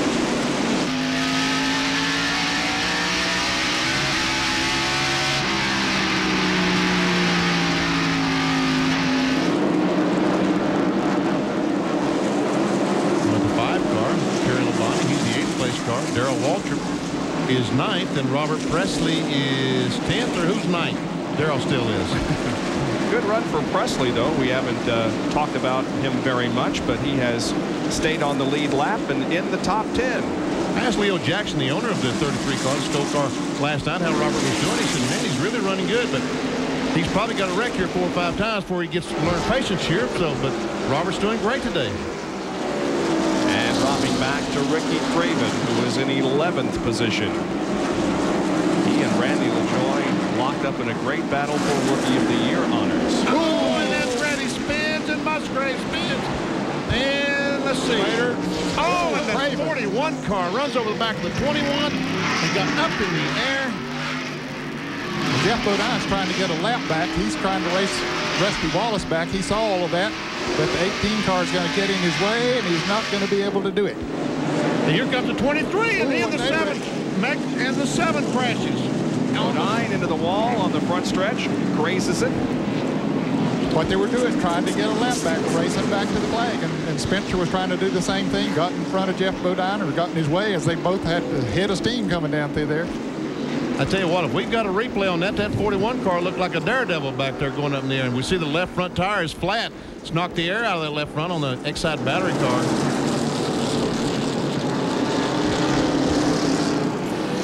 Well, let's take a look. Here we go. The 1637 get together.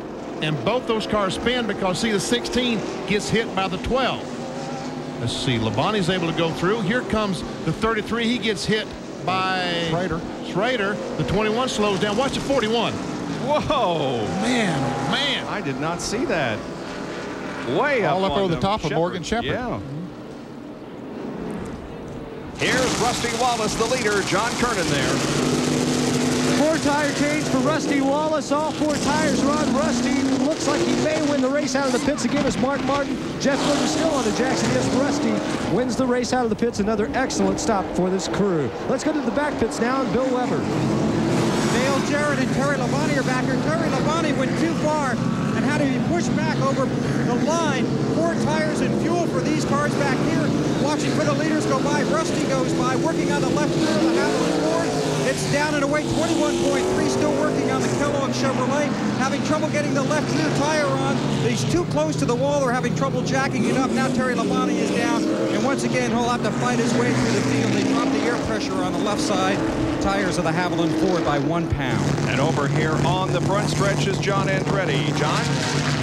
Looks like damage on the right front as they try to pull the sheet metal away. They're changing right side tires now and trying to pull the sheet metal away, telling John to go on. They'll come back around, then they'll change the left side tires. But you guys out on the outside of the track might be able to get better, a better look. But John has told Tim Lewis, crew chief, he doesn't think there's any damage other than sheet metal damage. But there sure is on the 21 car. I think you're right. I don't think there's any serious damage on the 37, but Morgan Shepherd had a car almost in the cockpit with him. Yeah, and Morgan had got through the wreck, basically. He was going to be okay until Craven came along. this ought to be good. And let's listen.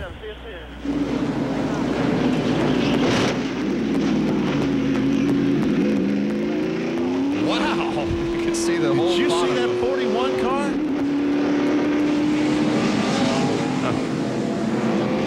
The radio still works because we heard the spotter saying, go high, go high.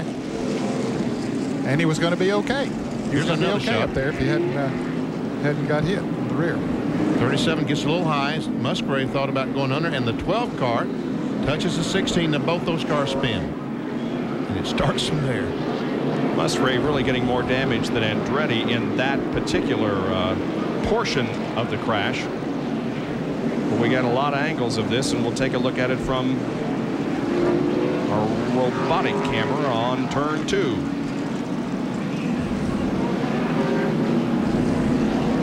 Now watch Craven come along here and right up on the side of Shepherd. From the blimp. Same thing. Those two cars get together.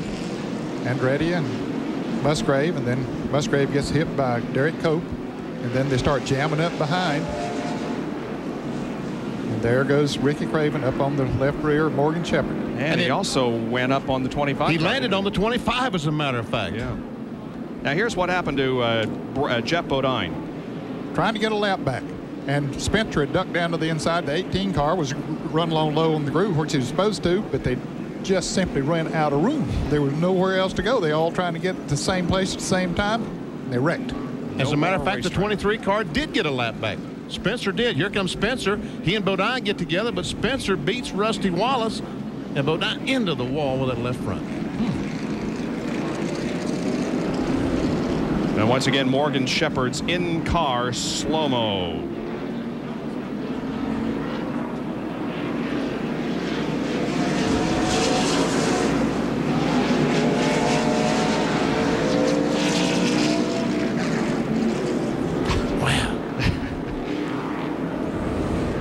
Can you imagine what Schrader said? Now, what, what, what was that?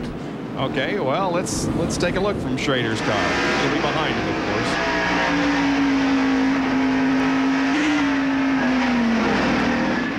He hits Robert Pressley. Morgan hits Schrader. Now from Ted Musgrave. He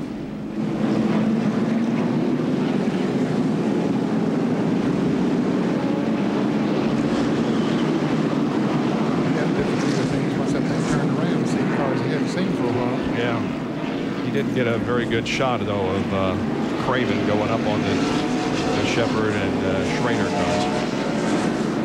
They're on the Panhard bar, trying to run it down. Well, John Andretti is back out there. However, Ted Musgrave is still in for adjustments on the Family Channel car. We'll be right back.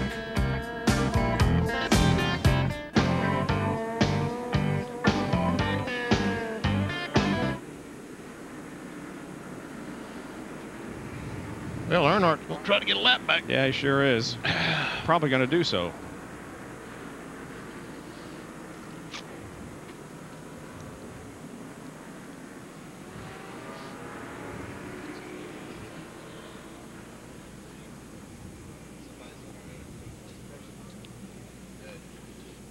Good idea.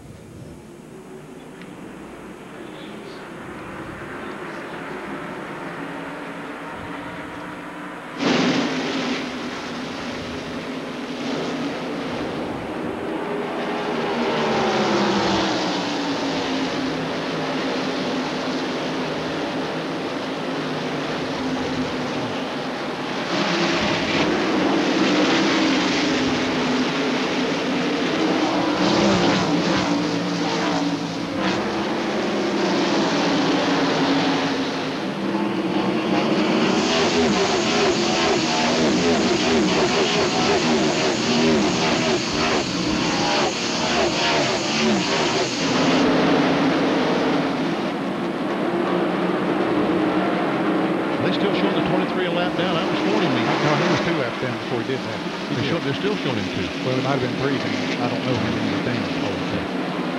I just looked up my team. Yeah, man. And that's some aerodynamic inertia. Yeah, that's right. What's that? There on the back? Schrader stuff.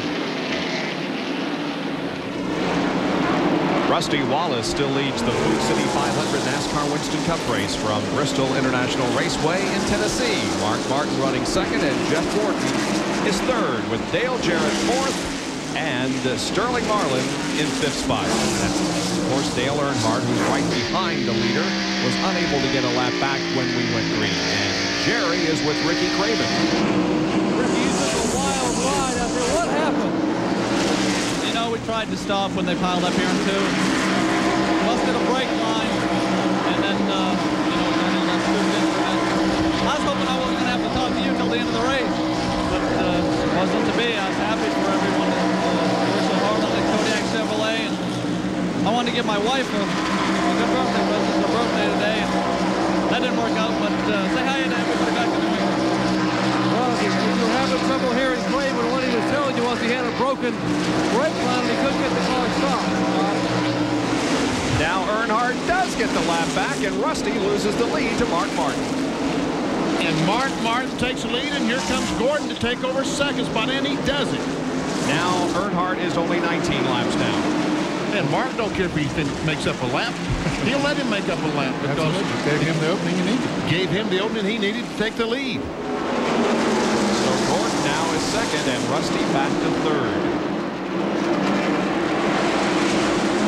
Okay, here we go with Robert Pressley and Bobby Hamilton. And Hamilton is still on the lead lap in ninth position. Pressley, however, is in 14th, a lap down. So Hamilton is the last car now on the lead lap.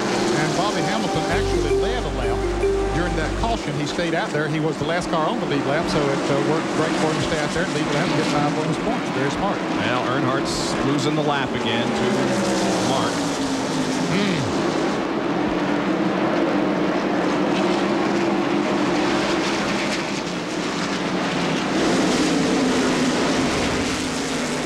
You do that.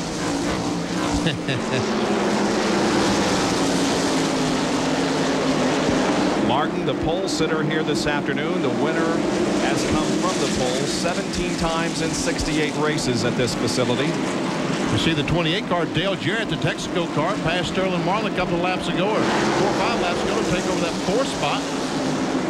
There's Marlin, the four car, the Kodak Film Chevrolet in fifth, and there's 17, Darrell Waltrip. Looks like his car is handling just a little bit better in sixth spot, and Rudd in seventh. Four car battle here. Mark Martin checked out after he got around Earnhardt. Bill Elliott, by the way, only a lap down in the 11th.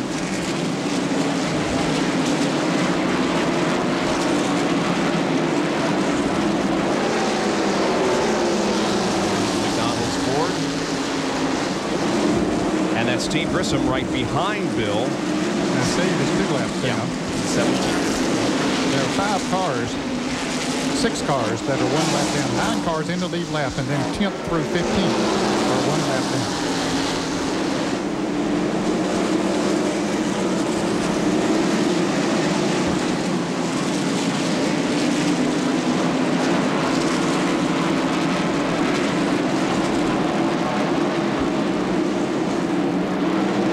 Or see their leader, Mark Martin. That's Kenny Schrader, the Budweiser Chevrolet on the inside. And look at the damage that he has to the rear of that car where the 41 land on top of him, Ned. Now, boy, that's an aerodynamic disadvantage. Can you imagine the, the downforce that he has back there now, or maybe the lack of it? The lack of The it, I lack of think. That's right, yeah. Because the air is just not hitting the spoiler now. When Schrader and Earnhardt get side by side, you wonder which one of them is damaged the worst. I think Earnhardt brings that bad. Well, but his car will run faster right now than Schrader's will. Yeah. Here comes Jarrett and Marlin to the high side of Schrader. We can see the Schrader's car is really slow from his damage. Geoff Bodine back on the racetrack. Darrell Walterman makes a little contact with Schrader as he goes by. A Little white smoke, a little puff of white smoke.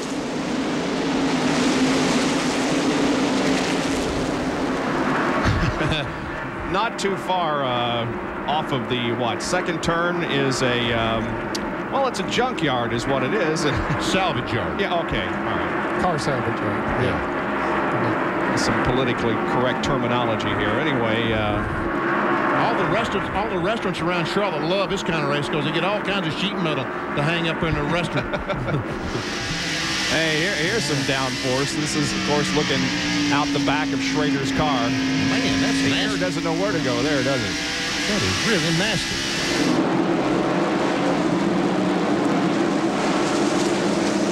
43, Bobby Hamilton past Terry Labonte, took over that eighth spot. Great run from Bobby Hamilton, and Bill Weber has a report on Terry Labonte. But Terry went back out, complained the car is very loose. He's starting to drift very high in three and four, and for the first time today on the track, he's starting to go backwards. He's radioed his crew. He believes one of his rear jack bolts is backing itself out, so every time they crank wedge into it, it's cranking itself back out as he makes laps here at Bristol.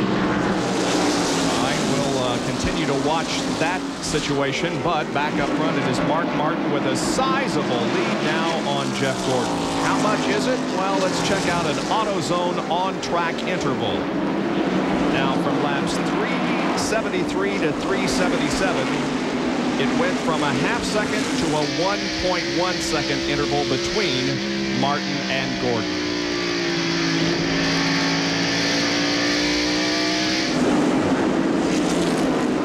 There's the interval that we see. A second and a half on Jeff Gordon.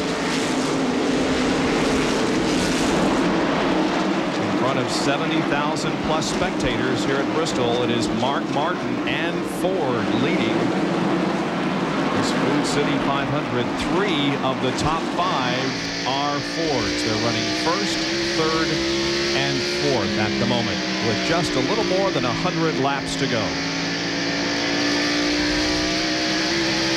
Chevrolet's running second and fifth. And the Pontiac of Bobby Hamilton as fast as any of those cars, I think, if he could get in the right situation. Yep, he is in eighth, of course.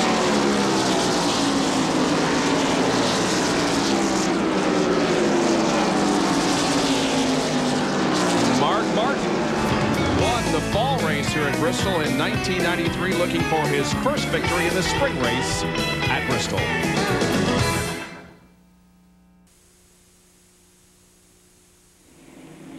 Is Jeff getting closer? It's the traffic that Mark's running across. Is that what the problem is? Uh, I believe it's the traffic. Okay. Boy, we're going to be. Uh... All right. Allied, MGD, and Goodyear, right?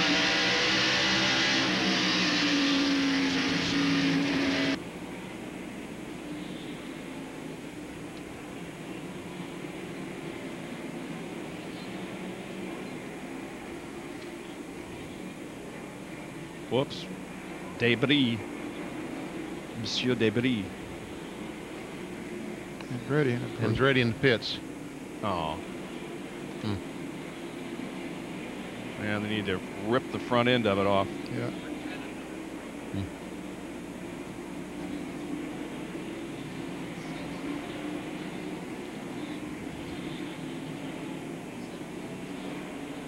Might need to do another interval on that 24 and uh, three, uh, six, uh, Neil. Looks like he's gaining. It's 24.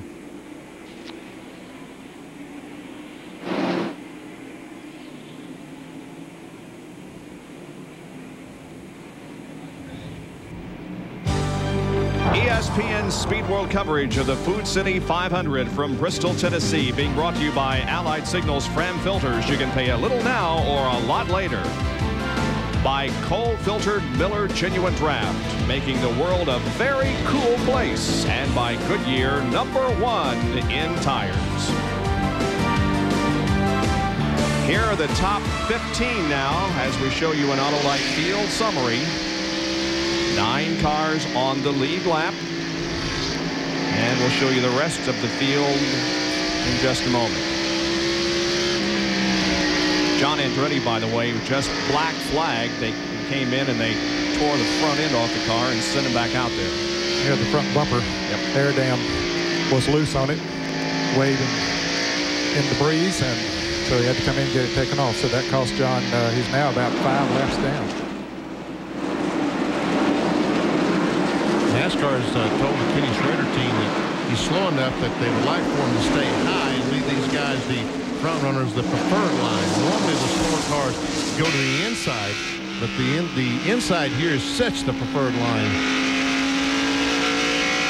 There's Jeff Gordon coming up on the back bumper of uh, Morgan Shepherd. Shepherd is between, or was between, Mark Martin and Gordon. Shepherd is being shown three laps down, 18th position. Bobby Hamilton up to eighth. Ricky Rudd is seventh place, the tied for it, and right now Bobby Hamilton is 1.8 seconds behind Rudd. We'll keep a track on that and see if Hamilton is gaining. We'll see what 1.8 seconds is. Uh, about a straightaway. That much, yeah. Almost a straightaway. They're about a half a lap behind the leader. Now, folks, I mean, I realize that you think I'm just pumping the show up and what have you, but trust me, the 24 car is gaining on the six. if you Yes, watch that 1.8 second interval that we saw a little while ago is Is no nothing. longer. Yes. Nothing there right now. This Jeff has been caught up in some traffic. I mean, uh, Mark has been caught up in some traffic. John Andretti be in that traffic, but meanwhile, Jeff Gordon is closed up right on the back bumper. Two wins already for Jeff Gordon this year. He is eighth in He's going to the lead. Hey, he's got the lead. Something's wrong with Mark. Gordon goes back into the lead. Mark has led 155 laps so far, and as soon as our computers pick over, we'll tell you how many Jeff Gordon has led as he now adds to his total, being back at the front.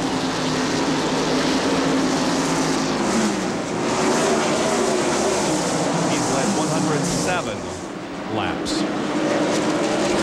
Now it's a 1.2 second separation between Rudd and Hamilton for seventh position as Bobby goes to the inside of Ward Burton. And Jerry, what is the story on Mark Martin? I just spoke with Steve Bill, guys, and he says that the problem is not with us, it's with the 24 cars, that our laps are consistent. But the 24 car has gotten quicker and quicker each time by, and so he passes and we haven't slowed down. He is speeding up. Wow. That's pretty impressive, Ned. It really is. Maybe he's just been sitting there not dominating this race like they've dominated the other races so that there wouldn't be all the heat on the Monte Carlo race. I guess that's uh, part of his strategy. But when the time comes to go, they go. They Can go. We can see that Rusty Wallace has just about caught Mark Martin. Rusty, of course, is third. As Geoff Bodine between the two cars.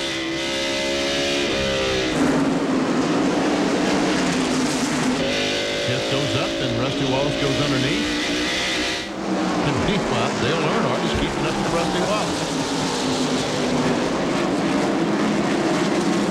There's Darrell Waltrip, the 17 car. He's currently sixth. Ricky Rudd is seventh, so that means that Bobby Hamilton is gaining on both sixth and seventh. Yeah, it's just a little over a half second now between Rudd and Hamilton.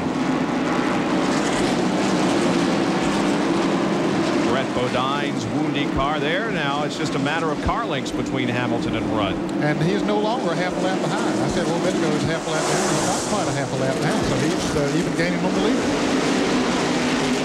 and probably not getting the advantage of the traffic that the leader would be getting. The guys are probably not getting out of his way as quickly as they would Jeff Gordon's or Mark Martin.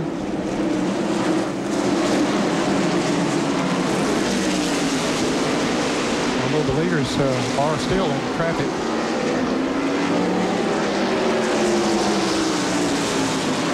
Here is that traffic. Yeah, Jeff's trying to, uh, well, he goes to the bottom side of Davy Jones, and now Lake Speed going into turn number three. Uh, he makes that pass easily.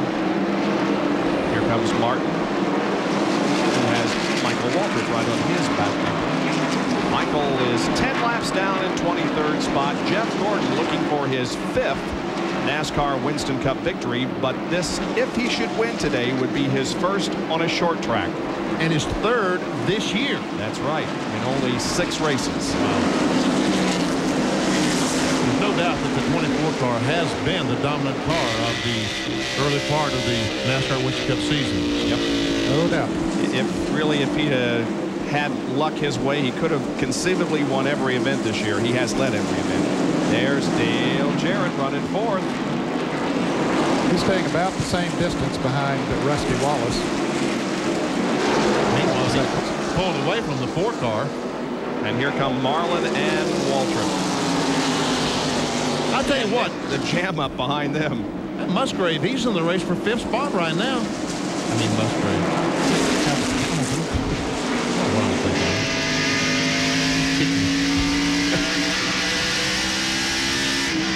Schrader watching these guys go down in turn three. That's Kenny Schrader. He had the misfortune of car landing on top of him. How many times can you say that? Yeah, really. Now from first to fifth, it is a 7.3 second interval, but first to second only 1.2.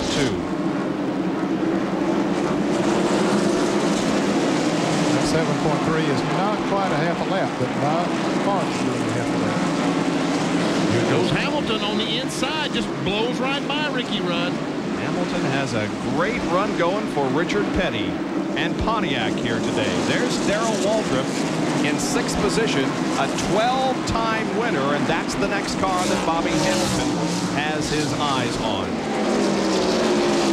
Back with more live coverage of the Food City 500 from Bristol, Tennessee, where Jeff Gordon is the leader.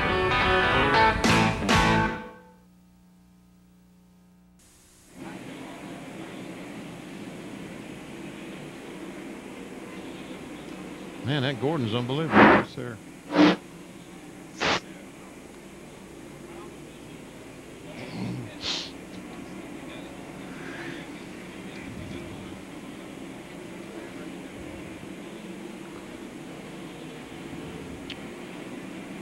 Oh, okay. Ugh, do I have to lead to it?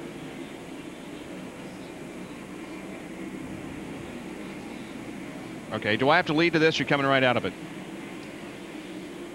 What do they do about a car that doesn't meet in weight, Ned? These cars like Earnhardt that doesn't. That, I think What's this track fact on now? I'm sorry to interrupt you, but getting okay. If car's overweight, what do they do to get rid of it?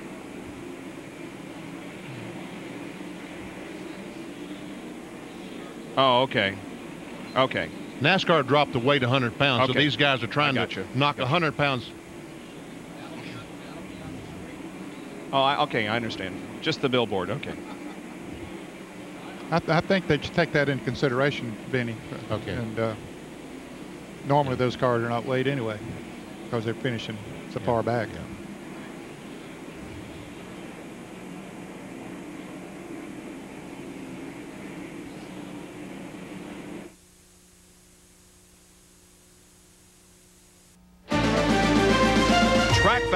are brought to you by Quaker State, the intelligent oil for longer engine life.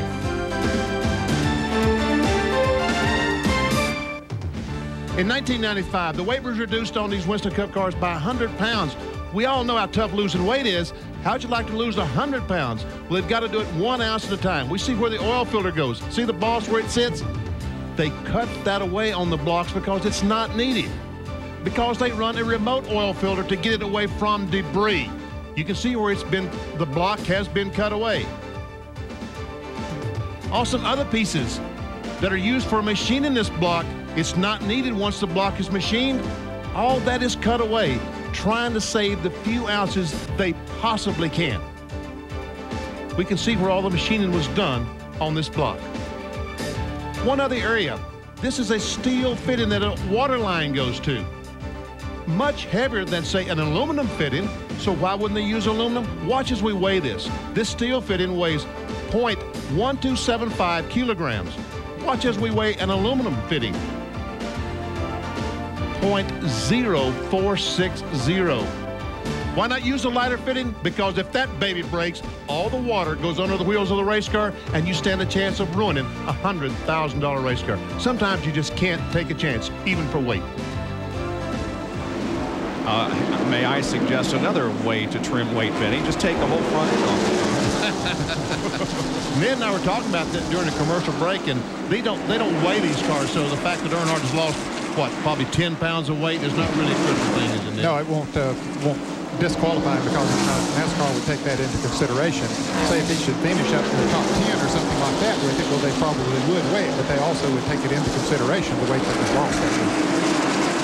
That week. Well, Dale Earnhardt has battled back to now run 26th position. He is still 20 laps down. He has not gained a lap since he came back out on the race. No, but he has not lost one either. Right. Uh, but talking about that weight situation, I'll bet what we see missing from his race car wouldn't weigh, what, 15 pounds at the most? I said 10. It'd probably be 10 or 15 yeah. now. Here's Darrell Waltrip in sixth position. Just ahead is Sterling Marlin.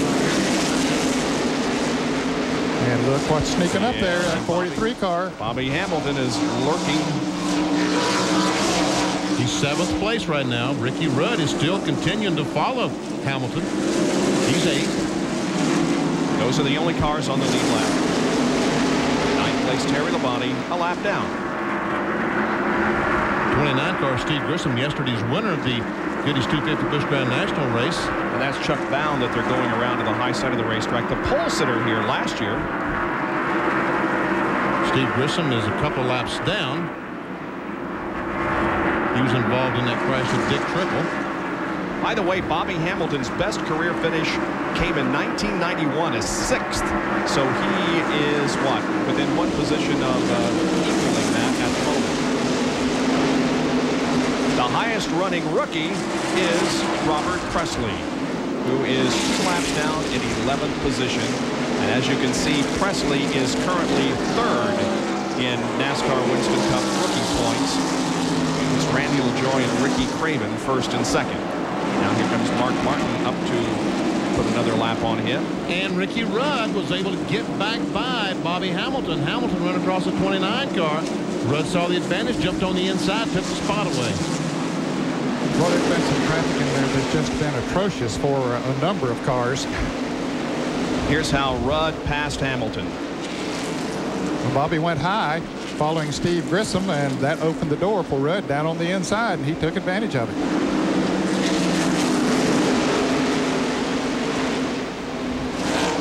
And see Rudd. Also, we see Darrell Waltrip trying to chase down the four car. Now Waltrip, yeah, has caught Sterling.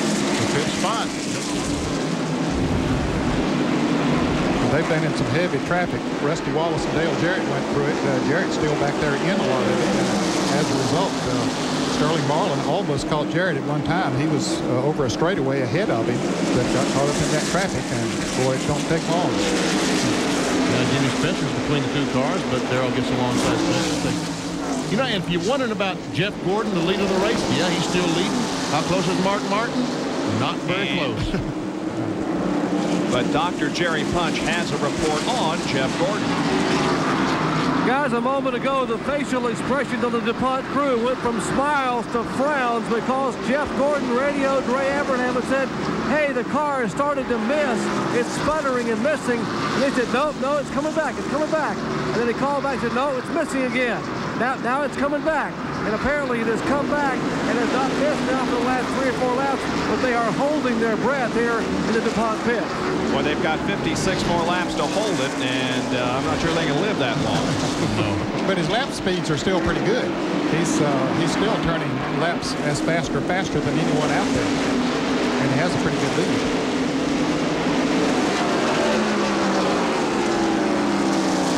In fact, he has a four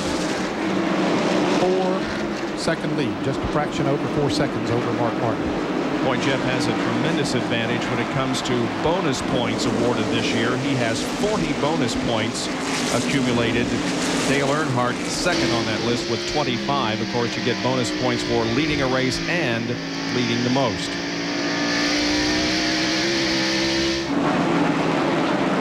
Now here's uh, Waltrip. Well, actually, Marlin, Waltrip, Rudd, and Hamilton.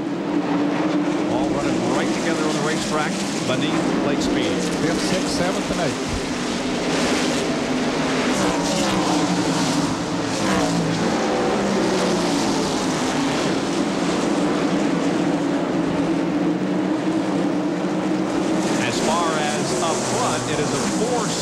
battle between Jeff Gordon and Mark Martin. What's the matter? You didn't take Ned's word for it?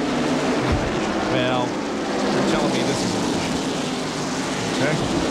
Ned, Ned is, I must admit, though, as, as many years as he's been doing the stopwatches, almost an expert. I'll. He's probably more official than the official. Ken Schrader brings the Bud machine in.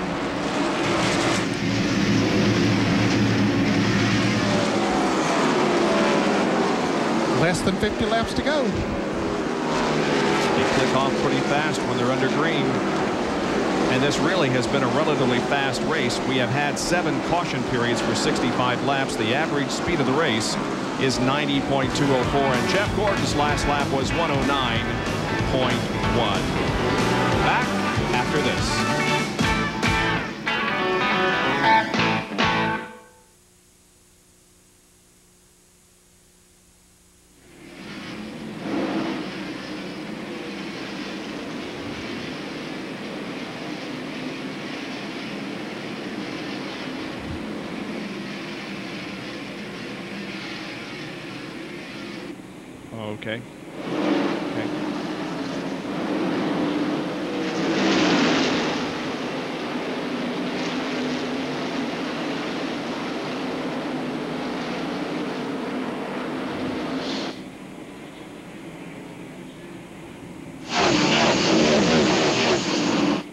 Those guys about to catch Dale, huh, Ned? Yeah, yeah, his car is really slowed down.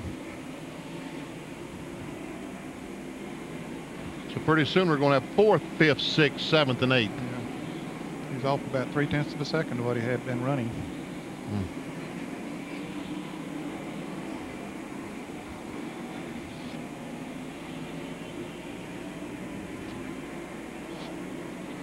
I guess NASCAR's asked all the slow cars to run on top, huh?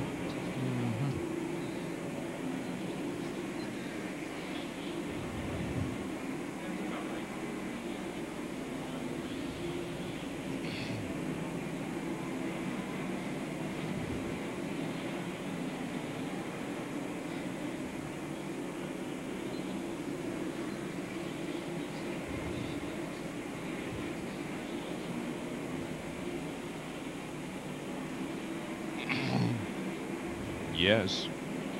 Yep. Yep. Uh-huh, that's right. We're gonna have a we're gonna have a lot to feel. Yeah, okay. Yep. All right.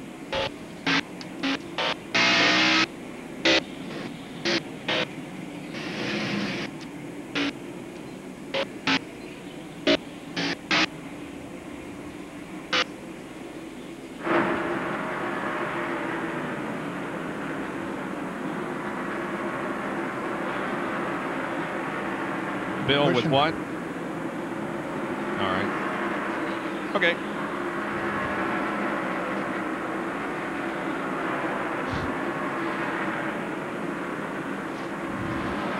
Well, since it started its national tour in September of 92, the Family Channel Blimp has delighted thousands of spectators with aerials over uh, fairs and festivals and sporting events in more than 90 cities, 35 states. There it is, the Family Channel Blimp providing the overhead shots for us today here at Bristol. Well, Dale Jarrett has fallen to sixth position, and uh, look at this.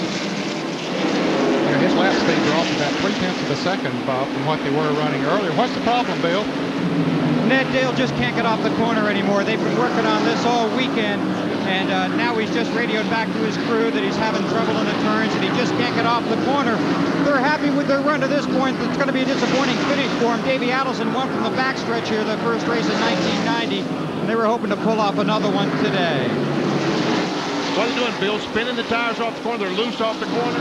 That's the problem they had last night in final practice, Benny. They were working on that. The change they made on the headers this morning, they were hoping would take care of that, and they believe it has up until this point. But it just now, uh, Dale just doesn't have it coming off the turn anymore. Let's go to Dr. Jerry Punch of the 24 pit. Remember I told you a minute ago that Jeff Gordon said the car was sputtering a little bit, missing, and it would catch back and run okay. Well, he hasn't commented about it missing anymore, but better safe than sorry.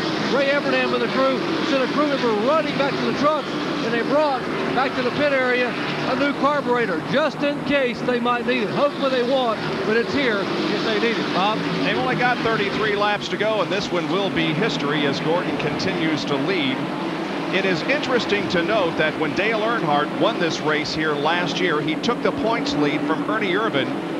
Right now, if points were awarded at this moment, Dale Earnhardt would not be in the points lead, but he would be five behind Sterling Marlin, who is running in fourth position, and Dale Earnhardt is 20, uh, make that 25th.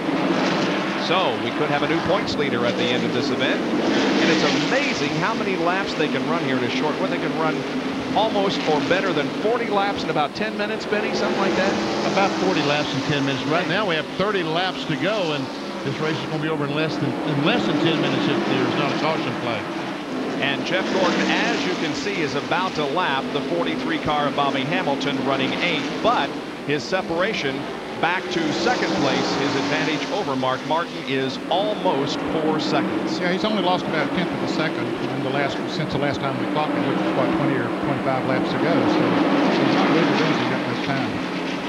So he can't afford to sit behind. Oh, Whoops. and what happened to Jeff as he came off the corner? I think he got a little bit. I think he lost traction, got a little bit sideways, and backed off of him and said, "Hey, I don't need to be trying to be a hero here and straighten that thing out. He just backed off and let her straighten out and then come back at him again. And he was right on the back bumper of the 43, and all of a sudden, car just slipped. Now the 43 is trying to get by this. You know, that's a problem. Right now, the 43 car is trying to get by the 17. The 17 trying to get by the 28. You know, they're not as concerned about Jeff Gordon as they are themselves. Right. They're going to try to hold their position.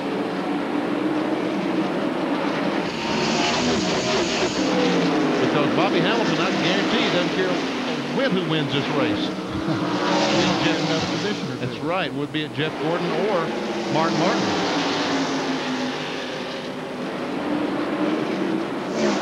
Man, have they jammed up. I think Dale's holding them up a little bit there right now. This car just, as Bill Weber pointed out, just not getting traction when he's off the corner. He's got plenty of horsepower there. Darrell comes down on the inside. And the train will go by. Yep. The door is open. It is just about 4 o'clock Eastern Time for those of you joining us. Welcome to the closing laps of the Food City 500. Only 24 to go. The leader is on the right side of your screen. That is Jeff Gordon, car number 24. In one half hour at 4.30, our Shop Talk presentation tonight or this afternoon will feature Bill Elliott, who is 14th, three laps down.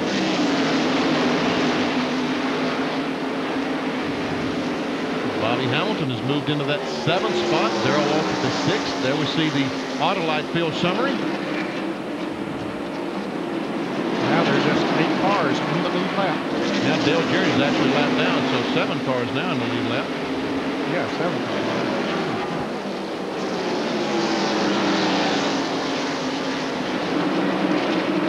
It looks like Jeff Gordon is kind of content to follow these two cars. Ricky Rudd is reporting that his car is very loose. Marlin goes inside of Rick Mast. Here comes Rudd right behind.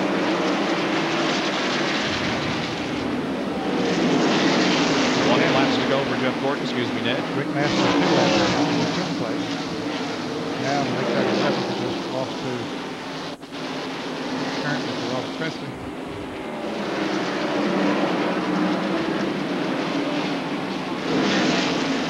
Darrell Waltrip has caught Ricky Rudd.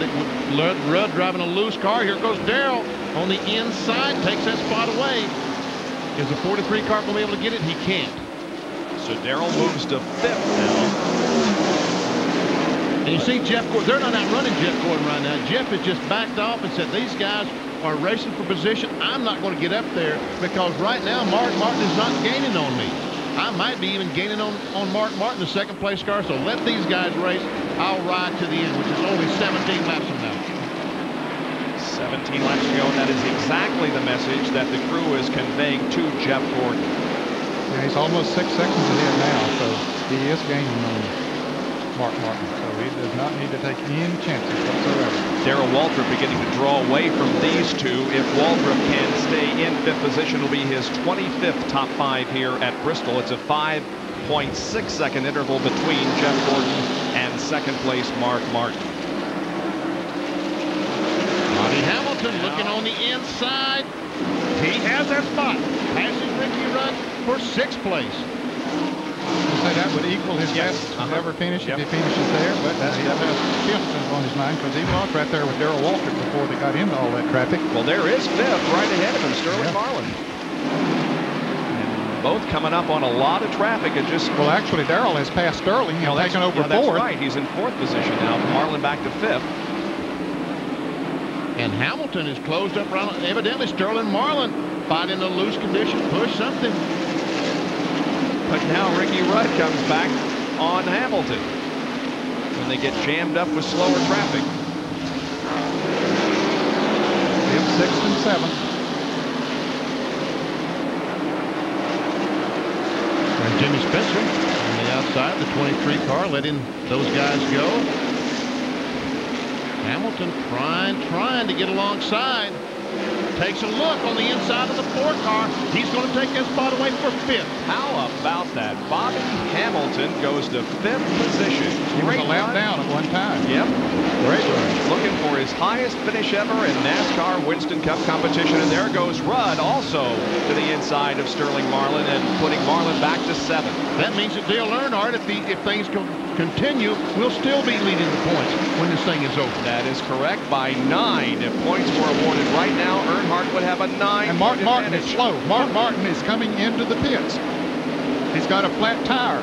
Wow, Mark giving up second position here with 10 laps to go because of a flat tire. Oh, Man, the right rear tire is flat on the six car. man. Just a terrible break for Mark Martin, who started from the pole and ran up in the top two or three most of the race. Be a quick tire change on the right side, and Mark goes back out onto the racetrack, but he is a lap down. There is the leader, Jeff Gordon, eight laps to go. This is a guy that we have watched grow up on ESPN from Thursday night and Saturday night Thunder, but if he wins this race today, it'll be his first victory on ESPN. Really? That's right. That's right. Huh. He's won a couple of races that we've been involved in on ABC, but he's never won an ESPN race. Well, actually, Mark Martin is two laps down now. He, Yep, lost another one. he, he lost a lap as he was coming into the pits and then changing the tire, lost another lap.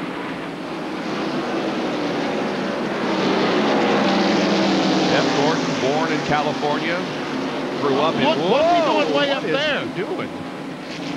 Man, there's loose stuff up there, Jeff Boy. That'll get you in trouble in a hurry. Just five laps to go. I tell you what, Mark Martin had a tire go down.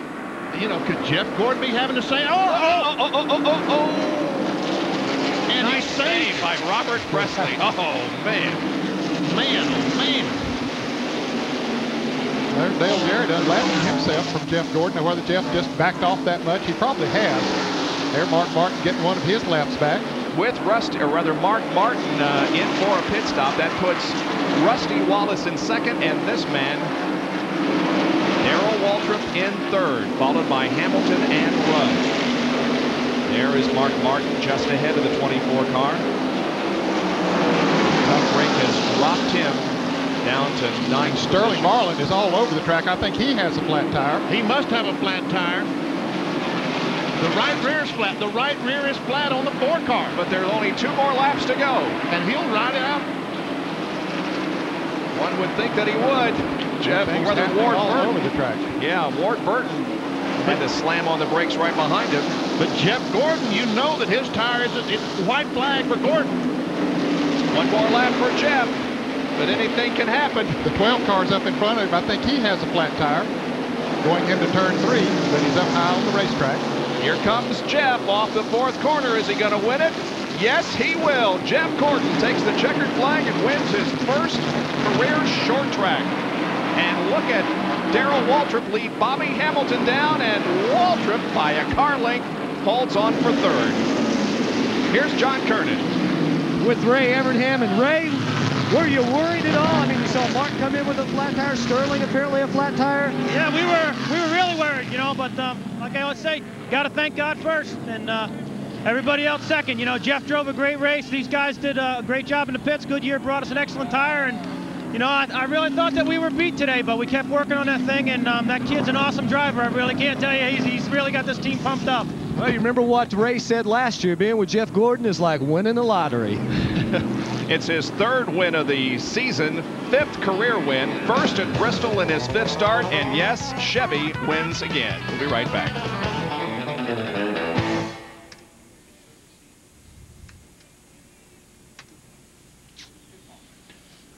Oh, man.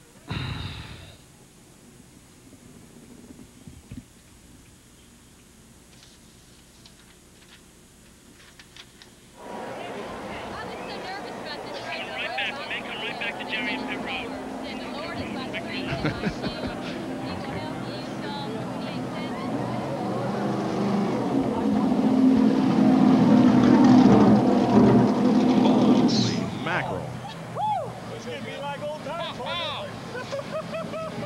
We interrupt these commercials for this little report. That's right. Neil's got it all figured out. I like it. You're right. You got one to do it tonight. Oh, man. Oh, I, yeah, I'm ready for those. Hey, Ray. You see the cords on the right rear? They're all right. I know. Well, they're easy for us to pull with. Just stay put for a minute. Is it a rag or something?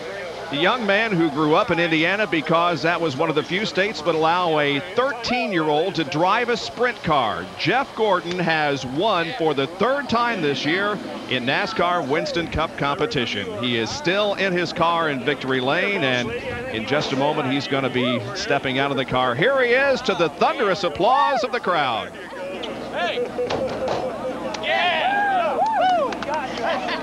Here's Jerry Punch. And they're hand slapping and congratulating down here in the in victory lane as Gordon gets up and yeah, he wants those folks to be able to see. Congratulations, uh, Jeff, on an outstanding effort. Hey, this uh, this just took this team to a new level. Uh, you know, short tracks where we've always had our trouble. We've always had our problems here at Bristol, and uh, I'm just I'm just happy all four fenders are left on this thing. That that was our goal, and man, we've had good cars here in the past, but uh, you know this, this is wonderful. I, I gotta gotta thank DuPont Automotive Finishes. They they've been great. Gotta thank Valvoline. The Goodyear tires were, were excellent, and uh, gotta say hey, hey to Coca-Cola too. Thanks a lot. Gonna ask you, with 100 laps to go, Mark was leading the race, you're running second, and suddenly you just zipped by and took off. Were you holding back and sort of saving the car? No, not at all. Uh, you know, I, my car just took a while to come in, and we never ran long enough green flag laps. My car was tight. It was tight. These guys kept loosening up, loosening up all day long, and all of a sudden, that last stop, they, they got it just right. It wasn't very good uh, on new tires, and them guys got out away from me. But all of a sudden, man, that thing just I don't know what it's like. It, it just hooked onto a rail and just took off. I mean, it was driving itself. My foot fell asleep and it was hurting so bad before I got by Mark, and then after I got by Mark, I didn't even know I had it asleep, and it's still hurting. Little race car medicine. Now, we heard you comment that the car may have had a miss or sputtered a little bit, and the guys in the pit started scrambling looking for carburetors. And what was that? I have no idea. You know, I, I didn't know how far we could go on gas. I thought maybe we ran out of gas. Uh, I switched the, the ignition boxes. Never, never felt it again. Uh, you know, it's a scary, scary moment, but you know, when it's your day, it's your day. Nobody's going to take it away from you. We might mention there was a good luck charm riding in the car, and Brooke Sealey, you, Brooke Sealey Gordon, I should say, what was the good luck charm today? Well, last night we were we were real nervous about this race, and so I looked in the Bible and I found in Psalms uh, a verse that said, "The Lord is my strength and my shield," and I wrote it in there. And Jeff, right before he went out, we were like, "Where's the verse?" We'd forgot to put it in there, and one of the team guys went back to the trailer and taped it in there. He wasn't going to go out, so it was in there. So it was in there the whole time. So saved by a verse from Psalms, and it is on the dashboard inside the DuPont Chevrolet, and Jeff Gordon, his third victory in six starts. Bob. And he also, once again, leads the most laps, so he picks up 10 bonus points here at Bristol this afternoon. Shop Talk coming up with Bill Elliott at 4.30.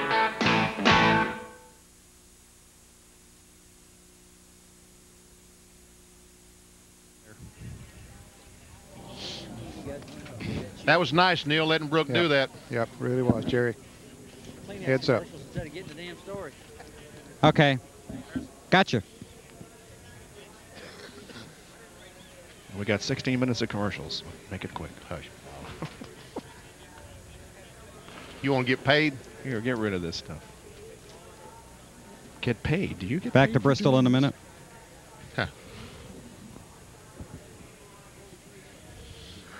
They don't know I wouldn't do it for nothing, Bob.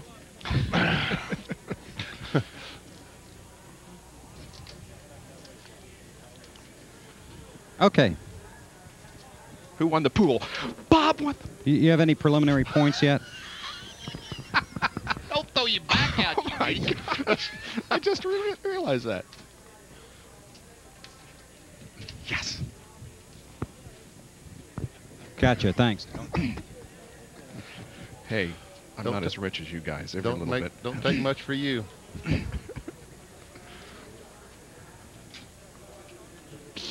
Ah.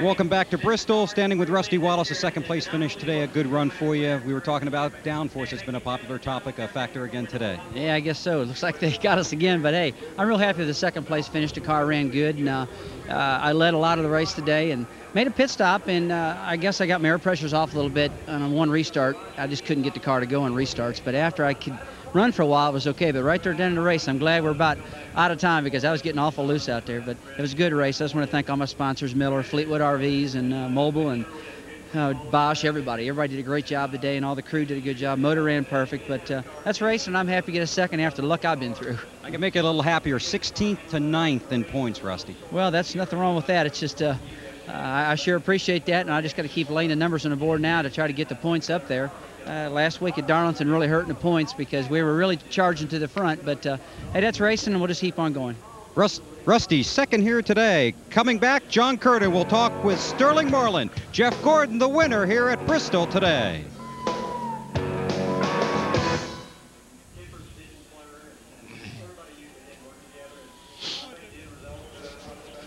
Okay, we're going to look at uh, Sterling's right rear tire to show you. And then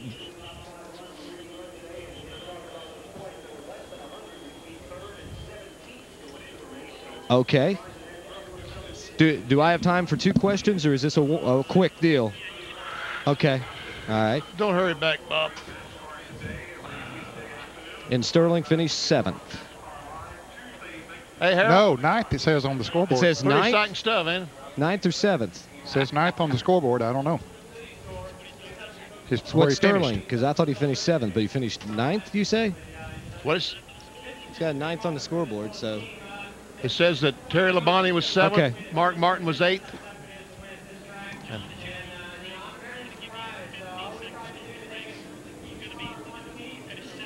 Okay.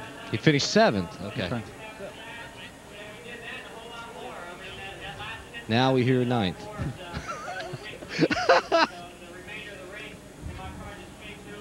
How did Mark finish ahead of him when Mark pitted? Oh well. I'm not going to mention it. How much did I win? Plenty. Kill Bob's mic.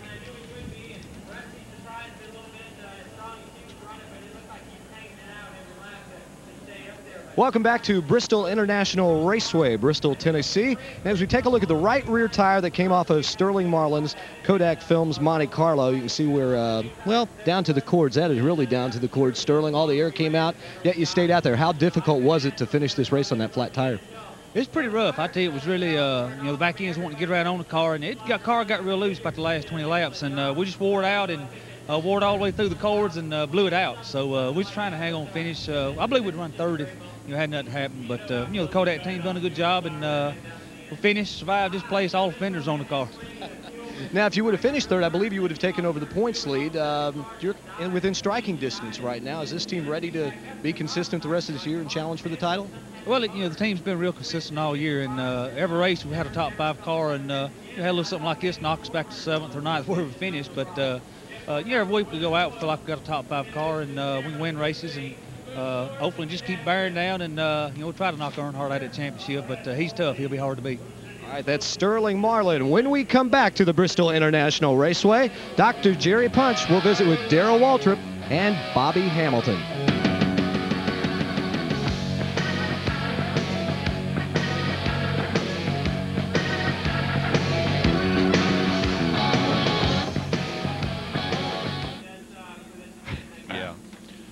Gotta have Just some- think, Dick, you came all the way back here for this, huh? Wouldn't have missed it. These guys, I'll get I'll get in the middle here so we can.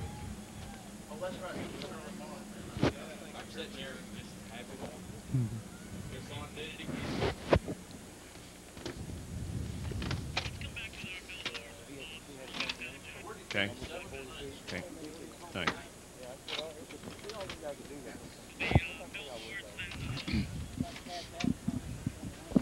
Well, Earnhardt's been 43 for 10 years. You know, Neil, how much time back? Well, Should let me and Ned go on. I mean, you're, you're letting all this traffic get out in front of me and Ned. Now wait a minute. Good point, BC. You guys are driving back. I'm trying to catch a plane.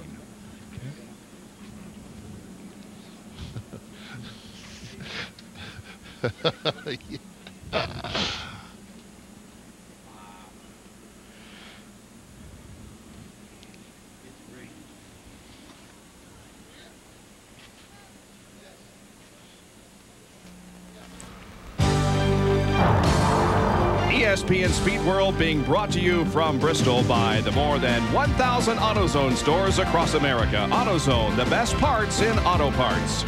By Quaker State, the intelligent oil for longer engine life.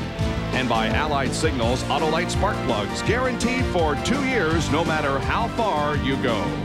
As promised, here's Dr. Jerry Punch. Thank you very much, Bob. I caught up with the third and fourth place finishers. First, we're going to talk with DW, who finished third, and DW 12 wins at this old tough, tough racetrack, but today a third place finish, almost as good as a victory. Yeah, well, I was uh, want to say hi to everybody at home and thank Western Auto and and uh, thank the good Lord for a safe day. Get that behind us because I had a great day. I had a lot of fun.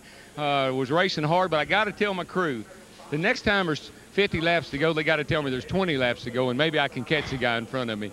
Waited, we just fooled around there a little bit long, almost got lapped, and then I checked out and uh, had a good finish. I'm real proud. Folks saw this guy at 7 o'clock in the morning this past Tuesday, pedaling away in the exercise room, getting ready for Bristol, and it paid off today. In great shape here. He finishes third. How about finishing fourth? This guy, what a great run from a lap down. Bobby Hamilton, your career best. Congratulations. It was, Jerry, and the guys really done a heck of a job on the car. Man, that thing hooked up all day. It was just, I was, you know, the finish was good for me, but I was really proud for these guys. They build real good-looking race cars, and it, they just deserved it. STP deserved it. I got to race my old hometown buddy, Darrell, there at the end. I said, home times at Nashville. I thought we was in Nashville again, but we just had a good time out there. We just needed real long greens once we got our drag position back. And if we had I think we'd have been a second or third place car, maybe even a first place car. Well, we have two guys that have reason to smile, finishing third and fourth as Bobby Hamilton gets his best career finish. We'll be back and take have a chat with the highest finishing rookie, Robert Pressley, after this. Stay with us.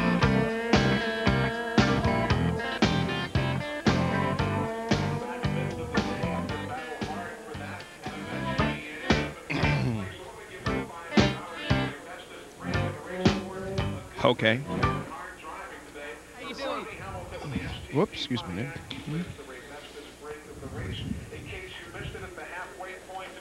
I'm really.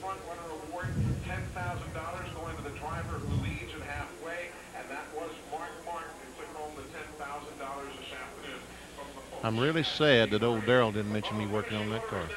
Hmm, yeah. Oh my gosh, car. what was he Thanked thinking everybody about? else. I'm crushed. Yes. Wait till I see. Okay. Okay. Wait till I see. Go over and bust Right. my butt working on that ride.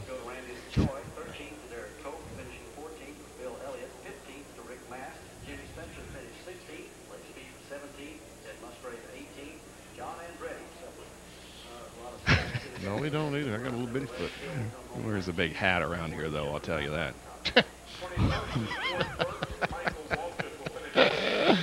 Yeah, thanks. Or the big pants, whichever it is. There you go. sure. There you go. I knew you'd get it.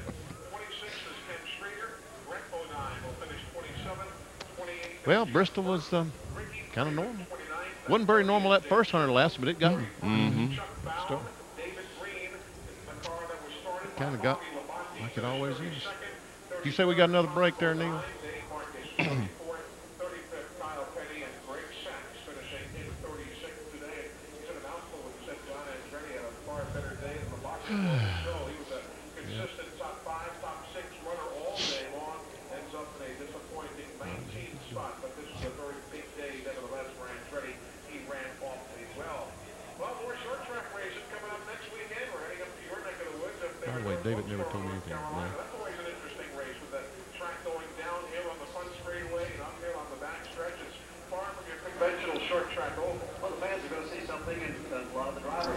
Jeff Gordon has won here at Bristol. Coming up in just a few minutes at 4:30 Eastern. Shop Talk Slam Dunk Contest at 5. The Tradition final round coverage live at 6 o'clock Eastern Time. Then Sports Center at 7:30.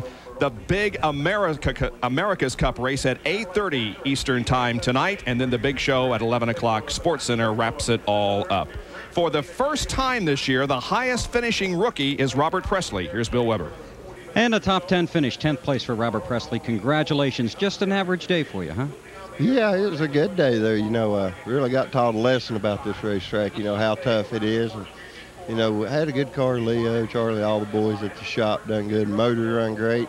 They said just sit out there, keep your head, you know, on right. You'll come out of here with a good finish. You know, it looked bad at the start, but looked up one time we was running fifth or sixth. You know, and I said, you know, man knows what he's talking about. So really happy, you know, just to be able to finish the race now. That's the first one you have finished this year, correct? Well, first one we ain't took an intermission during the middle, you know, to fix something that we've messed up. But, you know, I'm really happy for all these guys. They've worked hard all year, and, you know, now maybe we can start repaying them back. Robert Pressley, 10th today, to the doctor. And Ricky Rudd, what a great run you had, uh, finishing in fifth in the Tide Ford. Uh, looks like the tires were going away toward the end. Well, Jerry, we had a little race going. I guess uh, Sterling, myself, Darrell, and then uh, Bobby Hamilton drove a great race today. And we just got all racing each other, and it was who could save their tires the most. And I thought I'd gauged mine just right when it was time to make the move. And and I, and I ran, got inside of Darrell, got inside the 43 car, and was coming on and had Sterling lined up. And then just like he flipped the switch, the tires went away. But uh, I was running them pretty hard, so they usually, you know, you expect the car to go away if you run that right rear tire that hard, and that's what happened. So at the very end, we were just trying to, you know, just trying to keep him having to make an unscheduled stop. Got to be thankful though, just to be able to walk away from this place with the race car intact. Well, I'm just, you know, I'm just real proud of everybody. You know, everybody drove a great race today. They used their heads. It was a give and take. It's a, you know, it's a treacherous track. It's a one groove racetrack. You get out of the groove, you go to the back, and and uh, guys work together all day. You know, everyone come out of here. Most everybody came out here with a race car in one piece. Ricky able to smile with a good top five finish. We'll be back with more from Bristol International Raceway, including a look at the complete rundown for the Food City 500 after this.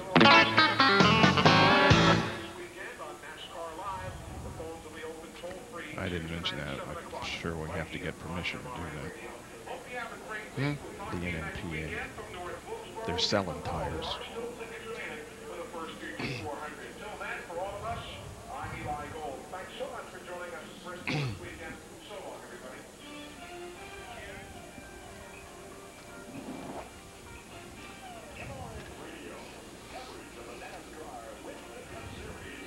Who's with Dale? Who's with Dale? Yeah. Point, thank you. Right.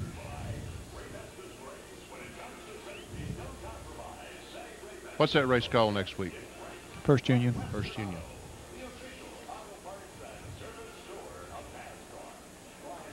First onion.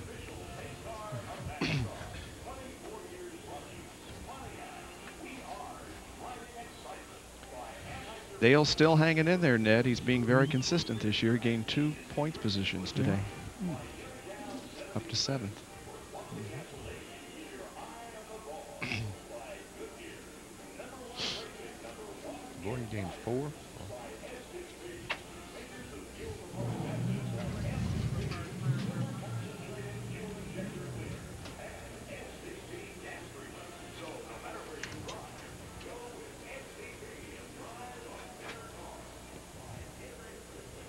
Welcome back to Bristol International Raceway. The teams are packing up, getting ready to leave and make the trek back home. Then they'll be at North Wilkesboro next week. I've got the sixth place finisher, Dale Jarrett. And Dale, I believe with the finish, you move up two positions in the points. And you did this from the backstretch today. Yeah, I'm going to have to learn how to qualify and uh, get us over on the front stretch. But uh, the guys did a really, really good job in the pits all day long. Had a good race car. I think in that first segment uh, before we ever had a caution, we went from 19th up to about 6th. And so you, know, you have to have a good race car to be able to do that just a little bit tight in the center there at the end, and, and I kind of abused the right front tire, and, and, that hurt us late in the race. Well, that's Dale Jarrett's thoughts. He uh, comes home with a sixth place finish today. Congratulations. At Bristol International Raceway, the Food City 500 has been won by Jeff Gordon. And here is a full field rundown showing you where the entire field finished. By the way, Jeff Gordon led 204 of the 500 laps here today. The average speed of the race, almost 92 miles an hour. And for Jeff Gordon, as we indicated, it's his third victory in six events this year. And as you can see, a lot of drivers had uh, had trouble, finished uh, pretty far down the line, but they kept getting their cars fixed and getting back out there and making laps. Dale Earnhardt started when he had his accident. He was 36th in the field. Back on the racetrack, lost one more lap and finished 25th. Gained 11 spots for 33 points. And officially, only three cars were out of the race when the checkered flag dropped. Now, here are the points. The first three stay the same, although Sterling is only 17 behind Dale Earnhardt. Mark Martin still third. Jeff Gordon made the biggest, no, he made the second biggest jump. He jumped four positions from eighth to fourth. Terry Labonte stayed the same. Derrike Cope lost two positions. Dale Jarrett gained two. Ted Musgrave lost two. Rusty Wallace was the big gainer today, up seven positions. And Ricky Rudd gained two positions to go into the top 10. And there are the other point standings. John Andretti was 10th going into this event. He drops to 14th. And there you can see 16 through 20 at the conclusion of six races in the Winston Cup season. And boy, you can see, you know, all of these are in the 600 range from there up to about, what, 12th or something like that. So the points are very close back down the line. Next week, we will be at North Wilkesboro, North Carolina for the First Union 400. That is at 1 o'clock Eastern Time next Sunday afternoon. Coming up next here on ESPN, Shop Talk featuring Bill Elliott. A chance to get some uh, inside information from Bill and to buy some of his merchandise. Well, it was in many ways a typical Bristol, but uh, in many ways it was kind of different. Well, it was typical from standpoint of a lot of cars getting banged up, Bob. I want to say a quick word about Race Against Drugs that was held here. A special schooling was held 500 students graduated this week, and a lot of the NASCAR drivers were there for graduation on Thursday night. And boy, we really, that was a fun deal to see all those kids uh, work against Race Against Drugs. Pretty amazing to me, Benny, that we ran well over 100 laps at the beginning without a caution. It was amazing. I tell you what, Jeff Gordon proved today that the, he and that team are for real this year because they've run good at every venue we've been. Big track, intermediate, and now the short tracks. A little bit of consistency will make him a uh, championship contender, but you also, of course, have to look at Sterling Marlin, who continues to be consistent, unlike last year. So he is very definitely a championship contender. We're only six races into the season, and we again will be at North Wilkesboro, North Carolina next Sunday afternoon. Congratulations to Jeff Gordon on his third win of 1995 for Ned Jarrett, Benny Parsons, Bill Weber, John Kernan, and Dr. Jerry Punch. This is Bob Jenkins. Thanks for joining us for now. So long, everyone.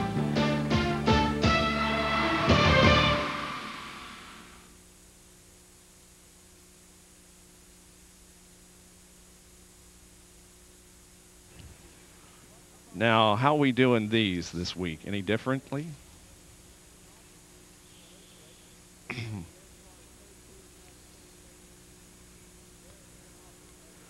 Rolling. The sixth race of the 1995 NASCAR Winston Cup Series brings us to the half mile at Bristol International Raceway in Northeast Tennessee. It's the Food City 500, and you're watching ESPN's highlighted coverage of the event. We now move ahead in our coverage.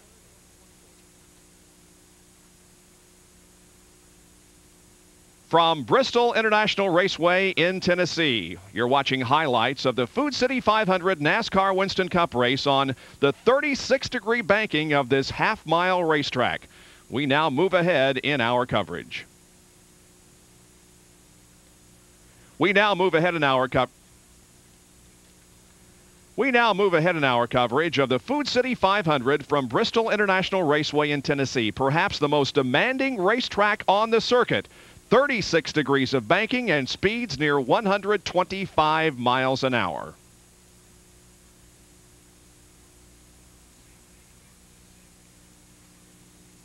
Okay, okay.